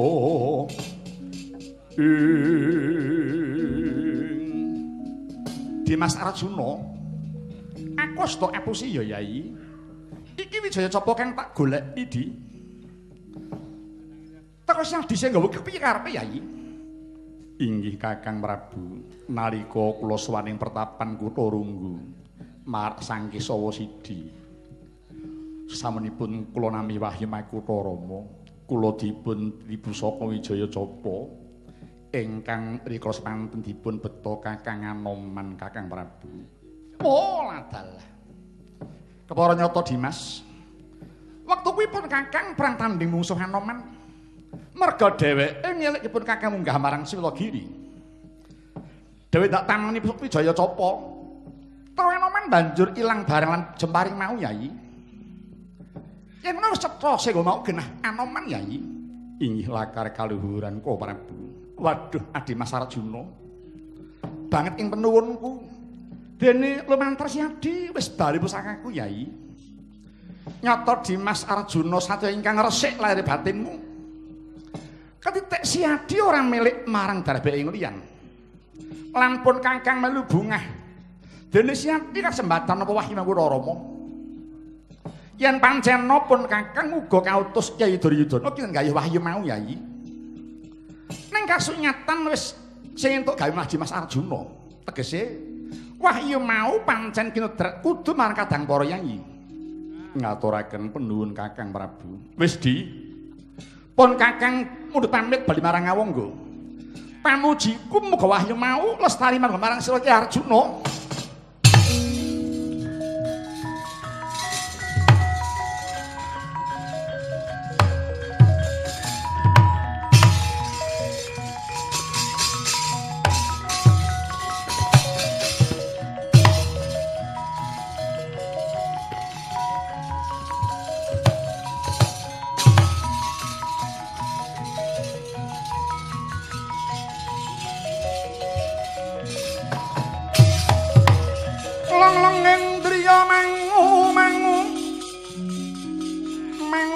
Mangungkung kanduan harimang Wong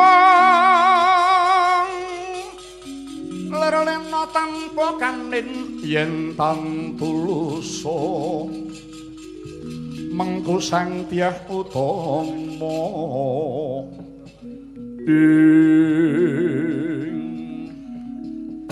Anggon kulelana kang wigati gayuh wahyu makutarama jebul parto kang wis tak tampa.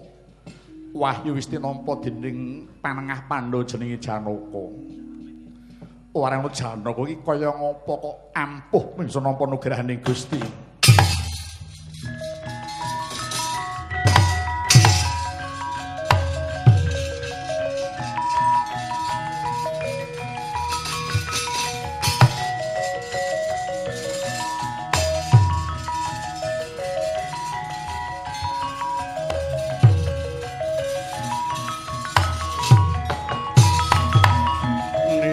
niyata aruta saking dosa sang guru kula.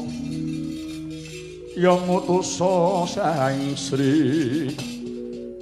Ing.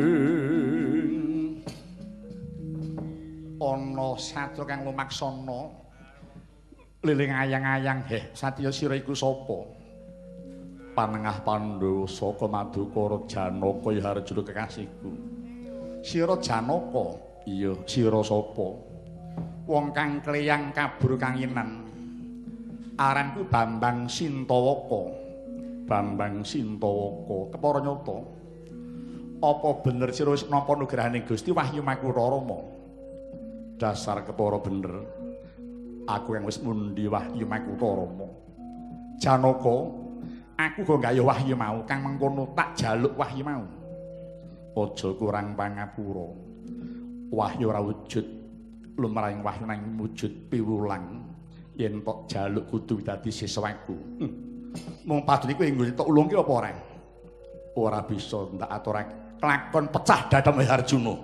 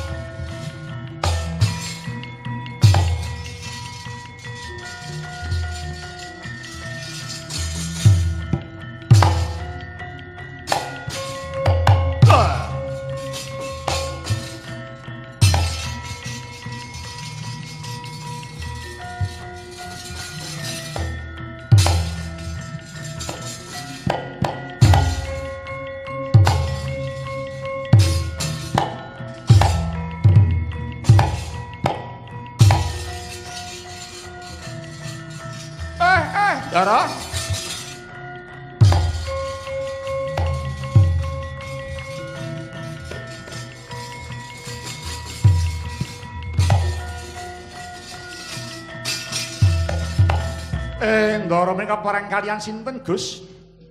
Jenenge Bambang Sinto kok bakal njaluk wahyu Makutha Rama. Kula atur pemut nggih, Den. Bibar nampi wahyu mboten kenging Bandayuda mboten kenging kerengan. Mangke mindak mboten menep raosipun lho, Gus. Prayogane. Monggo dipun tilar kondur kemawon. Ayo bali wae, Kakang.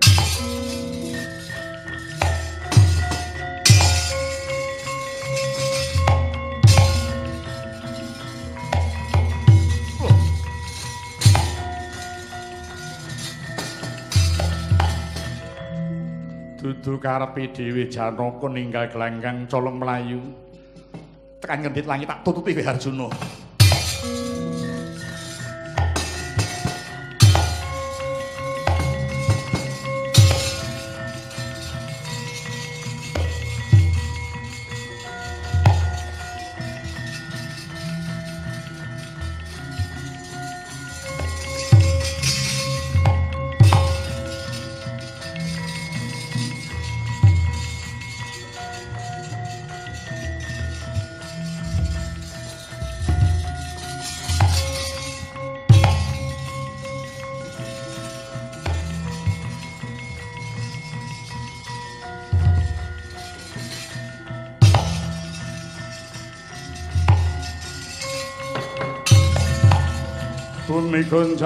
Kanjing langit kelap-kelap katon. Lerikin canging sang maweh tandrung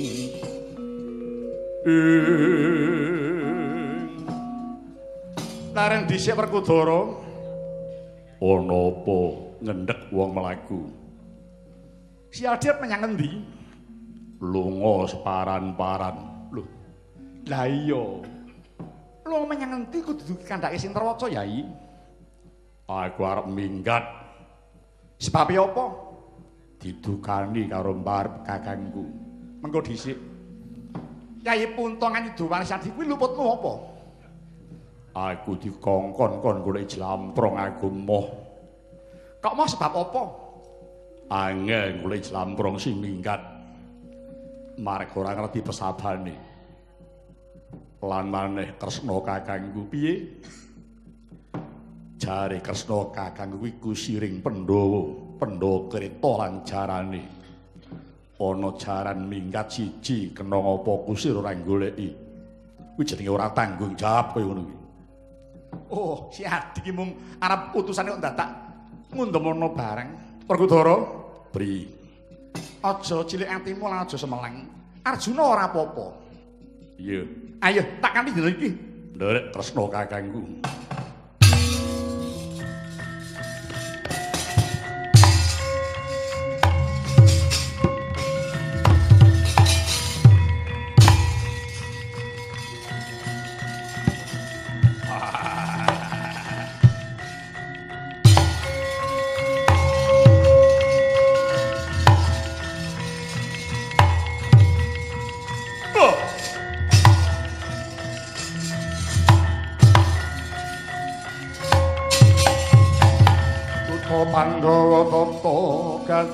Gati wisaya Indriyaksa sara marupa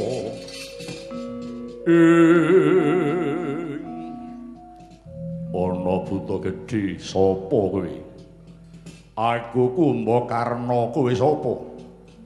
Panenggak Pandhawa jenengku Werkudara Wah ladalah.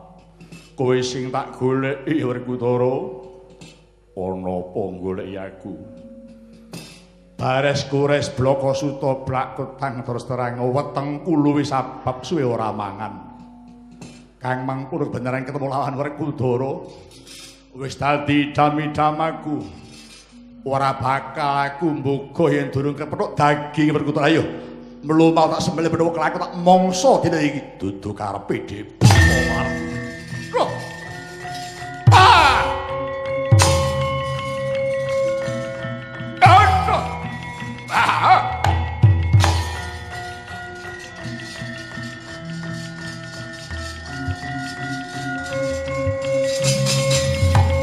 Ah!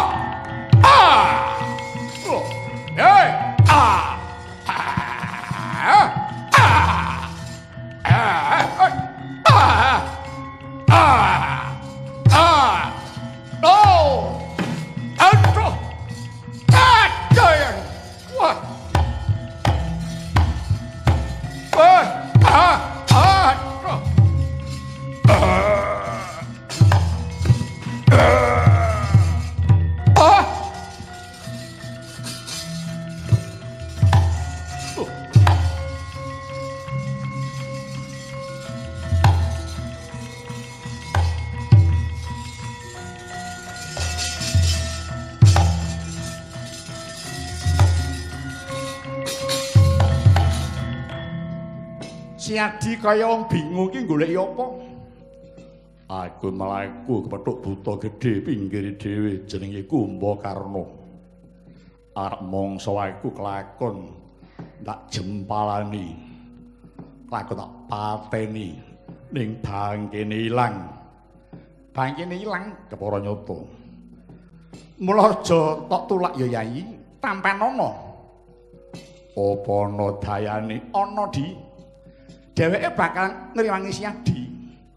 Kanthi kumba karo manjing marang wentis mukiring, tegese si Adi wis antuk wahyuning kasantosan lumantar kumba karma. Yayi, besok yen perang gedhe kuwi bakal sabil marang si Adi. Syukur bagi sewu lho. Karek Janaka to kae.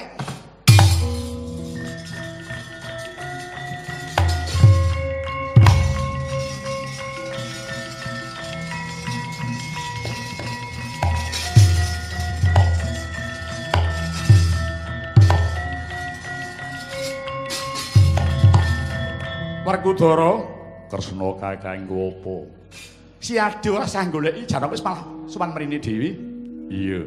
Arjuna kula wonten timbalan. Si Adi saka ngendi Yayi? Kula saking gayuh Wahyu Makutha Rama. Wis entuk gawe. Sampun angsal damel. Sing maringi Kesawa Sidi. Inggih Kakang Prabu.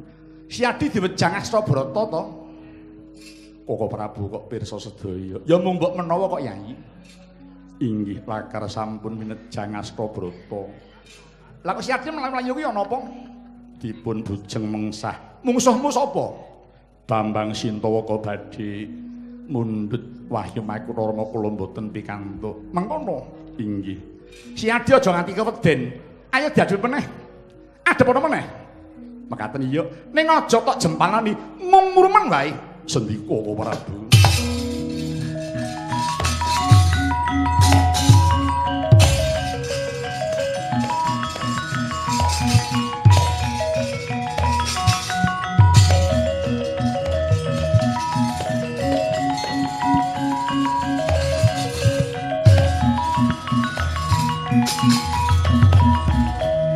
Jago kate wani mung ana ngomahe dhewe. Ayo seblakno dadamu He Arjuna.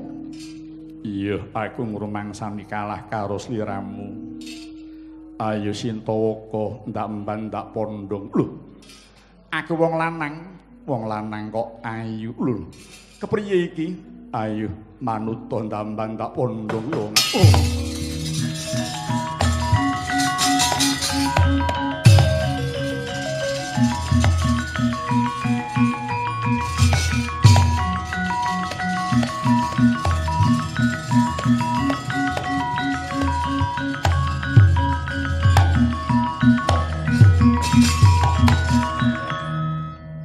Pangeran Arjuna aja kurang pangapura sing dadi Sintawaka mau aku kok pangeran.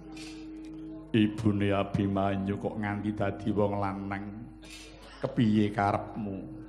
Aku goleki kelawan bapakne kulup. Pinanggih Sang Hyang Narada aku didandani dadi lanang. Ing pamrih dimeninggal pinanggih kelawan bapakne Abimanyu Sang Hyang Narada paring dawuh jare bapakne Abimanyu goleki wahyuning Ratu Wahyu Makutha Rama. Kepara nyata ibune antuk pamuji wis mundi Wahyu Makutha Rama. Syukur bagi sewu bapakne kulup aku melu bungah dene wis kasempatan nampa nuging widi. Muga besok turune awake dhewe bisa dadi ratu ngayomi para kawula sakprata Jaya ibune kulup. Iya bapakne kulup. Nadyan wanita sira sabiyantu marang pun Kakang. Ayo ibune hingga ngadep ing resaning Koko Prabu. Ndak derekake bapakne kulup.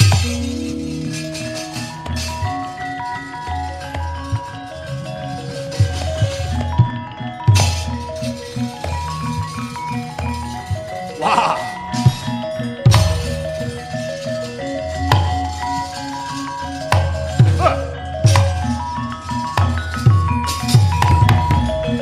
Wari Kudoro. Ana apa Kurupati kakangku. Ndi Janaka? Arep apa Njaluk ayo nang Tanganku tak ana. ono.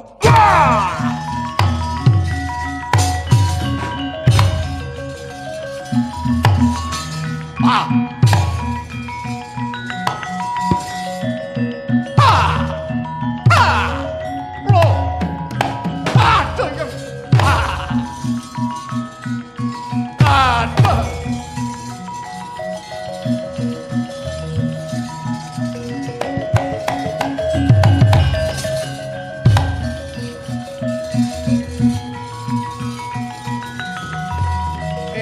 와 마침 바람 아유 아유 그럼 아유 아유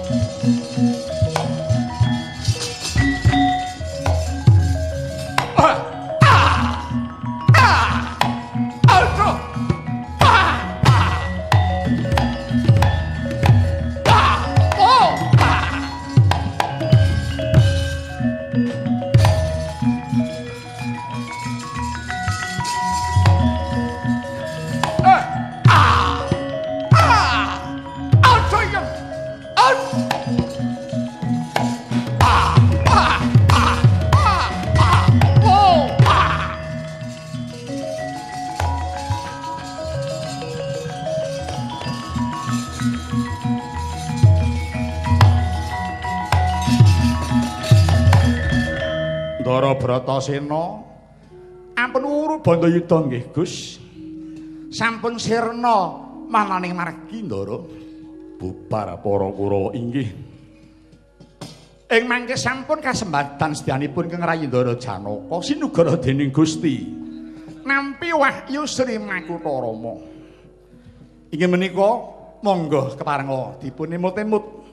Sinten ingkang dapuk dados nalika tuwin dados pangarsa menawi saged nindakaken swara sing astabrata tetela dipun ayomi kalian ingkang hanggelar jagat lampahipun tinuntun dening Gusti. Pangudang kula dhumateng para muda utaminipun para warga agung ing Kadipaten Sidoarjo sok ingkang dados pangarsaning negari monggo kepareng ngrasuk astabrata tumuli badhe kasembadan tentrem negarinipun hayem para kawulanipun tuwin adil tumindak ing pangarsa. Kala wau nggih Gus. Gusti ngijabahana Wahyu Makutha Rama sageta tumimbal manunggal dhumateng Bapak Haji Saipulillah SHM Hum. Tuwin Bapak Wakil Bupati Bapak Haji HMG Hadi Cipta SHMM nggih Gus? Iya aku nekseni. Dene kula sak kanca ing ngayahi wajib ngurmaosi kathah klepatan saka kikiranganipun kunjuk Bapak Bupati, Bapak Wakil Bupati sak jajaranipun sumarembah para pamirsa tuwin warga agung Apindo pun Semar sak kanca nyuwun gunging samudra pangaksami. Sak biwaring ngringgitan mugi ing Sidoarjo manggih hayu-hayu rahayu niskala. Para warganipun tasih manggih karaharjan katentreman tuwin api nugrahaning Gusti. Pungkasane ngatur moga sami sesanti. Sepisan merdika tetep merdika salaminya. Akhirul kalam wassalamualaikum warahmatullahi wabarakatuh. Saka bawahan joget tondo syukur marang pangeran. Sumangga Gus